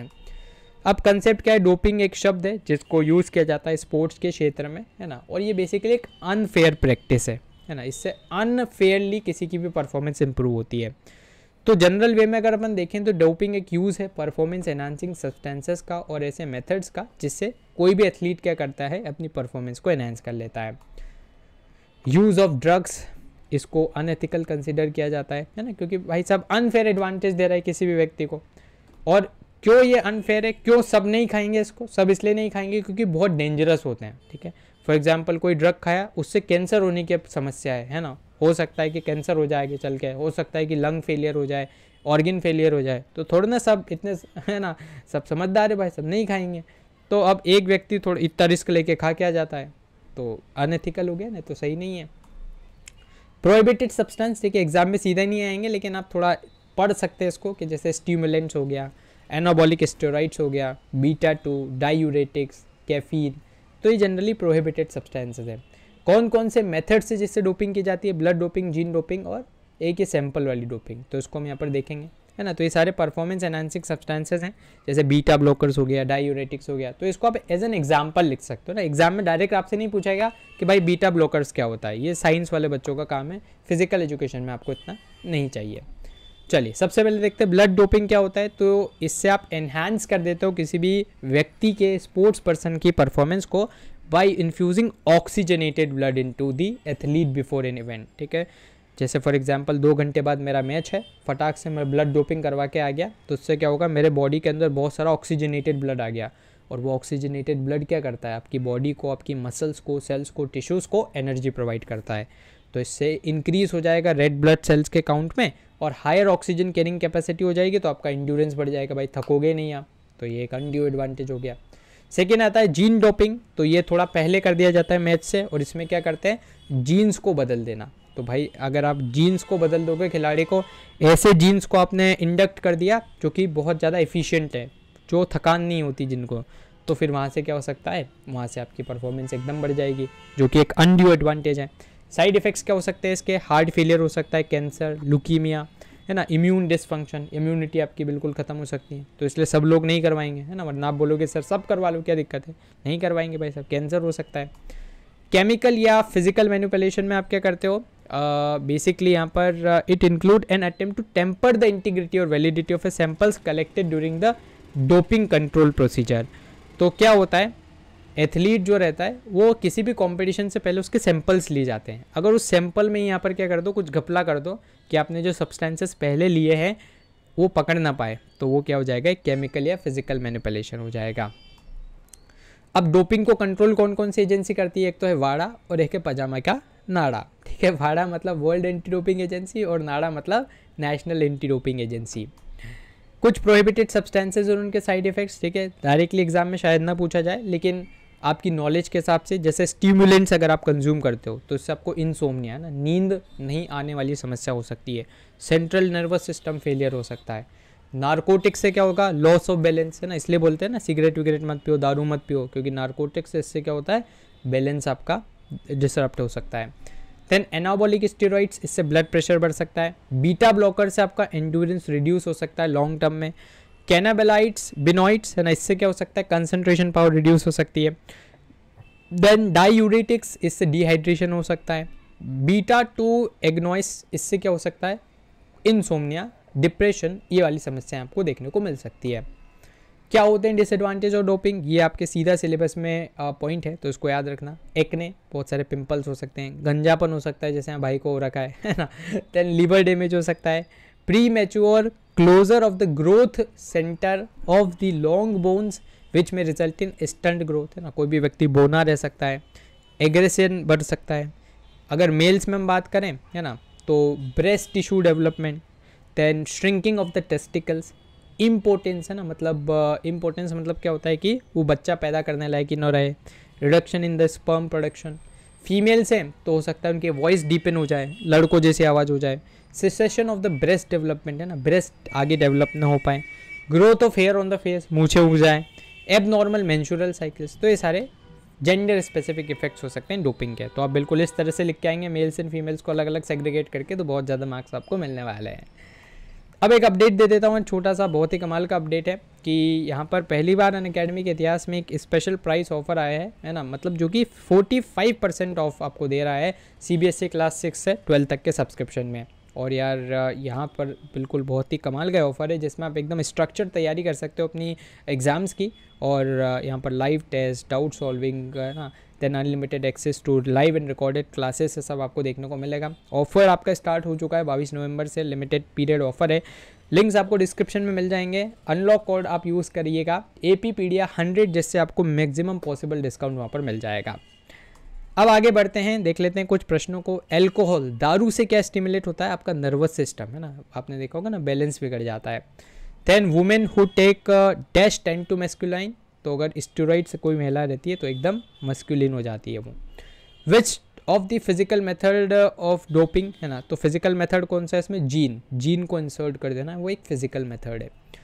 देन साइंस ऑफ़ ओवरलोड क्या है? थकान होना decline in performance loss of appetite all of this so D is the right answer ना what is defined is the amount of work done by the individual's body तो उसको अपन load बोलते हैं अपन ने देखा ही था सीधा सीधा।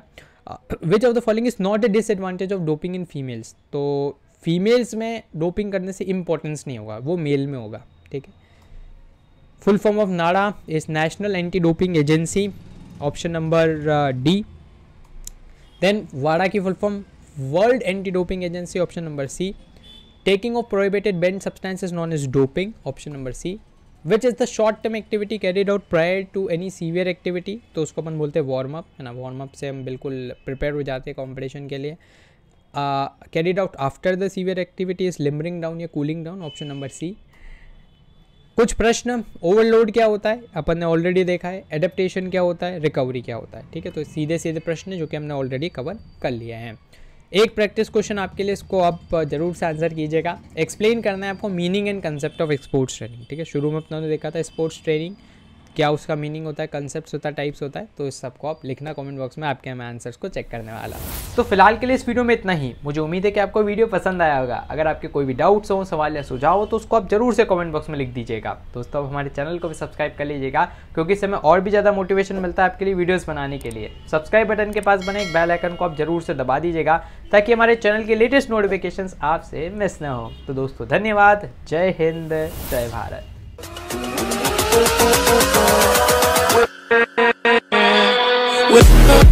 Baby.